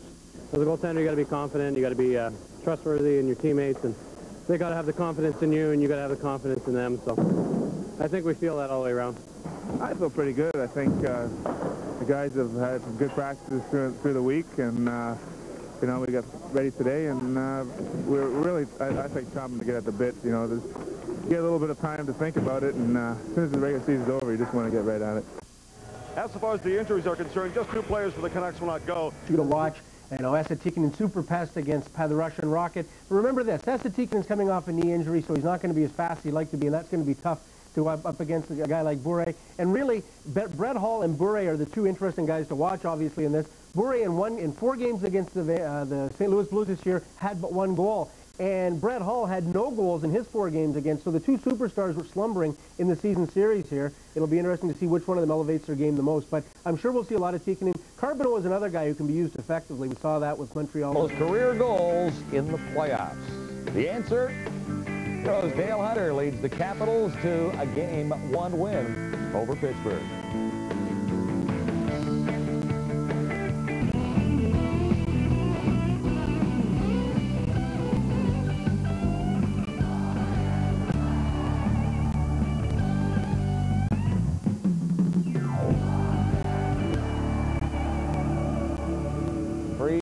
Freeze that, freeze that picture of the red hair. Uh, you're absolutely right. He finished with 34 and came close to the cup, but never won it. Messier on the breakaway, and watch Stéphane uh, Fiset make the save on Messier there. Later in the period, another power play for the Nordiques. This time they capitalized. Scott Young over to Joe Sakic. Put it by Mike Richter. It's 2 to one for the Nordics. Then it's Fiset again. Messier wide open, but again, the save is made. Great game for Fiset. Here it is, the game-winning goal. Joe Sakic steps over the blue line. It was a beautiful feed from Uwe Krupp. He blasted by Mike Richter, and the Nords come back to win the game in the final minute. A heartbreaker for the Rangers, and a big morale booster for the Quebec Nordiques. Joe Sakic's game winner at 1922. Too much for the Rangers yesterday.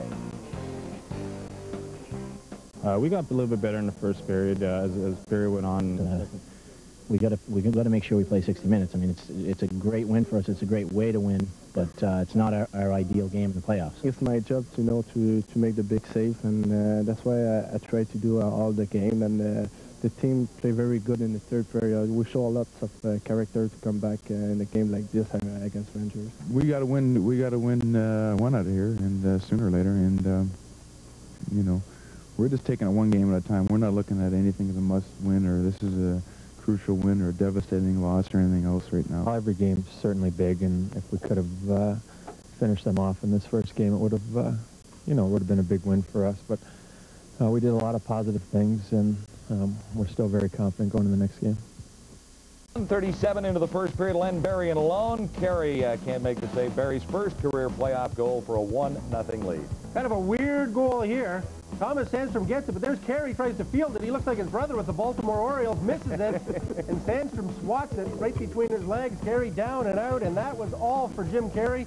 He takes a hike, and Ole the goalie, Olaf Kolzig, comes in trying to shut the door for the Washington Capitals. Uh, Caps responded to the change in goaltenders. They score four straight. Steve Konowalchuk with a goal here to tie it up at three. The Caps got two more, including one by Dale Hunter. Uh, late, the Penguins come on. Fox is doing fine. It's Cup time. The Stanley Cup playoffs on Fox. Dallas isn't doing fine. Got to go to Motown without Top Gun Mike Modano. But they're hoping Kevin Hatcher and Andy Moog can see that Motor City engine named Fedorov. But Sergei's got something to prove, because his Red Wings aren't ready to crash. And Mike Vernon's here to plug the leaks. Last season, they were a goal from heaven. Then those Rangers sent the Devils to you-know-where. Now, Boston's big three, Cam Neely, Oates, and Bourque, look to send them back. But the Bruins better hope they answer those questions between the pipes, or lights out at the Garden just a little bit early.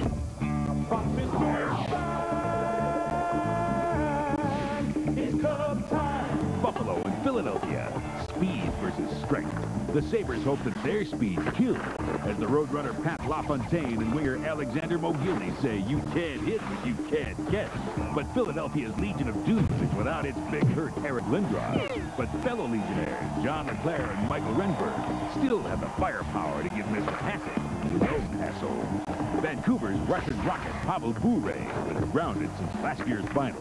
But don't count out the comeback Canucks. Last year, it was the new blue man, Mike Keenan, who shut down the Rocket. And this year, he's got Bubba Brett Hull. He's kind of good. All right, let's get down to business. Hide the women and kids. It's cup time. Right here, right now. The NHL on Fox.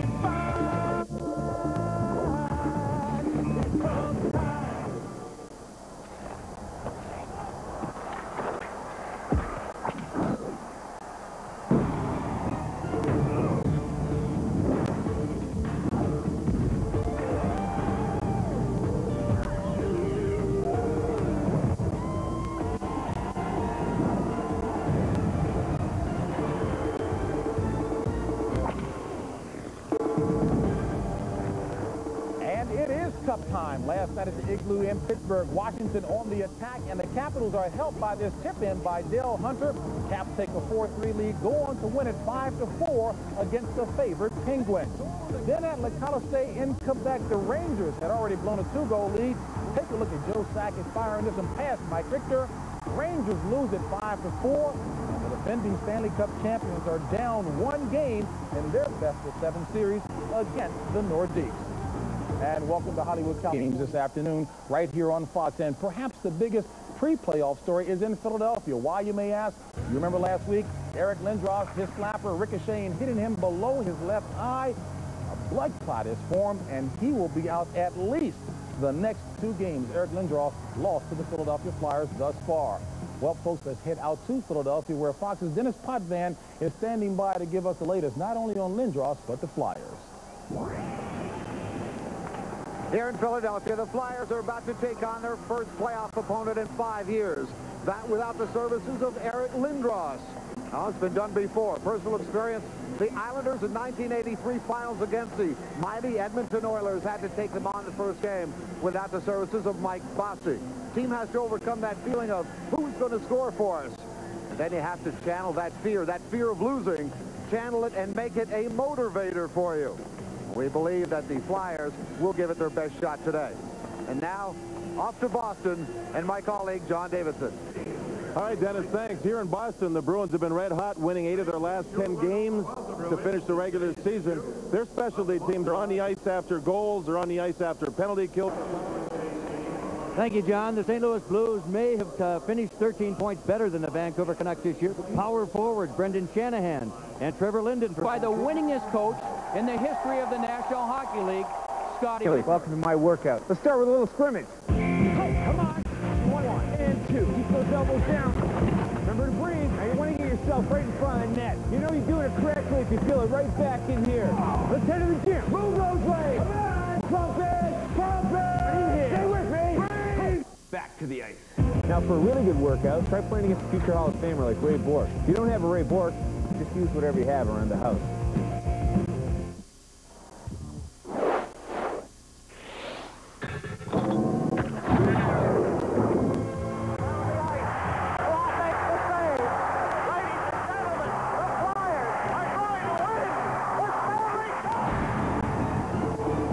The most illustrious trophy in professional sports.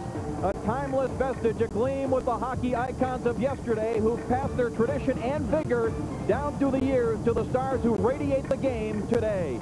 For two teams, the drive toward the Stanley Cup begins this afternoon at South Philadelphia's historic Spectrum as Fox Sports begins its postseason NHL coverage with game one of the Eastern Conference quarterfinals. From the Core State Spectrum, it's the Buffalo Sabres against the Philadelphia Flyers. Get clipped by Lemieux, and Neely completely lost his composure, and it's something he's openly talked about that was wrong. It hurts his team when that happens. When you're the. The opening round of the National Hockey League, it has all the elements It certainly does have money. It would be in the net Vancouver Canucks. He NHL record for appearances and minutes played in the postseason last year. Curtis Joseph Cujo, the main man in the net for St. Louis. And here we go as the draw is cleared into the blue zone. Barron put it around the boards and Tikkanen's on the left side. Goal delivered a big check, finishing his check down in the corner.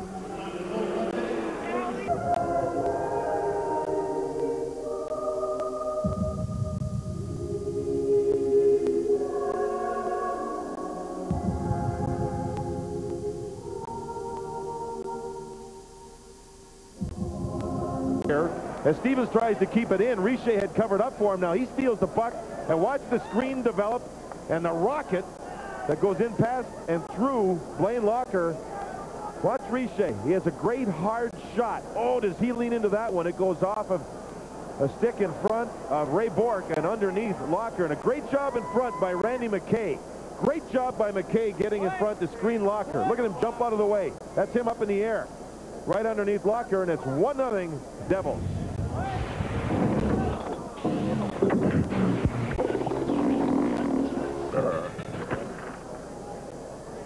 You know, John, what was impressive on Richer's earlier attempt moving in from the right side. Much this this regular season. However, penalties uh, or penalty on this play. Here was Delic outside the pack. Everybody else in front of the net. There's Norton, number five for St. Louis, down low. Anderson, look at Cullimore. Boom. He just drilled Norton on that one, and here he comes again. There's Ellick. Man, he smoked him.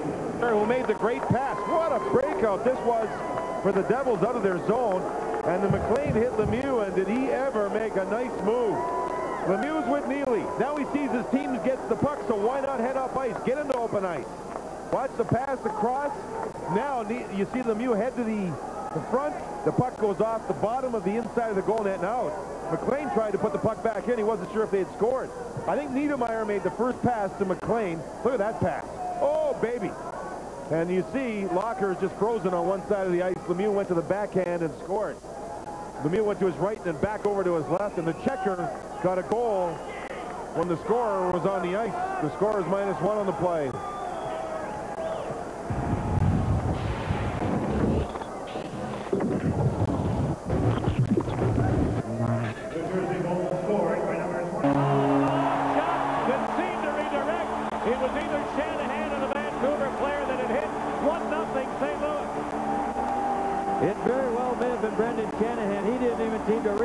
Brett Hull, Once Trevor Linden comes back in deep by the hash marks, Hull is wide open. He backs off. Hull fakes it, moves in, hesitates, and rips it.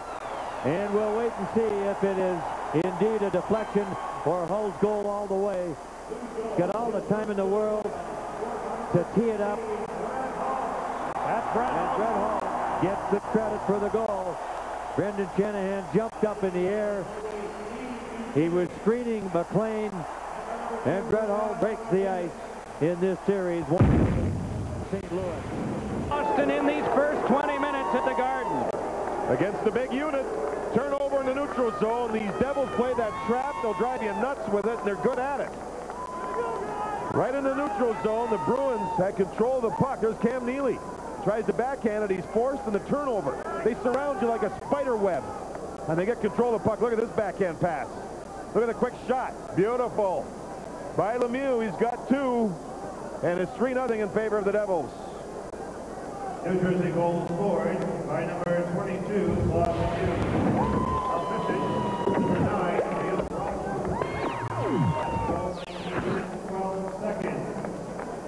Broten gets the lone assist on the Lemieux second goal of the period. You're just going to see right here, Cam Neely get the puck, and he'll just be surrounded. I mean surrounded and away go the, the Devils, two on one. Bang, just that quick. My goodness, three goals for the Devils in one period. That's an explosion for their team. Now, those of you that have followed hockey could probably recite some of them off the top of your head. And while memories are great, seeing them makes you appreciate the moment even more. So to get you fired up for this year's great moments, we thought we'd look back and bring you some of the great moments in Stanley Cup history. Enjoy. Westfall rolled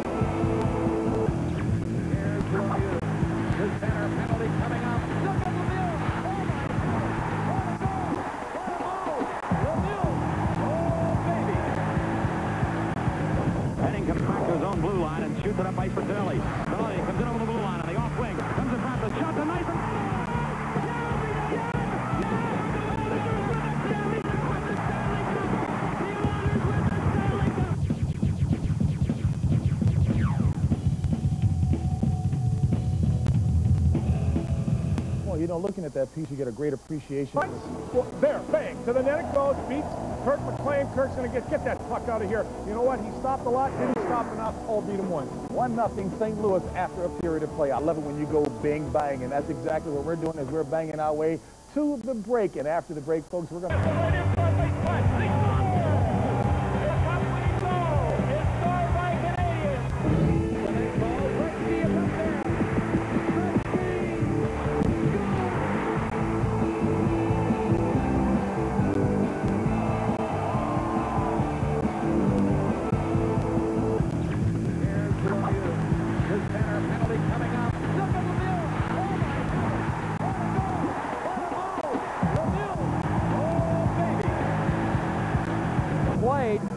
into a 1-1 tie. A quick start for the Stars as their robot gets into action.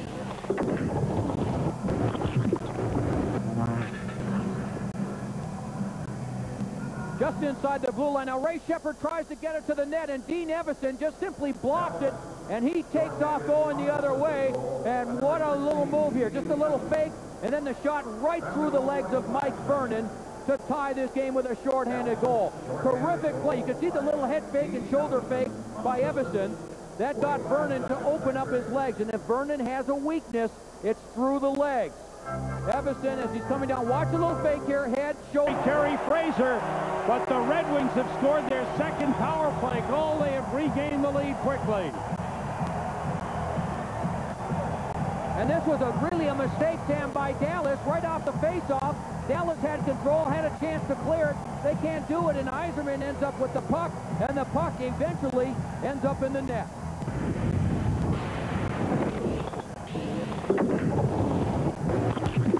Red Wings roll right back.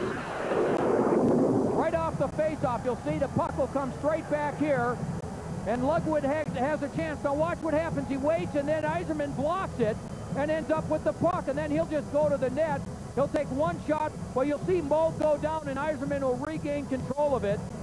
Moog thinks he has it, but it goes right through the legs. You can see the left leg of Andy Moog hit Bob Errey, who was right there in the crease. As he goes down, you'll see Moog. The puck will just kind of trickle through everyone. And Bob Errey is there. I believe Bob. And then very alertly, he sees it all the way, knows that there's traffic. Big faking head. Net by Big Linden. And I'll tell you what, he took a major league two-hander on his way to the net. You can hear it up here in the booth. And Trevor Linden just bared down, went to the net, took the, uh, the slash. There it is right there from Shanahan. And he just put that left knee up there, drove to the front of the net, and I believe it's Bure that's got the tip in. But the Canucks don't care. It's a 2-1 hockey game. That's all they care about. That puck just barely getting over the line and into the back of the net. That's what a guy like number 16 Linden can do for you, boy. He, his eyes got as big as saucers when he intercepted the pass, drove down between two blues, took a lick from Shanahan.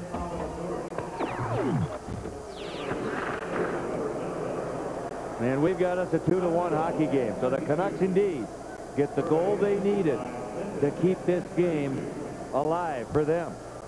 Bure from Linden at 10:32, and for Pavel Bure, this is 50th playoff game in his career. His They have to look at this, Denny, because of course, if the puck did not cross the line before that net came off, the goal can be disallowed.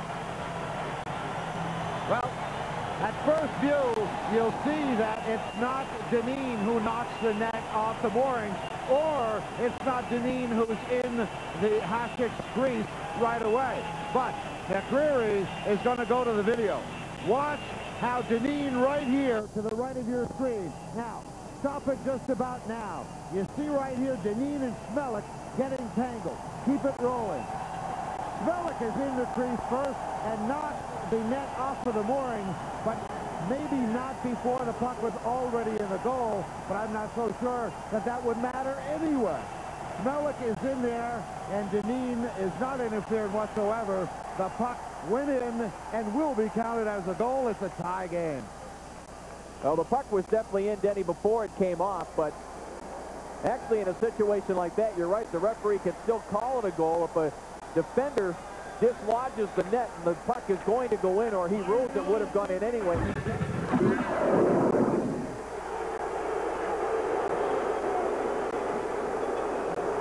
Dominik Hasek is refusing to, to go back into his crease now. He is probably disputing how it went into the net more than whether the net was off or not. It appeared to go off a Buffalo player. Now he is laughing. He saw the replay up top and he went and argued that it should be on the video, that it was no goal.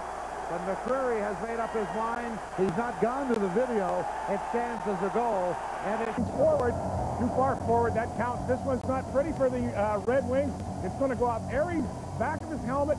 Steve Yzerman's going to take a swipe at it, and it'll trickle through the net. That's the second one. Two power play goals for the Red Wings. Red Wings out shooting Dallas 28 to 9. During the regular season, St. Louis had not done very well in terms of power play effectiveness. Well, they're going to get the first one here on the power play. One little look, one little fake, and a slapper from the point from Brett Hull. It's going to find it to the back of the net. Beat Kirk McLean, who played very well. Who's got to play well for the Canucks?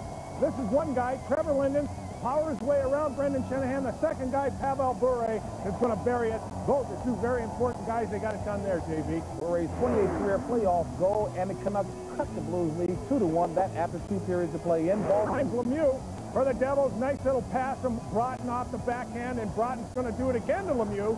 This time a one-timer, a slapper. It's not the British. It's not the British. The French are coming. The French are coming in Boston. Devils playing very well. Martin Brodeur, 18 saves in goal for the Devils in Philadelphia. Ah, protect the one hole. Yep, protect the three hole. there you go. He's protecting them there. JB Podein out to DiMaio. That's Flyer Legion of Doom. Without the Legion of Doom, that put the Flyers on the board first. And what a deke here, Pat LaFontaine. Both he deked JB out of his seat in the studio here with that one. Beat Hextall. Dineen's going to go to the net. Renberg's going to throw it there. That one off the left skate of the Sabre defenseman. Dineen gets credit for it. Now, I want you to pay attention to Hasek on this particular play. He never gets back in position. Right there, the defenseman took him out, and off the left part of your screen, Haller's going to slam it home because Dominik Hasek could not get back in position. This is a good hockey game, JB. Big Draw Maloney did that with his finger. Right now, the Flyers holding to a 3-2 lead. That after two periods of play, and of course, without Eric Lindros. And folks, when we come back, if you think you saw back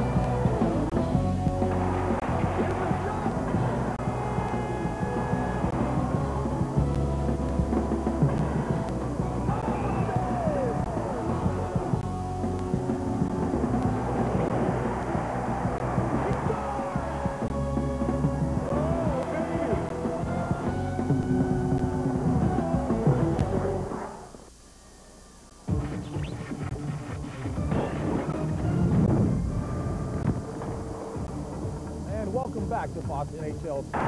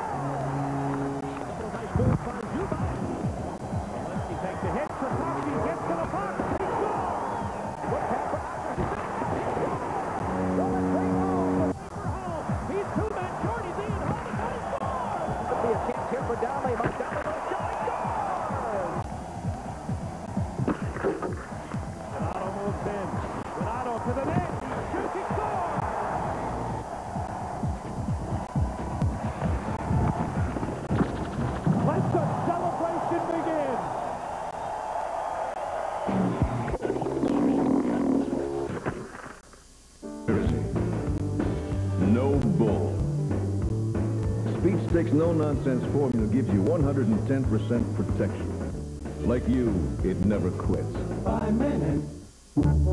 It's as far as Michelin science has ever gone.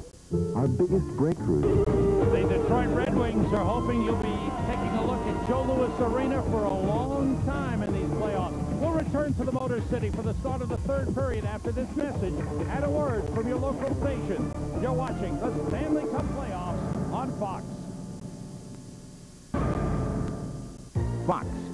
Report with a stop in St. Louis. The Canucks and Blues. Game one of their Western Conference quarterfinal.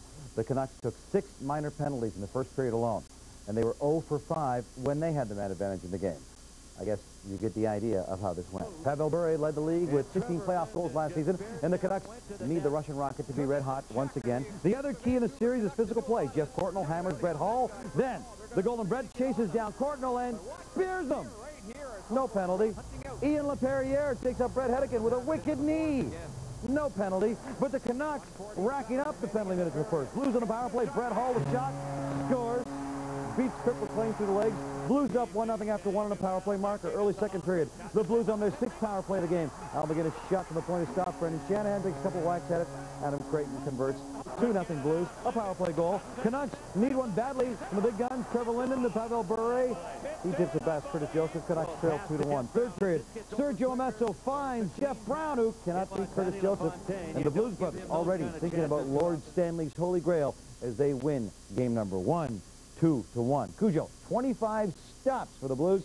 Al MacInnis had a couple of assists. Game two goes Tuesday. A disappointing start for the Canucks, but not surprisingly, Brett Hull was pretty happy with the game. That was a good hockey game. You know, it's uh, lots of scoring, lots of hard hitting, and uh, good goaltending. Uh, I don't know. Uh, um, we're fortunate to come out on top. Uh, although we played well and they played well, someone's got to win. Uh, next one's going to be just as tough. Well, it's uh, 20 guys have to play really hard, and uh, you know, today game was uh, up and down. It was tight, checking game both ways, and I think. Uh, you know, in the playoff, you come into play, you have to be ready, everybody. And you know, can win two guys or three guys, you have to have 20 guys. Well, it's a hard, hard-fought game. Uh, you know, I thought we we competed uh, very well. Uh, we gave up, uh, you know, the two uh, power play goals uh, that was the difference in the game.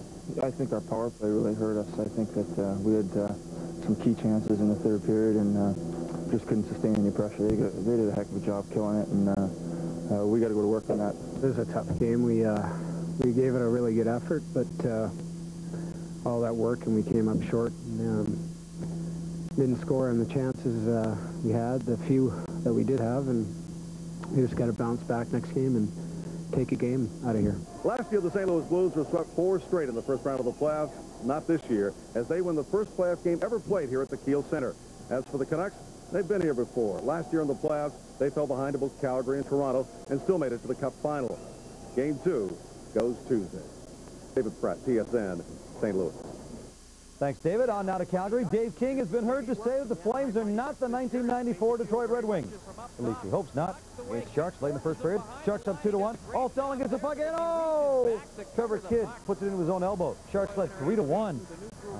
Seven first period shots. Joey Nieuwendyk upstairs can't help out the cause. Second period, the Shark attack continues. Jamie Baker dekes out Sandy McCarthy, then rips one past Kidd. A beautiful goal. Sharks up 4 to 1. Flames get a break shorthanded. Mike Sullivan centers it. Craig Janney gets a piece of it. Theo Fleury is there to backhand it off the roof. Arturs Irbe should never leave his net to play the puck. Bad trouble. Flames trail 4-2. Sheldon Kennedy show a little frustration. He gives Jayson More a stick shave. No way the ref can let that go. A major and a game misconduct. Flames would add a goal with six seconds left to go. Trailing by one. Great opportunity. Urban mishandles the puck, but Robert Reichel puts it through the goal crease. Oh, how close. And that was the difference because San Jose killed off the last couple of seconds to hang on to win this one by a final score of 5-4. Irbe made 35 saves and two blunders in handling the puck. Unfortunately for the Flames, they could not capitalize. The attendance of this game, 15,624, the smallest crowd ever at the Saddledome for a playoff game. After the game, Jamie Baker described his game-winning goal. Well, Craig uh, stole the puck in their end, and we almost had a three-on-one down low. Uh, he passed it back. I, I, don't think Kidd even knew it was coming to me. He made an unbelievable save because I got good wood on my first shot, fanned on my second one, and then Craig uh, went back, retrieved the rebound, and passed it. It was all I had to do was bang it into the empty net because I think Kidd was right on the goal line. So, no, we didn't have a good night, but uh, well, that's uh, first game, and uh, we got to bounce back here in the second game and, and play better. So, uh, like I say, I don't think that uh, they can blame James. I mean, like I, said earlier, that the fifth goal was completely my fault. I had the puck. All I had to do was get the puck out of the zone at the end of the period, and you know I and it ended up in our net. What can you do? It's, it's a long series. We had to stay positive. We almost came back. Robert grazed the post there, I believe, uh, almost it up. So I think that proved that we can beat this club, and uh, you know we just got to come out with a better effort and play uh, a full 60, not a you know a full 20, 25 minutes like we did tonight. So thanks to a two-goal performance from Jamie Baker, the San Jose Sharks come into Calgary and take game one and home ice advantage away from Calgary. Clearly, they outworked the Flames through the majority of this game, capitalizing on many defensive breakdowns and only allowing the Flames to go one for seven on the power play. So once again, the Sharks grab a 1-0 lead in this best of seven Western Conference quarterfinal. Lisa Bowes, TSN, Calgary. Thanks, Lisa. No love lost between the Toronto Maple Leafs and the Chicago Blackhawks. The director of officiating, Brian Lewis, actually had a little chat with Pat Burns and Daryl Sutter before Sunday night's meeting to remind them that there would actually be an official on the ice during the game. But you cannot tone down playoff enthusiasm. Just ask Kent Manderville and Cam Russell. Kind of set the tone for the game. First goal, always key. Dmitry Mironov, the shot. Mats Sundin, the rebounder on the net, scores, beating Ed Belfour. A power play goal, 1-0 Leafs. The Leafs look to go up 2-0 when Randy Wood breaks in alone, breaks in one-on-one, scores a short-handed goal, but Paul Devorski was behind the play, said he was out of position, thought that Belfour made the stop, blew the whistle, and says, sorry guys, no goal. Pat Burns says, ooh, we better win this game or you're in big trouble. That seems to get the Hawks going. Patrick Poulin's first shot stopped, gets his own rebound, and goes high over Felix Potvin. That ends the Cats playoff shutout streak versus Chicago at 152 minutes and 33 seconds. More importantly, this game's tied at one. Hawks go up just 88 seconds later. Leafs trying to clear, but they have a hard time. Bernie Nicholls is stopped initially, then slides to Tony Amonte, scores. Chicago up 2 to 1. After tying it late in the second, the Leafs go up early in the third. Dave Andreychuk working out of the corner centers to Mike Gartner, who for some reason was all alone. Made him pay. Leafs up 3-2. Chicago collapses in the final frame. Murray Craven gives it away to Sundin. Todd Gill, is that a hook? Devorski owed them. Scores. Sundin on the breakaway. 4-2 Leafs. Leafs going to win it by a final score of 5-3. The Chicago Blackhawks, are they in a postseason slump? They've lost 13 of their last 15 playoff games. The Leafs hope that trend continues on Tuesday when they play game number two. Our Rod Smith was at the United Center and filed this report. So much for low-scoring defensive hockey. On this night, Toronto took advantage of an uncharacteristically poor Chicago defense, especially the last line of defense, goaltender Ed Belfour, who really let in six goals instead of five. I can't fault Ed on uh, any of the goals scored tonight. I think he uh, he played an aggressive game. He uh, he made some big saves, but unfortunately, the type of opportunities that they got uh, were the type that any team would capitalize on. He didn't have that bad of a night. I mean, he had two breakaway and I mean, he made a lot of big saves for them early in the game, and uh, I mean, I, I, I know I'm playing against him. I'm sure he's going to bounce back pretty uh, hard the next game, and I'm sure he's going to be ready, and uh, they're going to play very good. I'm sure they're going to come out and play a lot harder and uh, and play a better game than they did tonight, and uh, they're a good team, and, and uh, we, we, haven't done anything yet. It's a good start for us, and uh, hopefully we can build on it. Well, that's playoff hockey. That's pressure. Guys panic, try to do what they're not capable of doing, and we end up giving up two on ones, breakaways, three on twos, and that's the bottom line. We choke. That's that's what the bottom line is. We choke. We just won a battle. We didn't win the war, and there's a lot of hockey left, and it's going to be a long, tough series. During the regular season, the Leafs didn't have much of a road record, but they played well here at the United Center. Now that they have home ice advantage, they can take a real grip on this series by winning here again on Tuesday night. Rod Smith, TSN in Chicago. Thanks very much, Rod. To Detroit now, where Dino Ciccarelli is sitting out with a knee injury, so a lot is expected from Ray Sheppard. And Ray Sheppard pays dividends early on, spins, fires, scores, beats Andy Moog. A power play goal. 1-0 wings over the Stars. Mike Vernon with a calm first period faced just three shots. But the Stars test him 45 seconds into the second. Dean Evason alone scores five-hole, ties the game at one. But the tie doesn't last very long. 12 seconds later, wings in the power play. Steve Yzerman is stopped. Rebound comes back out to Yzerman, somehow gets it through the traffic and through Moog. Two to one wings. Stars press Dave Gagne. Drops the pass back to Mike Kennedy. Kennedy hammers the puck then. Hammers Vernon. But Vernon still hangs on to the puck for the rebound. That was a hair-raising experience for Kerry Fraser. Can you believe that? Kerry Fraser's hair actually moved. One goal game in the third period. Trent Klatt throws the puck out in front. It goes off. Bob Errey skate into the net. Ties it at three. But the Wings are too tough at home. Doug Brown's shot is off the post, but Slava Kozlov is there. Rebound. Game winner. 4-3 Wings. They hold on for a 1-0 lead in the series. The Stars managed only nine. last-minute win by the hometown Nords over the Rangers. Playoff experience, they say, is a big deal, and it may be, but Joe Sakic, in just his seventh playoff game, scored three. And would the Rangers, with all that playoff experience, bounce back in game two? Well, they bounced back big time, as we will show you. They changed goaltenders, Glenn Healy getting the start in game two. Wendel Clark tests him early with a wicked shot, but Healy got the glove out and made the save. Midway through the first period, Nords on the power play. Mark Messier feeds it ahead to Larmer, who outlegs it. Joe Sakic can't catch him, and Larmer buries it between the legs on Stefan Fiset. Shorthanded, 1-0 Rangers. Fiset settles down after that, though. Pat Verbeek with a shot. Has Fiset point blank, but got it in the glove. Still 1-0. Nords tie early second period. Forsberg centers. Touch pass by Nolan over to Bassen. He beats Healy 1-all. But the Rangers will pull ahead again. Stefan Matteau dressing for this game. And he goes to the net. Slides it right onto the stick of Nemchinov, who redirects it past Visets, and the Rangers up 3 to 1. Mark Messier reaches a milestone a little bit later. Nice pass from Verbeek, and Messier spots the corner, puts it in. His 100th playoff goal. Only two other players have reached that plateau. More importantly, 4-1 Rangers at that point. The Nords don't quit, though. Forsberg to Bassen. Nice pass here. Bassen to Janne Laukkanen, who zings it up high on Healy, scores. And it is 4-2, headed to the third period. This one ends a little differently. Rangers 2-on-1. Alexei Kovalev to Sergei Zubov. And the Rangers back up by three goals. The Rangers really opened the floodgates there. Quebec had to open it up, and Sergei Nemchinov out of the corner, up into the top corner. 7-2 for the Rangers at that point. That was a bad goal. Fiset knew it, and Fiset and the Nords blown off the rink in their own rink. The Rangers win this by a score of 8 to 3. Nedved got a couple goals, and then Nemchinov got a couple of goals, and all that playoff experience did turn out to mean something, and Messier joins Kurri and Gretzky in the 100-goal club for playoff hockey, and Glenn Healy eight-three and one when starting after a Rangers loss. More on the game now from TSN's Michael Whalen.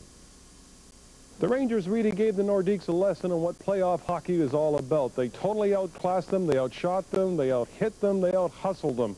And they showed why they are still the defending Stanley Cup champions until somebody else knocks them off. We knew we had to win a game in here sooner or later. You know, they have the home ice advantage of four games here, so um, we were happy with the win tonight. Uh, things fell into place for us tonight. Our power play has been really hot, and uh, we're going to ride our power play in, in order to. Uh, in playoff hockey, you just got to, you can't uh, retaliate and you can't play discipline, and we're not gonna. And uh, and uh, if that means taking a shot in the head or a punch in the face, we'll do it to uh, to uh, to play the game. Big thing that uh, you have to remember is that uh, now it becomes a, a, three out of five. Um, the first two games don't mean anything now, and you have to go from here. And uh, we're looking forward to getting back to the Garden and playing on Wednesday night. I think tonight uh, we really tried to stick to our game plan for 60 minutes. I think that uh, we learned our lesson from last game that we can't sit back, and tonight we tried to go at them for the full 60 minutes, especially in the third period when we knew we had a 4-2 lead. From A to Z, I think we're just not there, and you know I don't put uh, any blame on uh, anybody or anything, but, uh, you know, we just have to regroup and forget about it as soon as possible and uh, just go out there in New York and try to win a few games. And so the so-called home ice advantage factor is taken away from the Nordiques. And the scene now shifts to the Big Apple, and it'll be interesting to see if the distractions of that city in any way affect the Nords. Michael Whalen, TSN in Quebec City. All right, thank you, Michael. Well, Eric Lindros was out of the lineup in game one in the Flyers-Buffalo series. That was supposed to be the big equalizer, but the Flyers got an overtime win in game one without the big E, and in game two they had some serious jump, and Buffalo just didn't. Let's show you what we mean here. Michael Renberg looking to lead Philly in game two without the big number 88 out there. Early first period, though, Rob DiMaio tries to headman. The puck goes off Mark Astley's skate onto the stick of Brind'Amour, who beats a surprise Dominik Hasek. Flyers have a 1-0 lead at the Spectrum. Second period, Brind'Amour the setup man. Great play here. Over to DiMaio, and he buries it behind Hasek with a one-timer. And that is a shorthanded goal and a big one. 2-0 Flyers. Sabres answer, though. Rookie Brian Holzinger, Hobey Baker Award winner, top U.S. college player this year out of Bowling Green. Upstairs, a pretty poised move. Inside, beats Hextall. Buffalo on the board, trailing 2-1. The time winding down, LeClair with some good work behind the net. Digs it out for Anatoly Semenov. Was moved from the fourth line up to the big line. And the Flyers build a 3-1 lead, and Philadelphia goes on to win 3-1 and take a 2-0 series lead into Buffalo. Hextall very good in this game. Both coaches said he was the player of the game, and the difference out there, 29 big saves. Brind'Amour and DiMaio, a goal and an assist each, and TSN's Teresa Hergert was at the second. Wow. It's probably hard to me, but now I'm, now I'm happy because I play together with uh, two great guys, two great players, John LeClair and Mike Renberg. The goal that was uh, I was happy to see was the one from uh, the big line where Semenov gets a finally breaks the ice. LeClair makes a play on it, and I hope that that's good signs for the rest of the series for us. I thought we did, did a better job in containing the traffic going to the net. You're never going to contain uh, Renberg and LeClair all the time, but I thought we did a very good job, better job we did in the first game. You guys played real well. I don't think, uh, though, that, uh, you know, win, lose, or, win or lose, that uh, has too much of an effect on, on what the doctors have in mind, and hopefully, uh, hopefully they'll be saying Wednesday, and we'll get right back in there and uh, and grab that first one in Buffalo. So this series now shifts to Buffalo, where the Sabres will be more than happy to get home ice underneath their skates. But their job could get tougher because, as you just heard, Eric Lindros is hoping to make his return to the Flyers lineup. And to rush him back since they're up two games. Let's go on to Boston, New Jersey, where Martin Brodeur has just been playing wonderfully, and he stops Adam Oates in close early on. He had the shutout in the first game, don't forget. See what he does here. Stefan Richer stealing from Ray Bourque in the first period, shorthanded and going top shelf on Blaine Lacher. Give the Devils a 1-0 lead. Second period, Bruins pressing again. Brodeur stopped Don Sweeney's shot, and Cam Neely fires the rebound wide. Boy, the Bruins can't buy a goal. Third period, Devils getting their chances. Richer the shot. Broten with the rebound. That is Neal Broten. The backhander goes upstairs. 2-0 New Jersey. Bruins still haven't scored a goal in the series. Final minute. Brodeur out to play the puck, and he gets a little cocky. He thinks he's going to fire at the length of the ice, a la Hextall, and score. Almost does. Devils 3-0, and it could be the final game of any significance in the Boston Garden. Thanks for the memories is right. Could you score us a couple of goals in this series, what the Boston fans are saying right now. Second straight shutout for Brodeur. First time since 1943 the Bruins have been shut out in back-to-back -back playoff games. Richer, two goals and four assists so far in this series, and it's heading back to the Meadowlands, and the Bruins are in trouble. All right, let's go on to Washington and Pittsburgh. Rookie Jim Carey getting the start for the Caps after he was pulled in game one. Looks shaky early on. Penguins power play. It comes around to Murphy, who blasts one through a crowd, beating Carey 1-0 Pittsburgh. And the Caps, though, come right back. Nice answer here 37 seconds later. Eagles wins the faceoff to Sylvain Cote, and he rips one through a crowd. Kenny Regas saw nothing. 1-1 tie. Then Washington on the power play. Joe Juneau spots Peter Bondra side of the net. Nice pass, nice goal. Bondra had 34 during the season.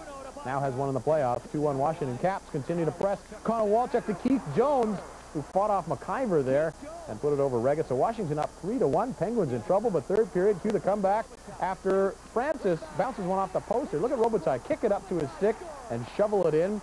Cuts the lead to 3-2 Washington. Then it's Francis later, fakes the shot over to Jagr. What a beautiful goal that was. 3-3 tie, and then on the power play later, John Cullen behind the net out to Kevin Stevens. Boy, those big guns for Pittsburgh did come through. He puts the winner in over Jim Carey. 4-3 for the Penguins. They go on to win this one by a score of 5-3. Robitaille leading the way with a couple of goals. The Pens, since 1991, have been brutal in the opening games of their playoff series. 2 and 7, but after game one, they're fine. 38 and 15 since 1991 in games after game one. Jagr, Stevens. The 1954 Stanley Cup between Detroit and Montreal went to a seventh game and then to overtime. A fluke shot by Tony Leswick went off of Doug Harvey and past Gerry McNeil. Finding out life can be very unpleasant. Blues won game number one and look to make it two in a row over a Canucks team desperately hoping to get on a roll like they were last season. One of the biggest changes, of course, with the Blues since last season is this guy. Coach Mike Keenan, fourth in the all-time playoff games coached list. Blues in the power play. Todd Elik with a give to Brendan Shanahan and then the go and then the goal.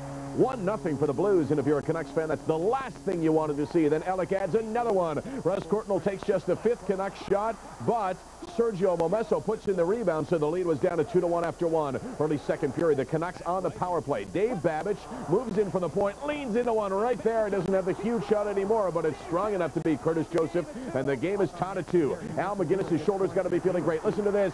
Boom! What a shot by MacInnis. You couldn't see it. You had to just listen to it. Blues back in front 3 to two, but the Canucks don't give up to their credit. Look at the bang behind the net right there. Then Roman Oksiuta digs it out for Hook Lume, and all of a sudden it is all tied at three, and this game started to get a little bit more physical. Here is the shot by Cullimore on Denis Chassé, and he gets uh, the bang into Kevin Collins as well. That's just a bonus. Third period now. Russ Courtnall with the game tied. Pulls down the loose puck and snaps it short side right there to make it 4 to 3. The Canucks out in front. They have stormed back to tie and take the lead. And then Pavel Bure with a steal. Bure, great move to the forehand. That made it 5-3. And the Canucks come up with their biggest win of the year. No doubt about it. Keenan had them down, but they weren't buried, and they rise to win 5-3. Vancouver over St. Louis. Courtnall a goal and three assists. Maybe his best game as a Canuck. McLean made 33 saves. And with more in St. Louis, here's our David Pratt. For two teams that have never played each other before in the playoffs, the Canucks and the Blues seem intent on making a little history. The Canucks came from behind twice in Game 2 to even up the series at one game apiece, thanks to a four-point night from Russ Courtnall. Well, that was a huge game for us. We uh, we knew before the game that we needed to come up with a, a real big effort, and uh, and we played a really strong game tonight. Well, we wanted to shift momentum going home, and I think uh, you know they're, they're a great team. It's still a long ways away. I mean, someone's got to win four games, and we know it'll be tough. They got a lot of character players there, and we got to come out and work harder than them. I tried to be better than I was last game. I didn't have any shots on that, and uh, and I felt like I uh, I uh, played a better game tonight. And today, I just thought about things that I needed to do that I didn't do last game, and I and I did that. Felt good, obviously. I mean, uh, you know, it's we'd be worse off if we were two, down two two nothing, and and the way we've been playing at home, it, it's almost not like an advantage to us, but uh, it's a whole new ball game in playoffs, and, and we certainly have to pick our, our game up a notch at home. Sometimes I think we, we come out, uh, you know, a little lackluster, uh, even though even like we did in the first period again tonight. I mean, our first periods seemed not to be our best, and uh, we always want to dig ourselves in a hole and go from there. The Canucks not only evened up this series to one game apiece, they also now have a little history on their side.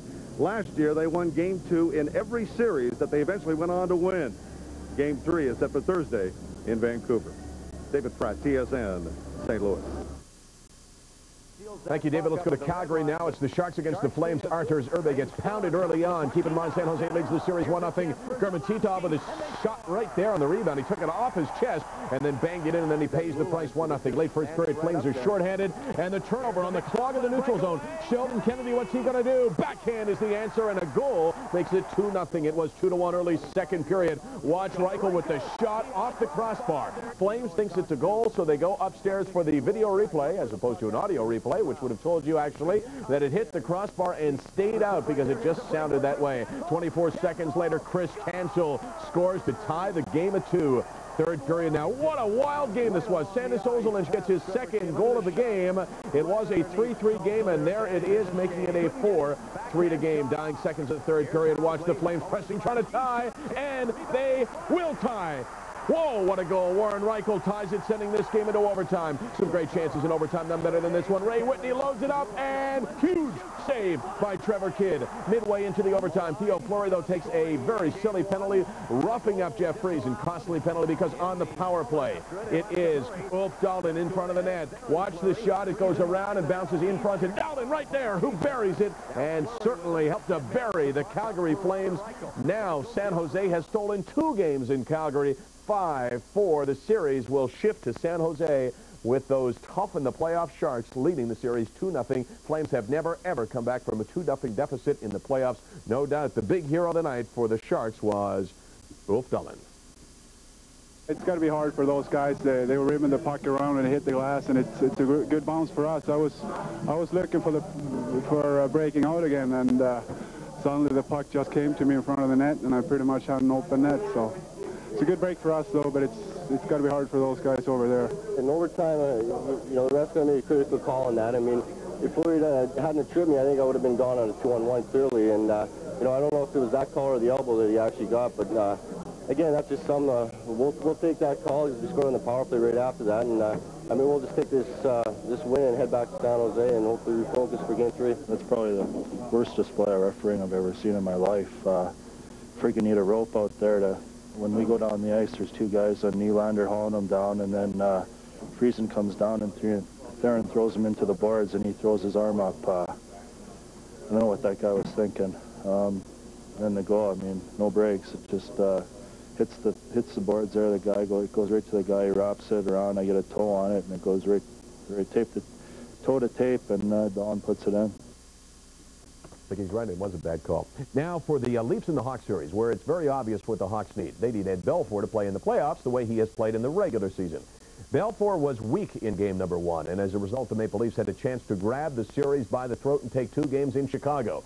Let's see what happens. It's Mats Sundin that gets rocked early on. That's the plan of the Hawks in this game, to rough him up just a little bit, but the Leafs have a few guys who can do some roughing as well. Watch Tie Domi move in right here, and he gets the uh, nice bounce. Not only does he get Chelios, but he gets a piece of Ed Belfour as well, but then Domi gets paid back by Bernie Nicholls, Domi on the bench going, guys must have been rotting him, saying, Nicholls, he rocked you. Leaps with the steal. Randy Wood moves it on the breakaway, short-handed, puts the head down, but Belfour plays it very nicely, cutting down the angle. Second period, Mats Sundin moves in, but rings it off the crossbar, still a scoreless game. Potvin keeping the Maple Leafs in this game. The shot by Chelios, rebound by Chelios as well. Six seconds left in the second period. The steal by the Maple Leafs, Mike Ridley, 15-foot slapper. Maple Leafs led it 1-0 when you score late in the period. That is not very good for the opposition. Third period, Dave Andreychuk just out of the penalty box to Mats Sundin. 2-0 for Toronto. Potvin, the story of the night. Steve Smith sends it in to Murray Craven, but look at Potvin in rock-solid position. And Bill Berg knocks the net off its moorings right there. Less than two minutes to go. That is a penalty shot. So it's Patrick Poulin taking it. They're down 2-0. They need this. And Potvin squeezes the pad shut. And the Maple Leafs squeeze out another victory in Chicago. Toronto, three on the empty net goal by Mike Gartner. Chicago, nothing. Leafs lead the series 2 to nothing. Felix Potvin, 42 saves for his fifth playoff shutout, including the penalty shot. Last time the Hawks beat the Maple Leafs in a playoff series was 1938. Long before this guy was born, R. Rod Smith in Chicago. This time the Blackhawks were clearly the better team in every way but one on the scoreboard. Offense was the problem this time, not defense. But there was a similarity to game one. When the Hawks made a mistake, an opportunistic leap was there to take advantage. They uh, played, uh, outplayed us uh, for, for a lot of the game, and they were getting a lot of chances, and uh, Felix played a great game, and uh, we knew, uh, you know, one goal helped us, and, and it was big, but I think Matt's was even bigger because, you know, I, I don't think we would have you know, it ended up where we held them off. But if we just had that one goal the, the whole third period, it would be tough to hold them off. They were better than us tonight. I mean, so we have to accept that. Uh, we just had one guy that was better than both teams on the ice, and he wore number 29 with a big mask. Every time he gets in the playoff, it's a different season. I didn't pay any attention of, of what people were saying and what happened in the regular season. I put it behind me and, and try to bounce back in the playoff. Well, the Leafs weren't much of a road team during the regular season, but they made up for it quickly, sweeping it here in Chicago and heading back to Toronto in terrific shape. For Chicago, meanwhile, they need Jeremy Roenick more now than ever. Rod Smith, TSN, in Chicago. Seconds later, Let's go to Detroit now. Bob Gainey and the Stars down 1-0, and they know the Red Wings are flying. They desperately don't want to be knocked out of the playoffs in the first round, and it doesn't look like they will. Paul Coffey with a steal. The shot banged in by Richard Matvichuk, which uh, isn't what Richard Matvichuk wanted to do. 1-0 for Detroit. 43 seconds later, the Red Wings in the power play. Steve Yzerman looks, looks, looks. He's got Lidstrom, who bangs his stick on the ice, wants the pass, and he's got it next. Mo can't get over in time. 2-0 Detroit. Stars get one back, but the Wings answer right back. Vyacheslav Kozlov with the feed right there to Lidstrom, 3 to 1. Detroit after one period of play. Second period, Mike Vernon doing exactly what is expected of him. Wings with their offense don't need spectacular goaltending, just solid goaltending. One save, two saves, and a third save on Adams and uh, before him. Now the Red Wings offense gets going again. Fetisov with a very nice feed to Keith Primeau, who buries it right there, 4 to 1, and then Primeau attempts to bury the Dallas Stars in a different way. Watch the serious shoulder right there. Ouch. Red Wings fans can uh, take the hats off for now, but their team looks good because they beat Dallas 4-1 and they lead the series two games to nothing. Mike Vernon had to make just 20 saves. Wings 5 for 10 on the power play in the series. The Stars just 1 for 12 with the extra man. Now, Monday we reported that the NHL draft originally scheduled for Winnipeg this July would be moved. On Tuesday, TSN learned that the draft is headed to Edmonton. Oilers Director of Public Relations Bill uh, Tuele says that the Oilers are close to an agreement with the league. However, we are reporting that it is done. The Oilers have scheduled a meeting. The big play of last night's Eastern Conference playoff action could turn out to be the biggest play of Pittsburgh's season. Down a game to Washington, the Penguins were coming off a second period in which they managed only four shots on goal. A second period which failed to make a dent in the Capitals' 3-1 lead. Needless to say, the Penguins needed a fast start to the third period, and Luc Robitaille's first playoff goal in a Pittsburgh uniform provided it, with Ron Francis collecting his second of four assists on the night. Robitaille's goal at 106 of the third period sparked the comeback that included Jaromir Jagr's tying goal 29 seconds later and Kevin Stevens' winner less than three minutes after that. Robitaille's empty netter tied a ribbon to the victory, but his earlier goal was the biggest of five on the night for the Pittsburgh Penguins. The most important statistic all season long for Penguins goalie Ken Wregget was wins. Despite a goals against average of 3.21, which was nowhere near the league leader, he topped all NHL goalies with 25 wins. Following last night's playoff victory, he spoke to TSN's Gary Green. With me now, Ken Wregget, a big reason why the Pittsburgh Penguins were able to come probably brings them down a level, and that's what I felt happened the first game. Uh, I talked to Gilles Meloche and, and EJ about it, and uh, you know, I told him, you know, I, I got to do some extra work. I got to get going, and uh, and if I can do that, I think I can get the team going a little better, and, and uh, that's what I've been trying to do the last two days. Well, you also mentioned to me just a moment ago, though, that you were pretty unhappy about your play in the first the thing. Uh, you couldn't really blame one person, but uh, you know, if you can make a big save, it can kind of get the guys going. And uh, the way things went the previous game, uh, you know, I was surprised I didn't get pulled. And you know, I, I got to hand it to EJ for leaving me in there because if he didn't, then uh, you know, maybe it would have carried on to another game, and, and it just gave me some more ice time to get get things settled out. Well, you certainly came up big in the third period, and so did your hockey club. But how did you get things going? And, uh, you know, get angry and, and uh, just worry about stopping the puck and don't think too much, and I think that's what happened. How difficult is it with this team that you're playing? Enthusiasm, and he, he stirs things up. He, he can change, he can give that extra spark when, when it's needed, and, uh, you know, that's what we have to be aware of when he's on the ice. Uh, you know, there's certain guys throughout the series you have to you have to key on it. And as far as uh, the Washington team goes, he's definitely one of them. Ron Hextall in the Philadelphia net. Stéphane Richer with another three-point game for New Jersey, but when a goalie records back-to-back -back shutouts in the playoffs, he steals the show. And Martin Brodeur of the Devils is our big player from Monday night. Each of his shutouts at Boston Garden has featured 23 saves. Brodeur called last night's game tougher than the first one, probably because his lead was 1 to nothing most of the way, rather than 3 nothing after one period of the first game. He had to contend with five Boston power plays in each game, and the Bruins possessed the league's top power play shooter in Cam Neely. But everything was a blank for the Bees because of Brodeur. His only other playoff shutout came last season against, you guessed it, Boston.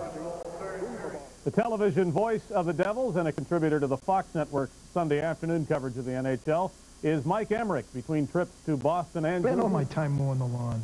The Noma Brute Multi-Mode. It's today's answer. First, the Brute side discharges. Or bags the cuttings for easy composting. Later in the season, it turns into a great mulcher. And in the fall, the Brute's leaf vac cleans up all those maple leaves. So, when hockey starts again, I just switch from one winning mode to another the Noma Brute. Available at Canadian Tire and other fine retailers. To, uh, to play on the power play. Singer from Bowling Green University scored for the Buffalo Sabres. And Finnish-born defenseman Janne Laukkanen scored for the Quebec Nordiques. In playoff goal scoring then. The Silver Seven featured stars like one-eyed Frank McGee, a scoring machine. In January of 1905, Ottawa hosted a young team from Dawson City for the Stanley Cup. Klondikers left for the challenge on December the 19th and arrived in Ottawa nearly a month later, only to be defeated 9-2 and 23-2 as McGee set scoring records including 14 goals in Game 2 alone. Stanley Cup Legends, brought to you by Ford of Canada.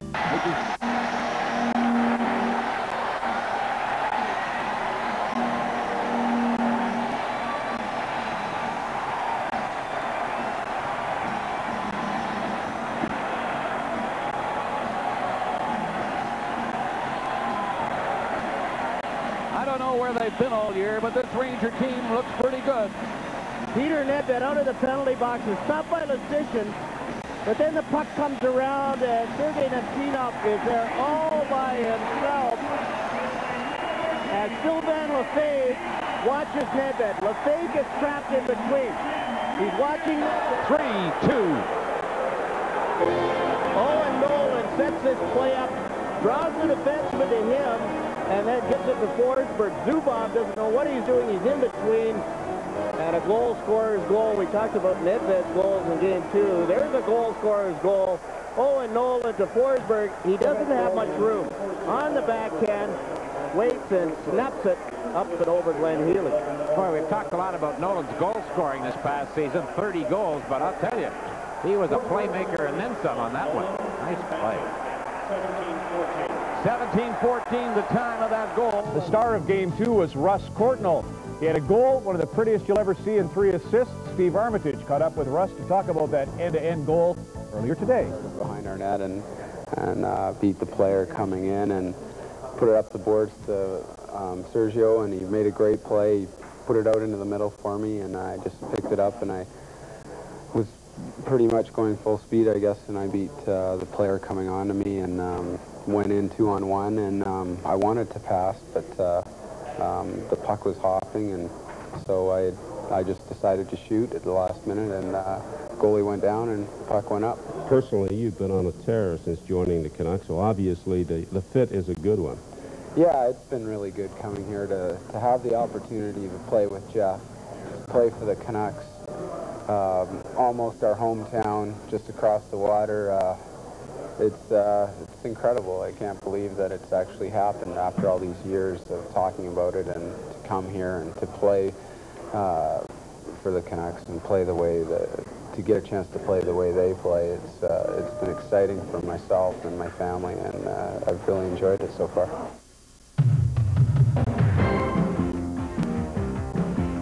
Game three of the West quarterfinal between Calgary and San Jose will be at the Rockin' Arena. Terms off the glass and right to Ulf Dahlin. Wrong guy to get it. He beats Trevor Kidd, and the Flames lose their second in a row at home. Joining me now from San Jose is Sharks head coach Kevin Constantine. Kevin, you're full of surprises every year at playoff time. Uh, how about the first two games at Calgary?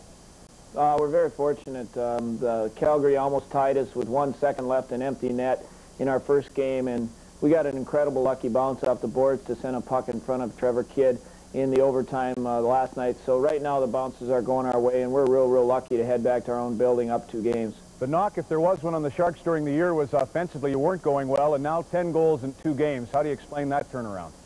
Well, Quebec Nordique might be a little bit tight after winning game number one. Well, after getting blown out in game number two, you might expect that the young Nords that would be even tighter. As they headed into Madison Square Garden for game number three against the surging New York Rangers, Rangers really taught them a lesson in game number two, and apparently this guy did not learn a lesson. Find $1,000 for an elbow on Alexei Kovalev in game number two. He's at it again with the slash this time.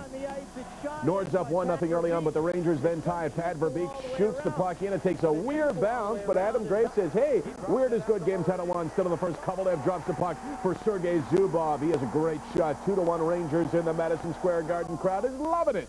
Nords look to tie it in the second period. Joe Sakic with a feed in front to Wendell Clark, but he tries to pin down the rolling puck. Can't do it. Healy with a save. Rangers keep the pressure on. Peter Nedved finds Sergei Nemchinov all alone. Look at Sylvain Lefebvre.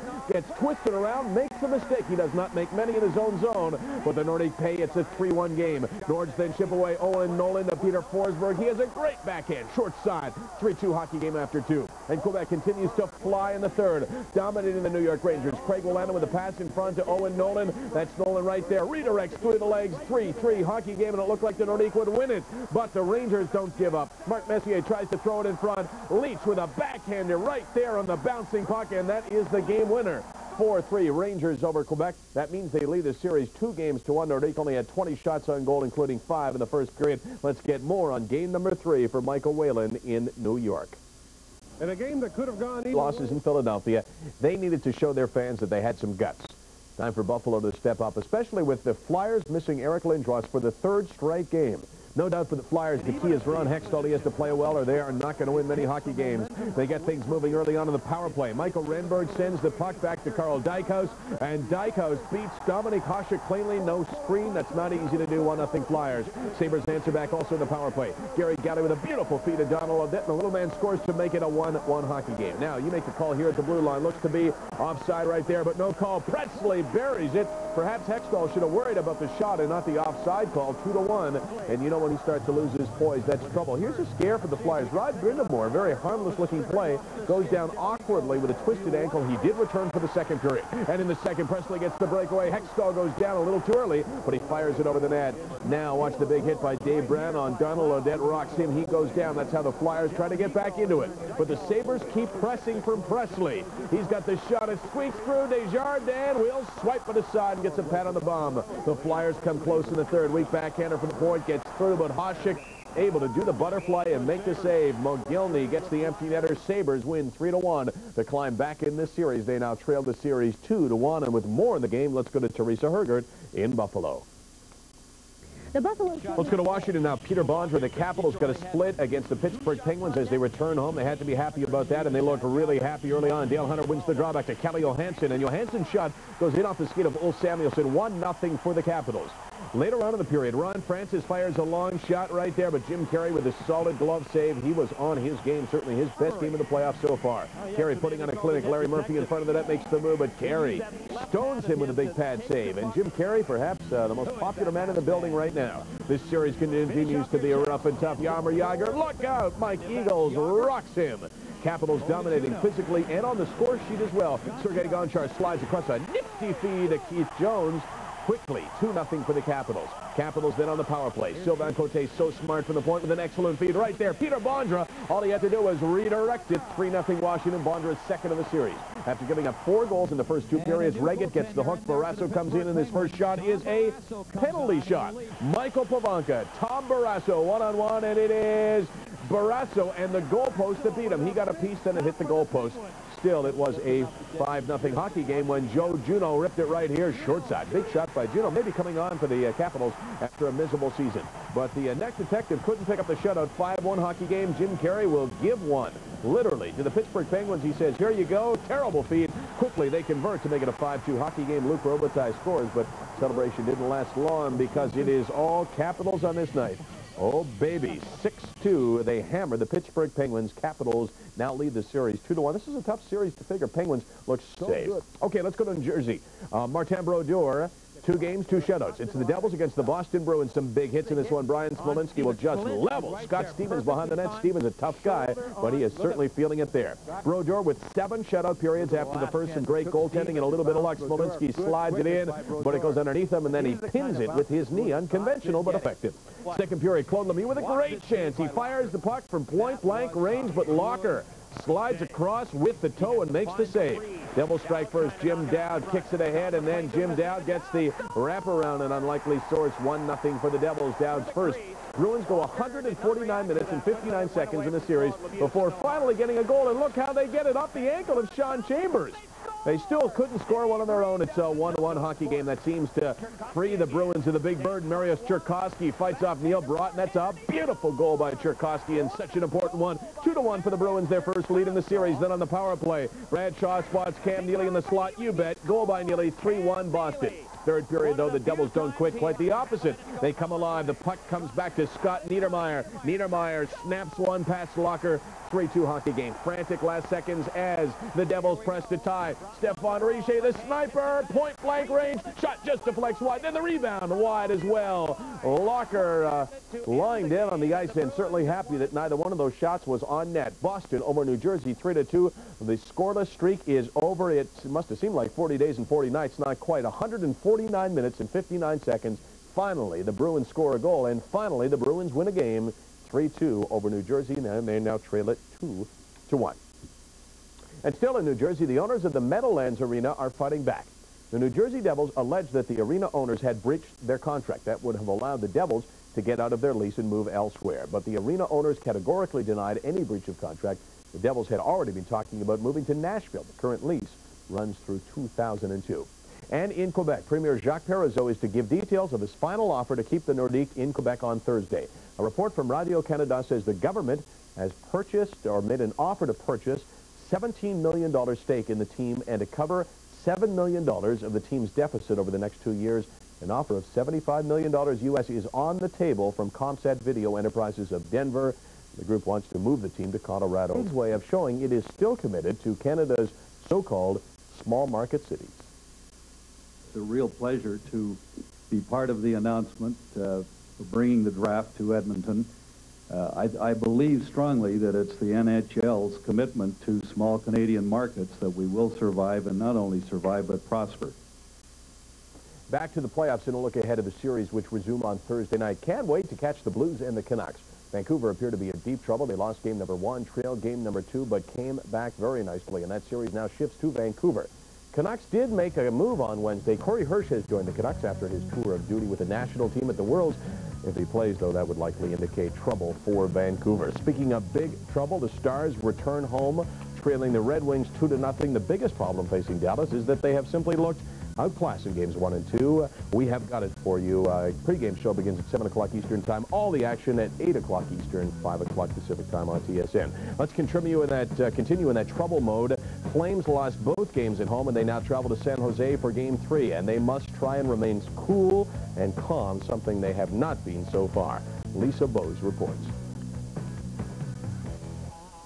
Chase on, winds around and takes a tricky hop in front. A bouncing puck down, shoot, score!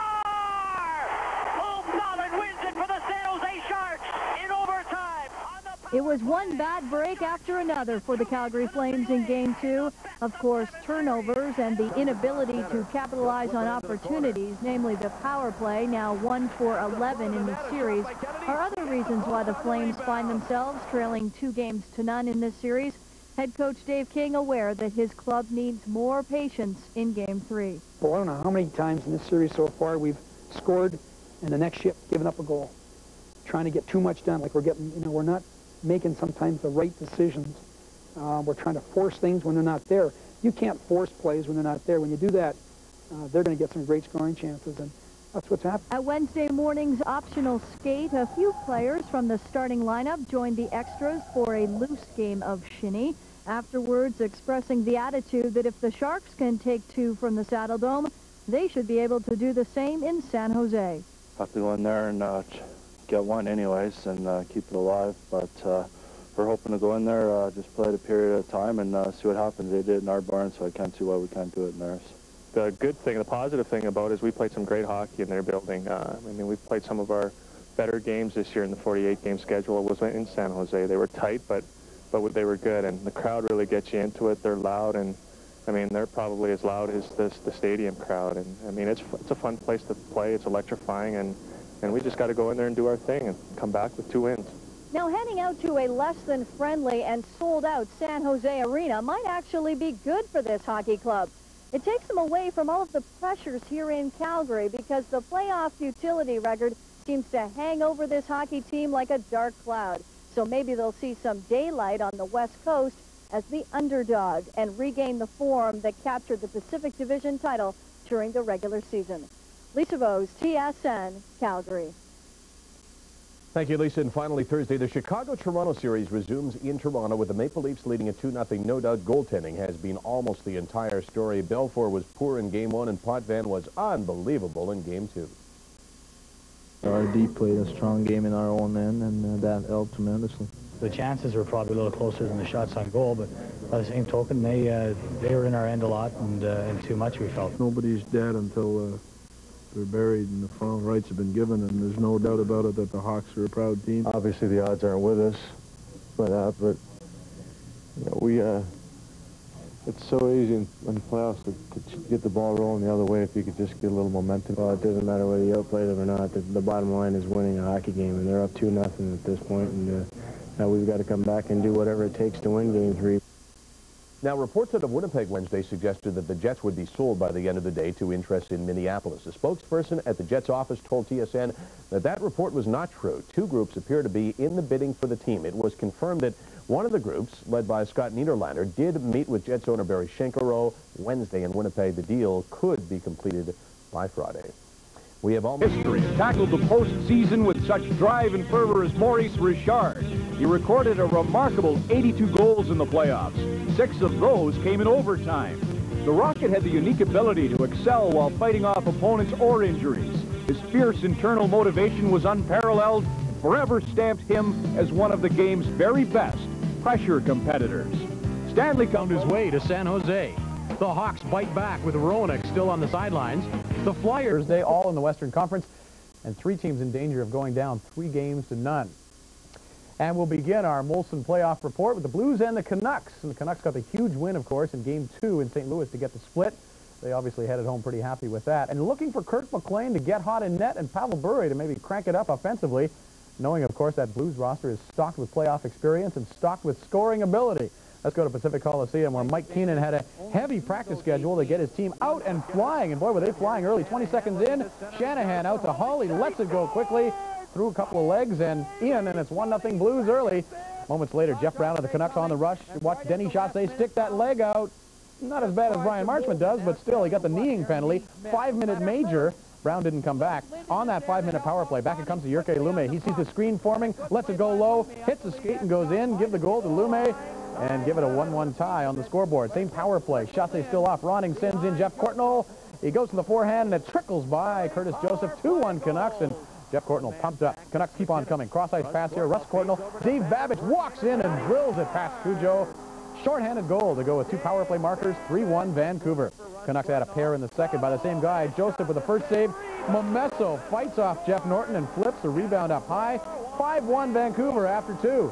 Vancouver's power play on fire on this night. Great play by Cliff Ronning here to lunge and tip the puck to Trevor Linden. Linden beating Joseph to the far side. Fourth goal with the man advantage for the Canucks. Vancouver drills the Blues 6-1 to take a 2-1 series lead. Momesso leads the way with a couple of goals. Kirk McLean only 24 saves. Not a terribly busy night, but some big, big saves. Ronning and Pavel Bure with three assists each. David Pratt was at the Pacific Coliseum and sends us this report. The Canucks playoff experience came through for them Thursday night here at the Pacific Coliseum. Game three turned out to be a rather physical affair, full of penalties, and the Canucks took advantage as they scored four power play goals and one shorthanded. They also got big games from their big players, including a three-point performance from Pavel Bure. It was a great hockey game for us. I think everybody worked as hard as they could, and we got the result. Also, uh, uh, you really took advantage. I mean, when they took the penalties, you, you made them pay for them. Talk about that a little bit. Well, that uh, was same thing in the game number one. We took too many penalties, and they had two power play goals, and we lost. So we decided to play real discipline, and those guys took a lot of penalties, and we just used them they came out with a quick goal, obviously, and uh, and all of a sudden we just seemed to play well. Um, you know, they they continued to forecheck and play hard. They worked hard and uh, uh, worked in the corners, and we came out with another big effort. We didn't play well as a group, and we lost our focus, uh, uh, and it's disturbing. Uh, I have no explanation for it. I'm looking and searching for the answers myself, but if they're going to use the, the officiating as, a, as an out, then uh, there's not much I can do about it. And uh, that might be the case. I don't know. Well, the Canucks looking a lot like they did last year in the playoffs. Well, the Calgary Flames appear to be in trouble. They lost the first two games of their first-round series to San Jose and lost both games at the Saddledome. Now, history definitely not on the side of the Flames. Not only have they not won a playoff series since 1989, but in playoff series, where they go down 2-0 in games, they are 0-7.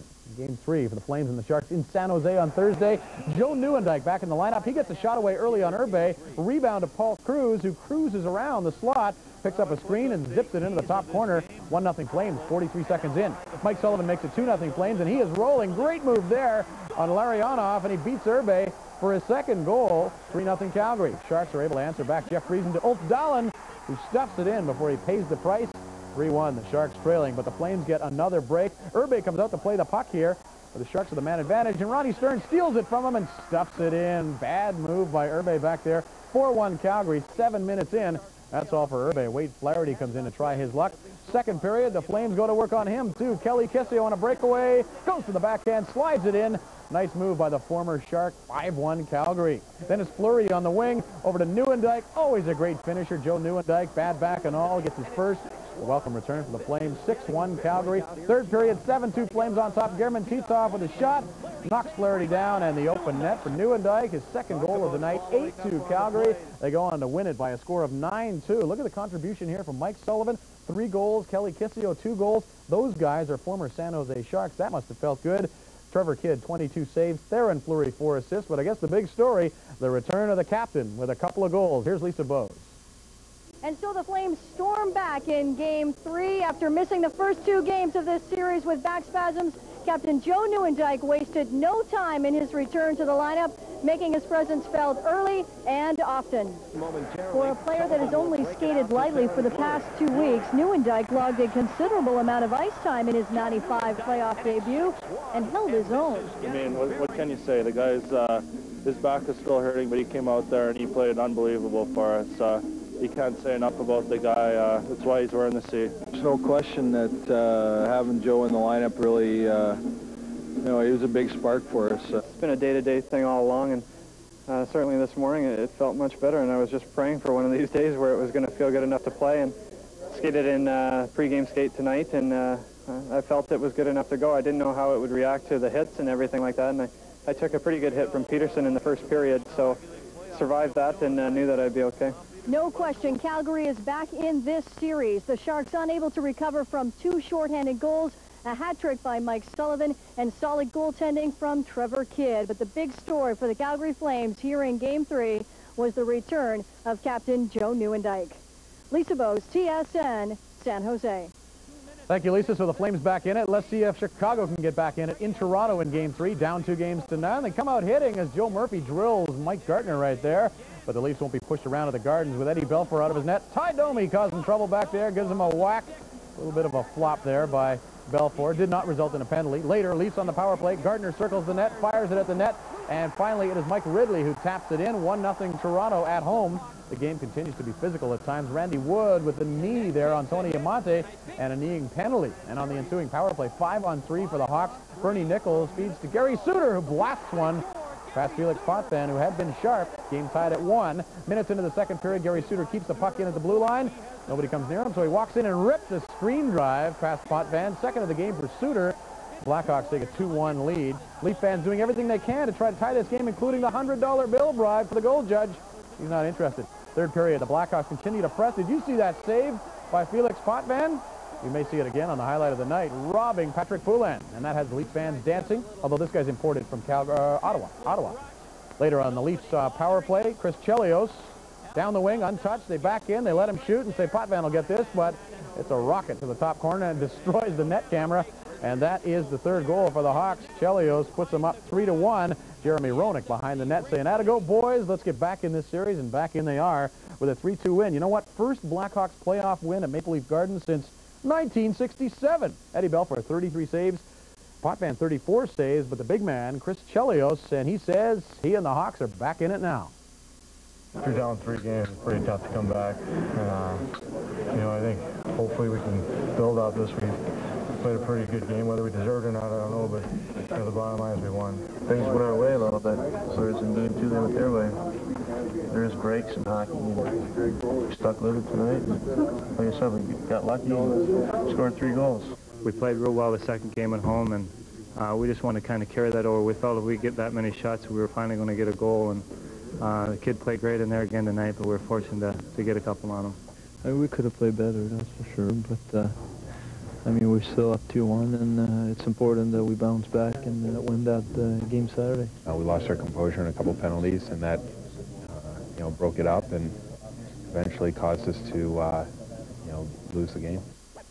So that series 2-1 for Toronto. This series about to be 3-0 for Detroit. Most people thought Andy Mogan has 60 career playoff wins in net. Tried to stem the Detroit tide, but couldn't. Dino Ciccarelli, first time he's dressed for a game in this series, and he'd redirect the pass there from Yzerman, 1-0 Red Wings.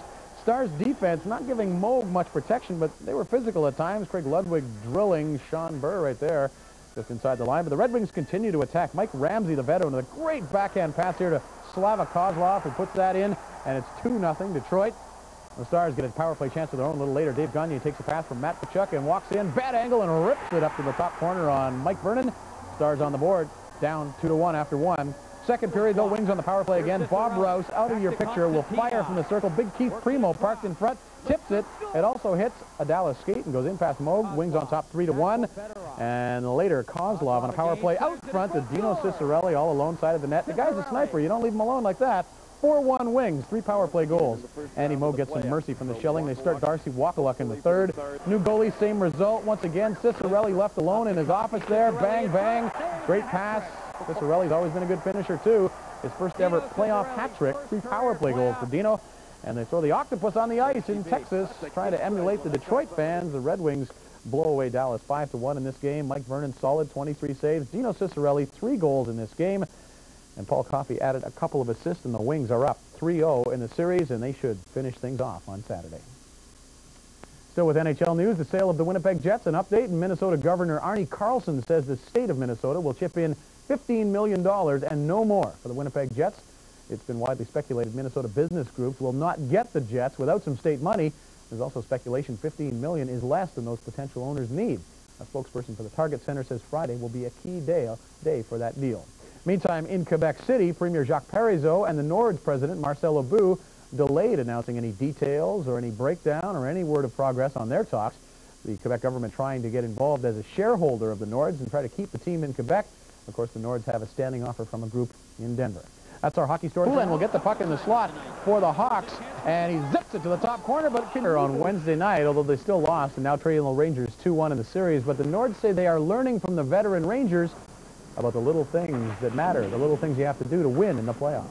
It's the first time a lot of guys have played. It's basically in-your-face hockey. Uh, both teams, you have, in the playoffs, uh, you're playing do or die every night. So uh, everything counts. Every shift counts. There's no letting up. Uh, if you're going to get a goal, you're going to have to uh, work really hard to get it. You're not going to just be given something in playoffs.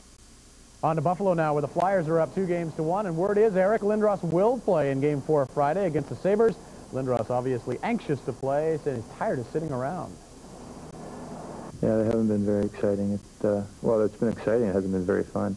Um, but, uh, you know, now uh, we can look beyond it and uh, talk about participating.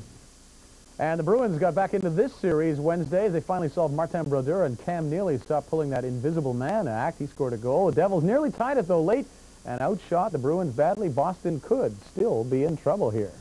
The New Jersey Devils had a perfect formula for success in the series' first two games in Boston. Score early and often.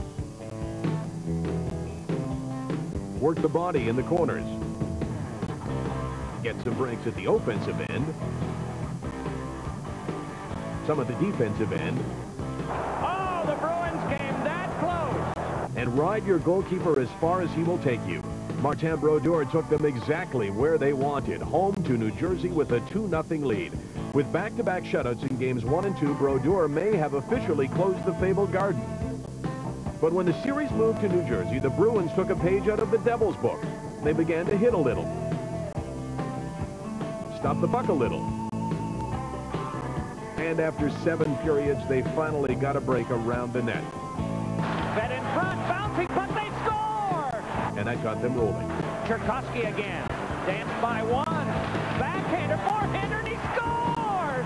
What a goal! With a 3-2 win in game number three, the Bruins have assured themselves of at least one more game at home. And they now look like they could give New Jersey a devil of a time the rest of the way. And the fourth game on Friday, of course, Capitals and the Penguins. That's the one we're following here on TSN. We invite you to join us 4 o'clock Pacific time, 7 o'clock Eastern as the Capitals have the 2-1 lead.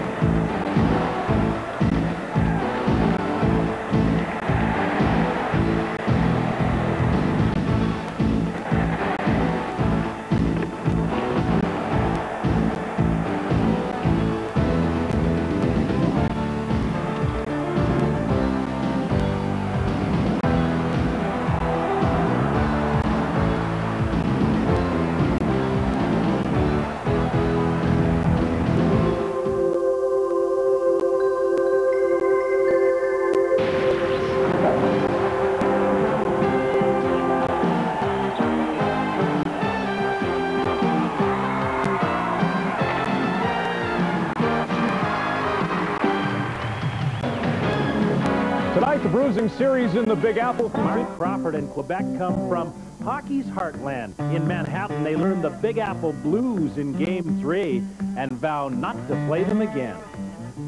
No, we uh, never gave up. Nordiques have already created... Well, game number one in Stanley Cup playoff competition for Joe Sakic. Game number 10 for Peter Forsberg. Game number four. Lots of young uh, blood there, and there's the first playoff game for Eric Lindros. The Philadelphia Flyers are at the auditorium tonight. Arena. The New Jersey Devils lead two games to one as they get set to host the Boston Bruins tonight. And, of course, it's the Washington Capitals, Pittsburgh Penguins, the two most penalized teams in the Stanley Cup playoffs so far. All that and more coming up next. We'll face it off at MSG New York. It's the Quebec Nordiques and the New York Rangers and Molson Hockey Night in Canada on CBC. In the Eastern Conference trail of the Stanley Cup, Rangers lead at two games to one. Their power play's really been clicking four for 12. New Jersey leads, although the Bruins, like the Blackhawks and the Flames, after having been swept in their own building, go on the road and win. The Flyers with Lindros, the Sabres with Howard Chuck, and of course, Dale Hunter's been the big gun for the Washington Capitals. And in typical Hunter-like style, he said, well, I got to do the job because naturally they're checking Peter Bondra.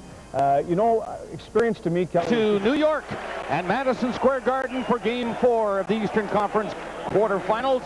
To quote Mark Messier, everyone is playing with poise and confidence. We feel we're okay now. We're all in it. We know what we have to do. The Nordiques know all too well they have to win one here in New York.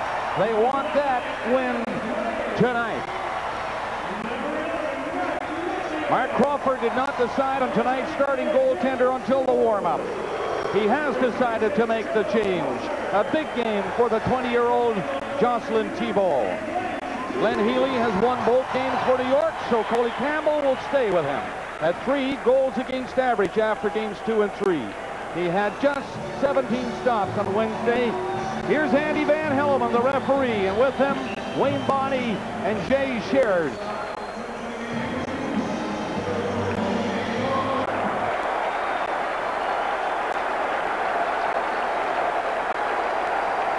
Joe Sakic shaking his head. He makes a great play to get in by himself. And he gives Richter the A move, fakes the shot, goes to the backhand, but Richter is so flexible. He gets that left leg down to make the save and then covers up. Patience, waits for Sakic to make the move, and then reacts. And what a reaction it was. Great save by Mike Richter. Oh, they're looking for their first as coaches in the NHL. The Devils have it. Peluso on for Randy McKay and back in. Blocker sets it up.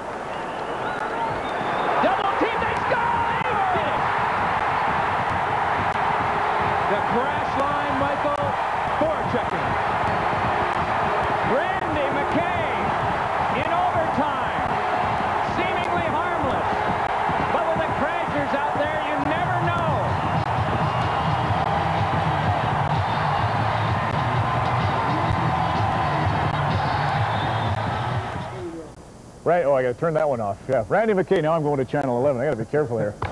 Uh, McKay, a surprising goal here. Just going to mute that, and there'll be no echo. Everything's perfect, Kelly. Uh, just you take that for a little Okay. bit. Uh, what happened there? Strange Enough to disallow the goal Joe Sakic scores. You can roll it, guys. We'll describe it as it's happening here.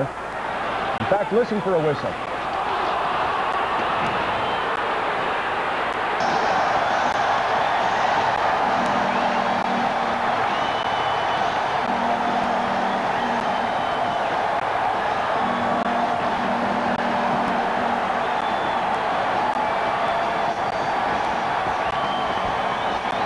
On a play by the veteran Larmer.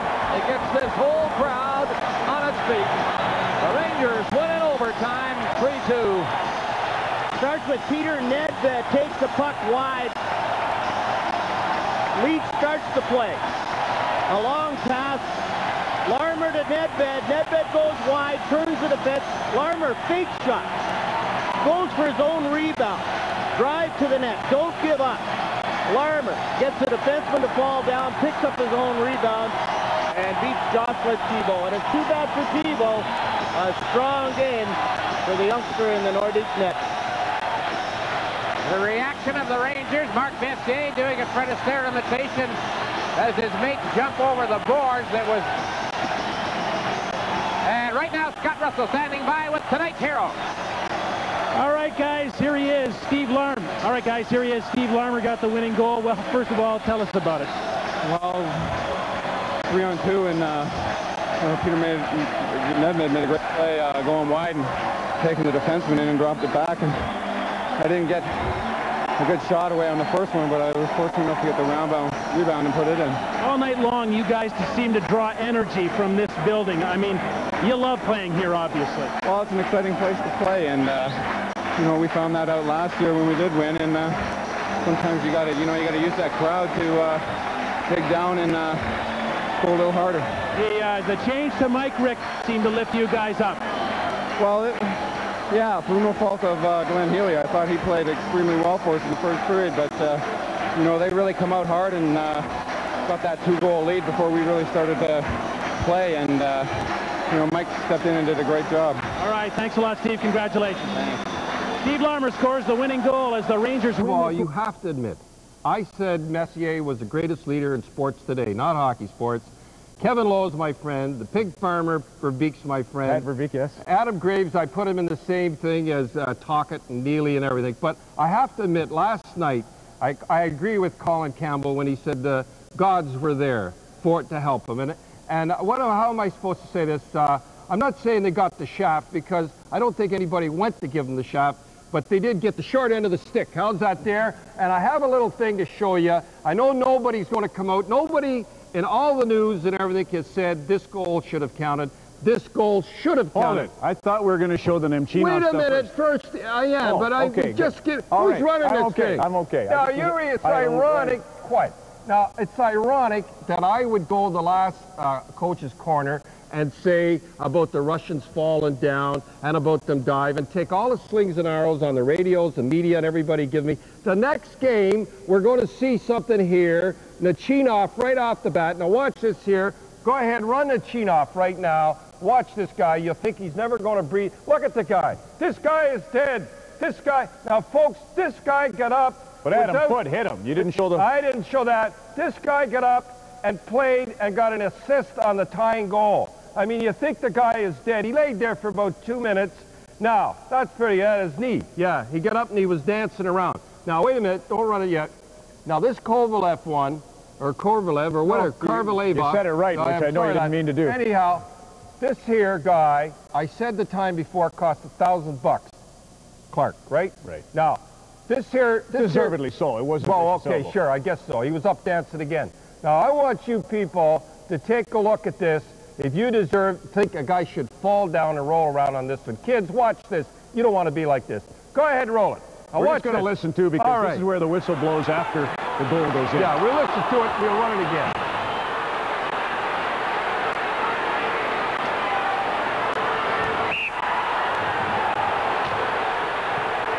Now, I'm going to tell you, I'm going to tell you what happened there. Good. All right. You're a referee. Andy Van Hellemond sees him lying there. If it's Adam Graves, he blows the whistle. He says to himself, what do I do? What do I do? It's Korvalev. He might get up and dance.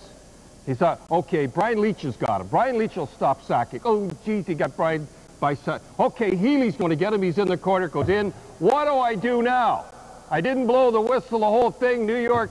And he said he blew the whistle. I feel sorry for Andy. I feel sorry for all the referees because they don't know whether these guys are faking. Korvalev got up. Not only did he get up, he got the tying goal and he got an assist. He was up dancing right after that. It is a shame, and you kids never, never do things like that. I'm, I'm happy in a way for Colin Campbell because, you know, I squeeze for him every game Right. to win because he's a good friend of Well, what mine. about Marc Crawford? I mean, that turned the game right around. That game was turned right around, 3 nothing, Folks, let me tell you something. It's awful coaching when it's 2 nothing. Any coach will tell you because you don't know whether to forecheck, hold back. When it's 3 nothing, you have the guy back. And that was a damn shame. Yeah. Uh, Jeff Beukeboom's okay. We You hear. agree, eh? Yes, I And you well, do I feel bad for Andy because I think he was going to the whistle. All right. As you say, But it was you Zubov that came over. Yeah, but you... I, yeah, we're going back to Tikkanen in the offside last year. Is that what you're at? Uh, anyway, Beukeboom and Owen Nolan. What happened there? All right, here we go. Uh, you kids out there, when you hear from the bench, you know this one. Look out!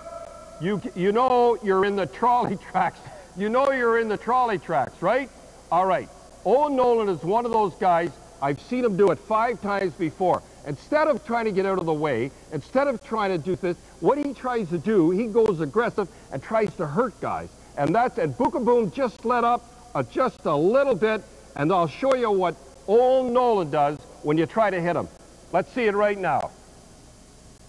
And in fairness, uh, Jeff Beukeboom might have had a cross check if it Got weren't for the fact he's lying cold. Got a little suey. See, bang! See the elbow come up? This guy is murder. See him come through. A Beukeboom. When you see a guy like Beukeboom laying there, folks, you know You want to say, we're out of time. You want to say anything about the Bruins losing that one? Uh, well, I tell you, I got to be quick now. Okay, the outshot. It was the best game. They will not quit. I felt so sorry for the rookie that he. All you kids out defensively, when you're in overtime, never fool around the net. Get it away because they come blitzing. Uh, if somebody had to score and beat, beat the Bruins, and I hate to say it, Randy McKay, he's the guy I want to do it, but I'll tell you, that was a great game they played. And then continues to go right into the stands. Boom, and there it shatters, and what a shot that is. My, oh my. Well, you see glass shatter from shots, but rarely from a player being checked into it as Linden took Jeff Norton in hard.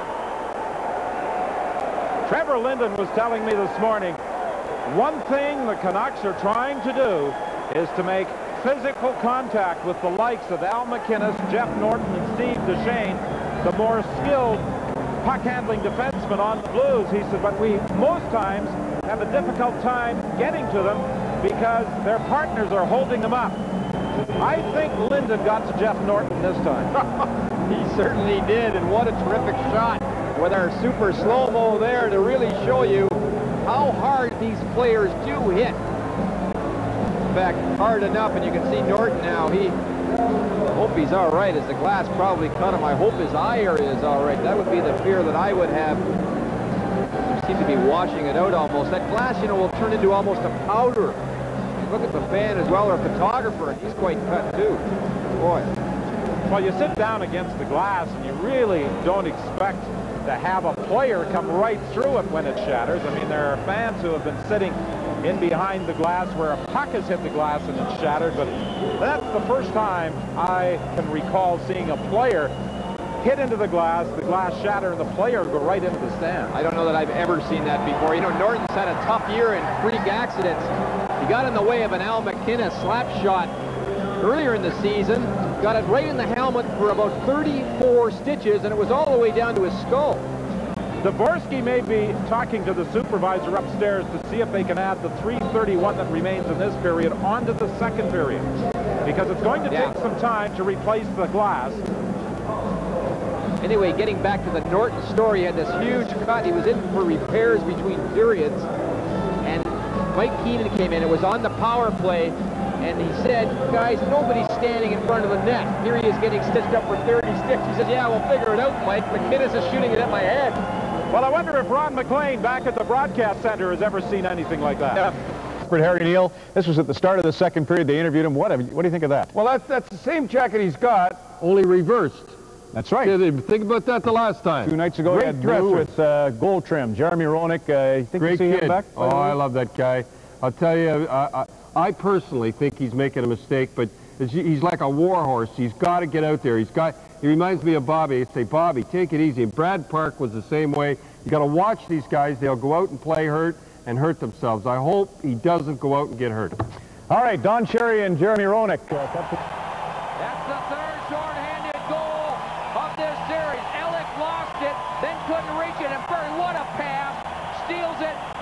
Is coming one way. Courtnall with his great speed going the other way, and he just blasted to the low side past the glove of Curtis Joseph. And Russ Courtnall gives the Canucks a two-to-one lead. That's the third short-handed goal of this series for the Canucks. Russ Courtnall with his second of the series at 441, and it's 2-1 in favor of Vancouver. The Blues still have 10 seconds left with a man advantage. Just ask Jeff Beukeboom. Joe Sakic, Wendell Clark, and the rest of them Nords may be packing for Denver, looking for a little Rocky Mountain high. Detroit's got a 3-0 lead, and it's time for another road trip down to the Big D. And the Red Wings are trying to shoot out the lights down in the Lone Star State. Sergey's got something to say. The engine's running just fine this year. Dallas's Andy Moog will be stopping as many bullets as he can, but he'll need a lot of help from Hatcher and Harvey if those stars are going to live to fight another day. Washington rolls into Steel Town, looking to inflict capital punishment on the Penguins. Peter Bondra and Dale Hunter are putting holes in the igloo because it's duck season. I mean, uh, penguin season. It's time. Jaromir Jagr. Jaromir You know, the dude with the cool name. He ain't doing fine. Woo, woo, woo. Uh, you know what I mean? He's hoping his birds can still fly. But Jim Carey's looking to keep Jagr's penguins on ice for year number two. Bummed out Buffalo returns to Philadelphia, desperately fighting off playoff elimination. The Sabres need the Dominator to live up to his name, and to stay alive, they'll need Mogilny and LaFontaine to light the leading lamp.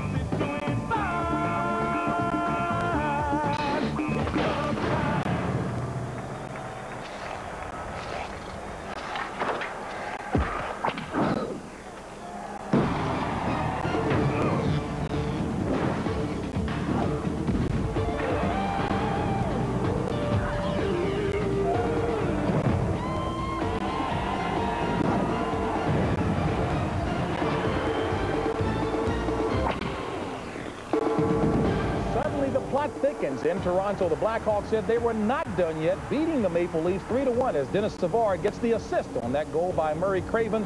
Series tied at 2. The home team has lost every game. Same scenario with Calgary and San Jose. Theo Fleury scored four times, including this breakaway, helping the Flames to tie the series at 2. Calgary hasn't advanced to the second round this decade.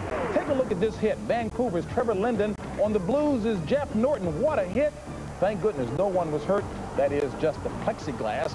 Maybe the hit inspired the Blues as Brendan Shanahan gets the natural hat trick as the Blues roll over the Canucks to knot up the series at two. They now head back to St. Louis for game five. And happy Mother's Day to all the moms out there, including the sergeant. We certainly hope that you're all being pampered today. I'm James Brown. Sitting next to me, of course, is Dave Maloney. And Dave, home ice is not an advantage to the teams out west. Well, it's funny we should talk about home ice and going home on Mama's Day because Mama's cooking's not working out west. In the meantime, I talked to people in San Jose and Toronto just because they were heading home up two after two. Nobody thought the series was over. And it's not. I like Chicago and Calgary anyway, JB. Mm -hmm. Some good-looking series out there indeed. Well, as for today's games, each of the first-round series on tap for you could be ended. Now, we begin our Fox Watch in Quebec, where the Rangers are looking to eliminate the East top seed, the Nordiques. Now, normally an eight seed beating a one seed is a huge upset, but as John Davidson tells us, this series is an exception. All right, thanks very much, James. The Rangers on the verge of knocking Quebec out of the playoffs. They do lead at 3-1, and they want to win this afternoon simply because they could use some rest. It's been an extremely physical series. Wendel Clark on Zubov. Tracy Kipriel throwing a body check. It has been tough. It's been hard. Kovalev has been a target, yet he leads the team in scoring. Jeff Beukeboom, because of that hit, will not play this afternoon. He is suffering from a slight concussion. Another big story is Mike Richter. He replaced Glenn Healy after the first period of game four. Was outstanding. Stopped all 21 shots. Again, does get the call this afternoon. For more on the playoffs, let's go to Pittsburgh and my good friend Dennis Putman. Thank you, J.D. Here in Pittsburgh, the question is, will the curtain finally fall on a superb playoff run? Pittsburgh Penguins down 3 to one. Need superb efforts from the following gentlemen. Jaromir Jagr, the NHL's leading scorer, has to come forward. Only one goal in the last two games. Ron Francis, the Selke candidate. 48 assists throughout the National Hockey League season, and he leads in that department. He's got to keep going. Ken Wregget will be in nets tonight, 25 victories. Got to be at his best. Legendary Pittsburgh. They come out strong in the first period. We'll watch for it. Now over to you in Philadelphia, Mickey Redmond.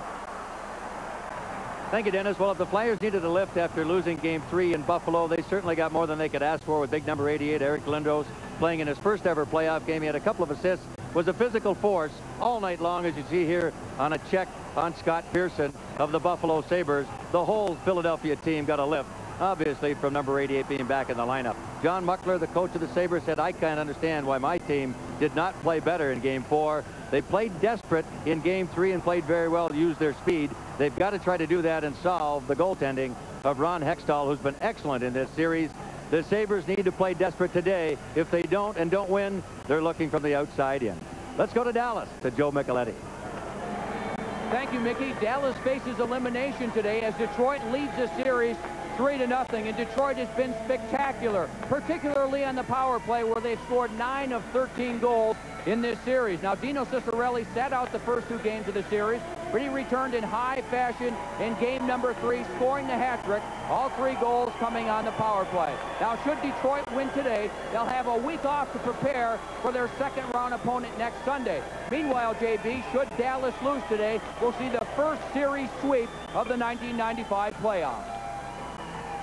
All right, Joe, thank you very much. And one other note to pass along to you in the Capitals Penguins series, it will be Ken Wregget in goal. That's because Tom Barrasso is still plagued with that injured wrist. And Dave, uh, my goodness, Pittsburgh in trouble anyway. Did that, did that just add to it? Well, I don't think the goaltending's been the factor of this series. The factor of this series has been the fact that the Washington Capitals have outworked the Penguins, and they've gotten to the puck in more of a hurry. They're making things happen. They're on top of the Penguins. That's why they're up. A lot of surprise guys with the Capitals stepping up. All right, folks, and we'll be back in Hollywood before sending you out to your game in a bit.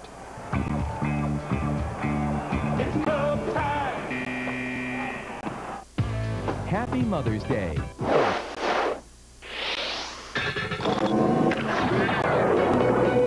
Quebec City, beautiful French-speaking capital of Quebec province. The cheer and beauty of this historic city, not all is tranquil. The Nordiques could be eliminated from the playoffs, and with persistent rumors of a move to Denver, this might be the last game at Le Colisée. Fox Sports proudly presents the Stanley Cup playoffs, game five of a best of seven.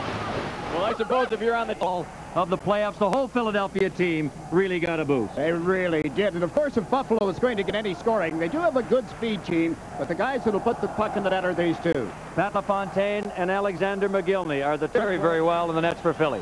This guy had a great regular season. Dominik Hasek, of course, the league's best, but look where his goals against has gone in this playoff round. It's up to 2.89, while Ron Hextall is down to a 1.92 after having a 2.89 over the course of the 48-game regular season. In the playoffs, three wins. Ties him with the legendary Glenn Hall for third on the all-time playoff list for games played. And this guy is no stranger to playoff action either. This afternoon making his 85th appearance.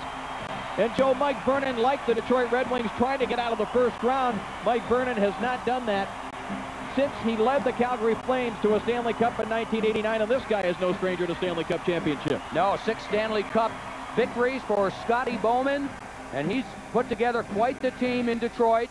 They have a little bit of everything. They can score goals. They've played terrific defense all season long, and the missing link that people have talked about the last few years, a goaltender. They acquired that in Mike Vernon, and he has been terrific here in the first three games. Well, Mike Vernon has been a missing link, but three of the five guys starting for the Red Wings, Joe, also have been additions since that playoff elimination.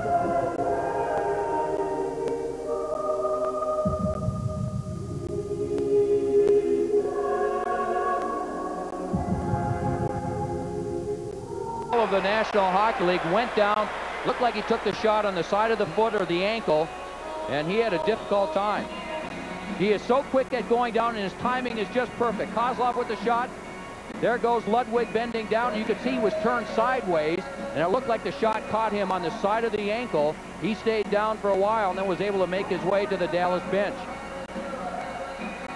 Detroit, offensively, they're terrific, but defensively, here they are. Look at all the players back and they're all back. And when Dallas tries to move the puck out, there they are, four players in the neutral zone. That makes it very difficult for the... The only question is going to be here was Jake did not make a determination at the time. And usually, if they make one decision, yes, it's in or no, it isn't, it has to be definitive the other way to nullify it. Andy is on the phone. Well, was. He's going to take another call here. This is from Willard Norris, who is the supervisor. Let's see if we've got a little different angle here. That glove is inside the post, it appears. It appears there, indeed. The replay official in Philadelphia is Mike Condon, and the supervisor on the series is former NHL linesman Willard Norris. Yeah, late, right at the end of the first uh, period Friday night. It is a goal. There you go. So it's 1-0 Philadelphia.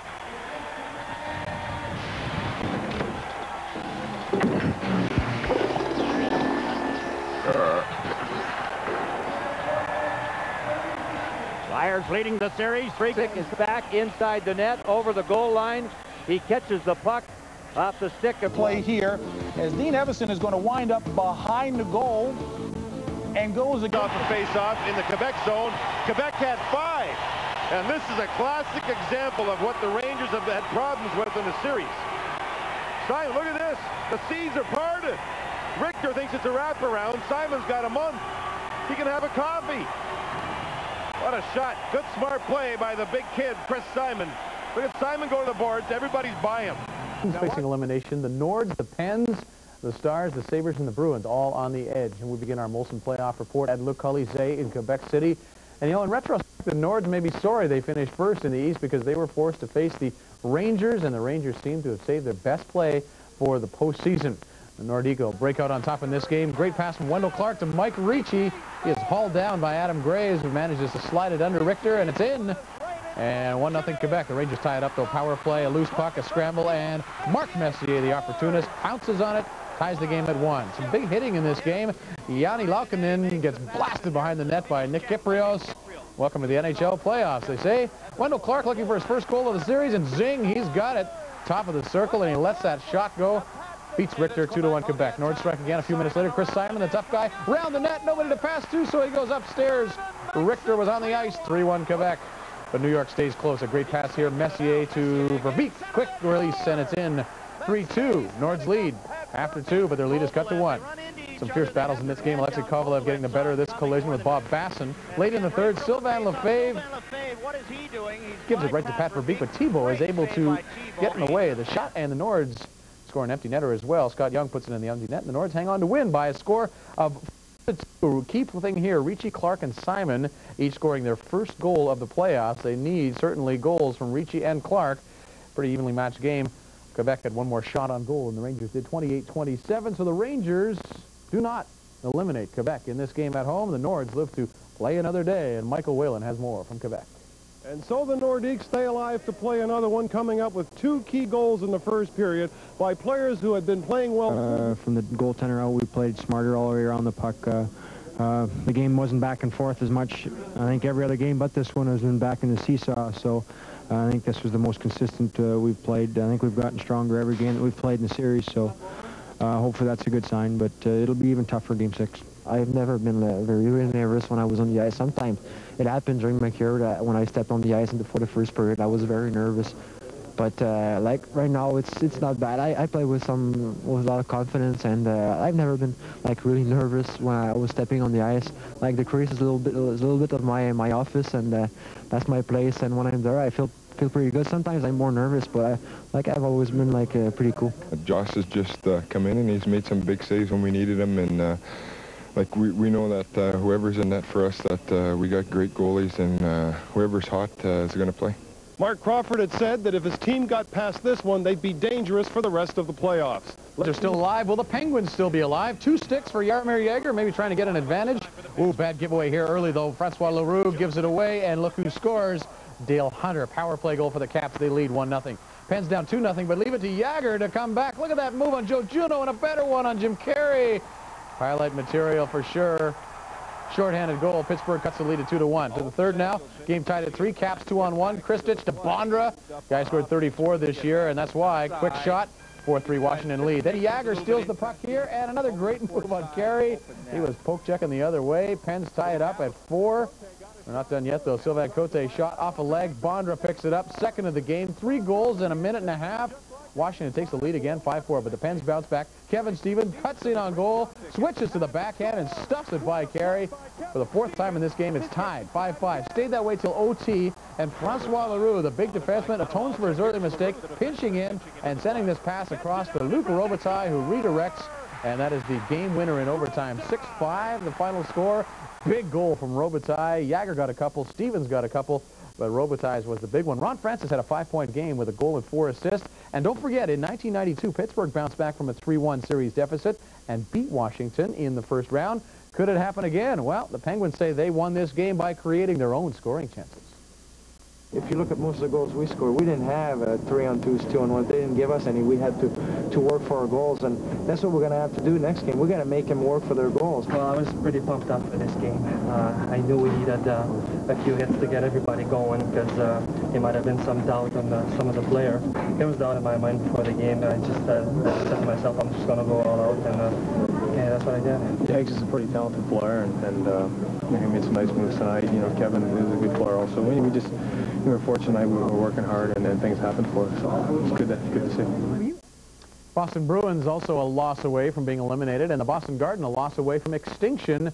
Devils had the Bruins down three games to one in the series, and the Celtics, of course, already out of the NBA playoffs. So would it be the final game of any significance to be played in the soon-to-be-demolished Boston Garden. It's been the Bruins' home since 1928, and the banners of playoffs past looming overhead. The Bruins come hard early. Brent Hughes lines up Neal Broten at the blue line, knocks him down to give him a wake-up call, but the Devils get on the board first. Power play. Tommy Albelin from the point. Bill Guerin redirecting in front. 1-0 Devils. Bruins come up flying though in the second. Cam Neely will gobble up a puck off the board, spins and fires, and scores beating Brodeur, tying it at one. 35 seconds into the second. For the Devils, we take the lead again on the power play. Shawn Chambers one times it from the point. You know, Blaine Lacher had a clear view of that one. Probably should have got it. 2-1 Devils after two. Third period, though, the Bruins come up flying again. Mariusz Czerkawski right in front, lets it go, but Brodeur got it with the pad. Devils add another one. Bill Guerin off the draw, comes to Zelepukin. He lets it go. It's a knuckler, but it beats Blaine Lacher. 3-1 for the Devils. Bruins add a late one, and that's all she wrote for Boston, the team, and for the Garden. The Devils taking a, a last playoff series, four games to one. Thank you for the memories. Boston, you know what happened to Boston? Two for 20 on the power play in this series. Devils win the final six playoff games played at Boston Garden, and they will now probably play the winner of the Pittsburgh-Washington series. The Bruins will play one more game at Boston Garden. That'll be in September, an exhibition game against the Montreal Canadiens. Okay, on we go to Philadelphia and Buffalo. Eric Lindros and the Flyers hoping to eliminate the Sabres in five. Flyers up 1-0. Mikael Renberg jamming the puck and jams it in before the net is dislodged. But Van Hellemond with another questionable call. He waves it off. No goal. Then Lindros with a long pass. Look at him up over the head of the defense. Howler gobbles it up and puts it upstairs on Hasek. What a great pass by Lindros. 2-0 Flyers, and they continue to fly Lindros in all alone. No one to pass to. Shovels it out front. Gary Galley Oops. 3-0 Philly. Flyers razor sharp in this after this afternoon game and hitting 4-0 in the second. And look at this. Dominik Hasek coughs up the puck. John LeClair will take it and stuff it in before the net is dislodged by Hasek. 5-0 Philadelphia. Sabres mount a small comeback. Third period down five to two. Alexander Mogilny will gobble one up and rip it from the high circle. Beats Hextall there. Buffalo down five to three, but the Flyers too much firepower. Rod Brind'Amour two-on-one with Kevin Dineen. Brind'Amour to Dineen, and Dineen goes top shelf, stick side buries it. 6-3 Philadelphia. They go on to win this one 6-4, and they take the series in five. The Sabres have now failed to reach the second round 10 of the last 11 years in the playoffs. Lindros with his first ever playoff goal also added a couple of assists. 6-4 Philadelphia. The Flyers, hey, they'll be the top seed if the Nords fall, but the Flyers move on to the semis now. Eric Lindros and company say they make it look easy. We got off to a pretty good start there in the first period and threw the puck at the net a whole lot and, uh, you know, forced them to forced Dominik Hasek to, to make some big saves, and uh, you know he did. He did make a, you know a number of good saves, but you know with the amount of pucks we were throwing at him, it was uh, it makes it tough for him to uh, you know to keep it a 0-0 game. Down three to one, they're a little bit demoralized, and we showed them right off the bat it was our building, and, and we were going to be aggressive, and it just. Uh, you know, it took some of the life out of them. We've been talking about having the killer instinct and trying to put away a team when we have the opportunity, and I think that, uh, you know, was the reason we came out so hard. Anytime you get knocked out, it's frustrating, and uh, Philadelphia, they seemed to really dominate us in our own zone a lot, and uh, we made some mistakes, and it's very frustrating. I'll bet it is. So the Sabres are gone again. Will the Dallas Stars be gone too? Even Bob Gainey looking worse for the wear in this series, down 3-0. But the Stars get a lead for the first time. Hatcher from the point. Looked like it was redirected by Adams, but Hatcher got credit on the power play. Stars up 2-0. Plenty of big hits in this one. Second period, Cavallini lays the hip into Darren McCarty. What a hit there. Third period, Mike Donnelly behind the Red Wing net. Vernon stops the wraparound, but Corey Millen is there to knock in the rebound. Dallas up 3-0. The Red Wings finally get on the board. Bob Errey will fire a shot here from the top of the circle. Chris Draper able to tip it past Andy Moog. Red Wings on the board, but trailing 3 to one. Stars add another one, and then some bad blood builds. Watch the series. Chris Draper sends Matvichuk sliding across the Red Wing bench. Scotty Bowman got hit by the stick. He wouldn't give it back to Matvichuk, so they try to grab one. Keith Primeau says, here, take mine, and butt ends him in the back of the head. Wow. Dallas avoids the sweep, though, by beating the Red Wings 4-1 on Sunday and sends the series back to Motown. The Stars scoring four goals in this game. They only scored five total in the first three games of the series. TSN will have Game 5 Monday live at 7 p.m. Eastern Time with our pregame show. Still with hockey, efforts continue in Winnipeg to save the Jets. City Council there will get a look at a new plan on Monday that would involve mostly private financing. The Manitoba Entertainment Complex people still working hard at getting various different levels of financial commitment from corporate Winnipeg, some big, some small, some medium. A local group called Eternal Optimists is even organizing a gala social at 100 bucks for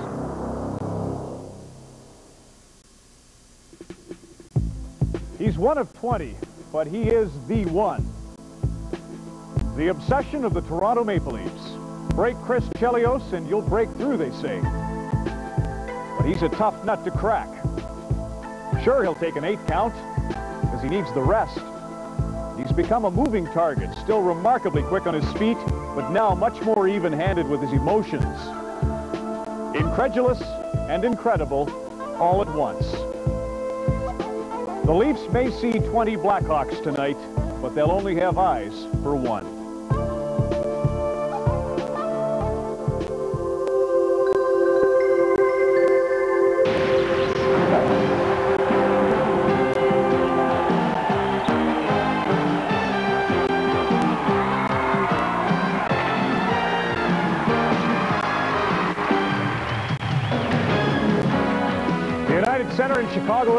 Of Game 5 tonight in the Suitcase Series. The Toronto Maple Leafs confront the Chicago Blackhawks in Chris Chelios' joint this evening as we continue our coverage of the 1995 Stanley Cup playoffs. Good evening and welcome to Molson Hockey Night in Canada on CBC. I'm Ron MacLean. It's Chelios and Gilmour at the forefront. The goaltenders, Belfour and Potvin also in focus. But before we get to the...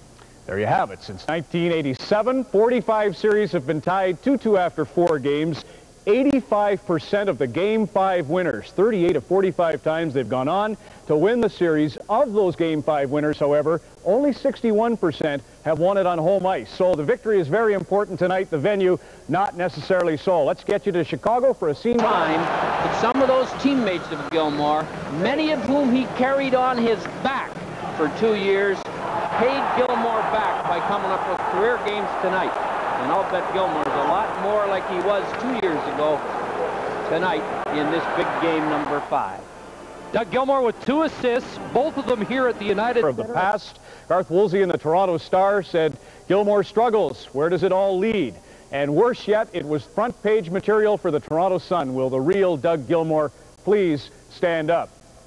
Don Cherry is rumored to be buying the Kingston Whig Standard in order for Gilmour to get some good ink. Coming up next, we'll send you to the United Center and tell Serena in Detroit.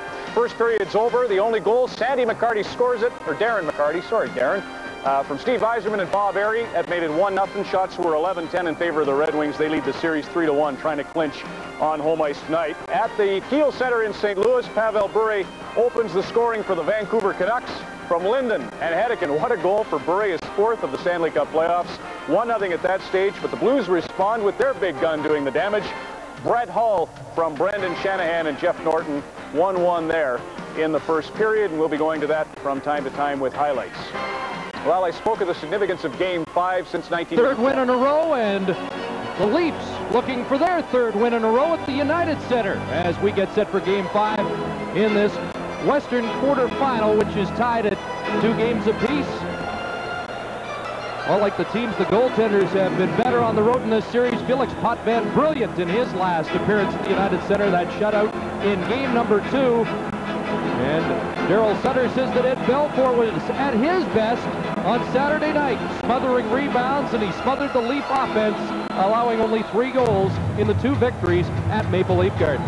Daryl Sutter at this morning's game day skate had a 10 to 12 minute speech on the ice to give to his Hawk players. Normally a very quiet guy, he was at his most best this morning. Not. That is just about all there is left of the beautiful old Chicago Stadium. Was there a better moment in sport than the national anthem in a playoff game in the Chicago Stadium? I think not. Well, you're right, Harry. They try to recapture it here, and the fans do make a lot of noise, but in this big building, it just doesn't seem to be the same. They brought the horn over and strung it from the ceiling, and they they can't quite get the noise level they got in that smaller building across the street. Not that this one isn't a dandy, but...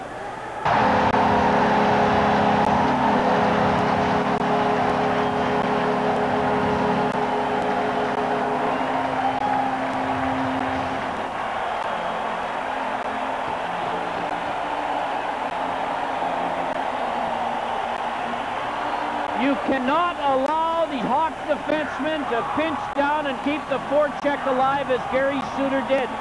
And then about three cranial vapor locks occurred, and the result was this shot right here. Murray Craven hasn't had that much time since he played in Medicine Hat to put the puck in the net to make it 1-0 Hawks.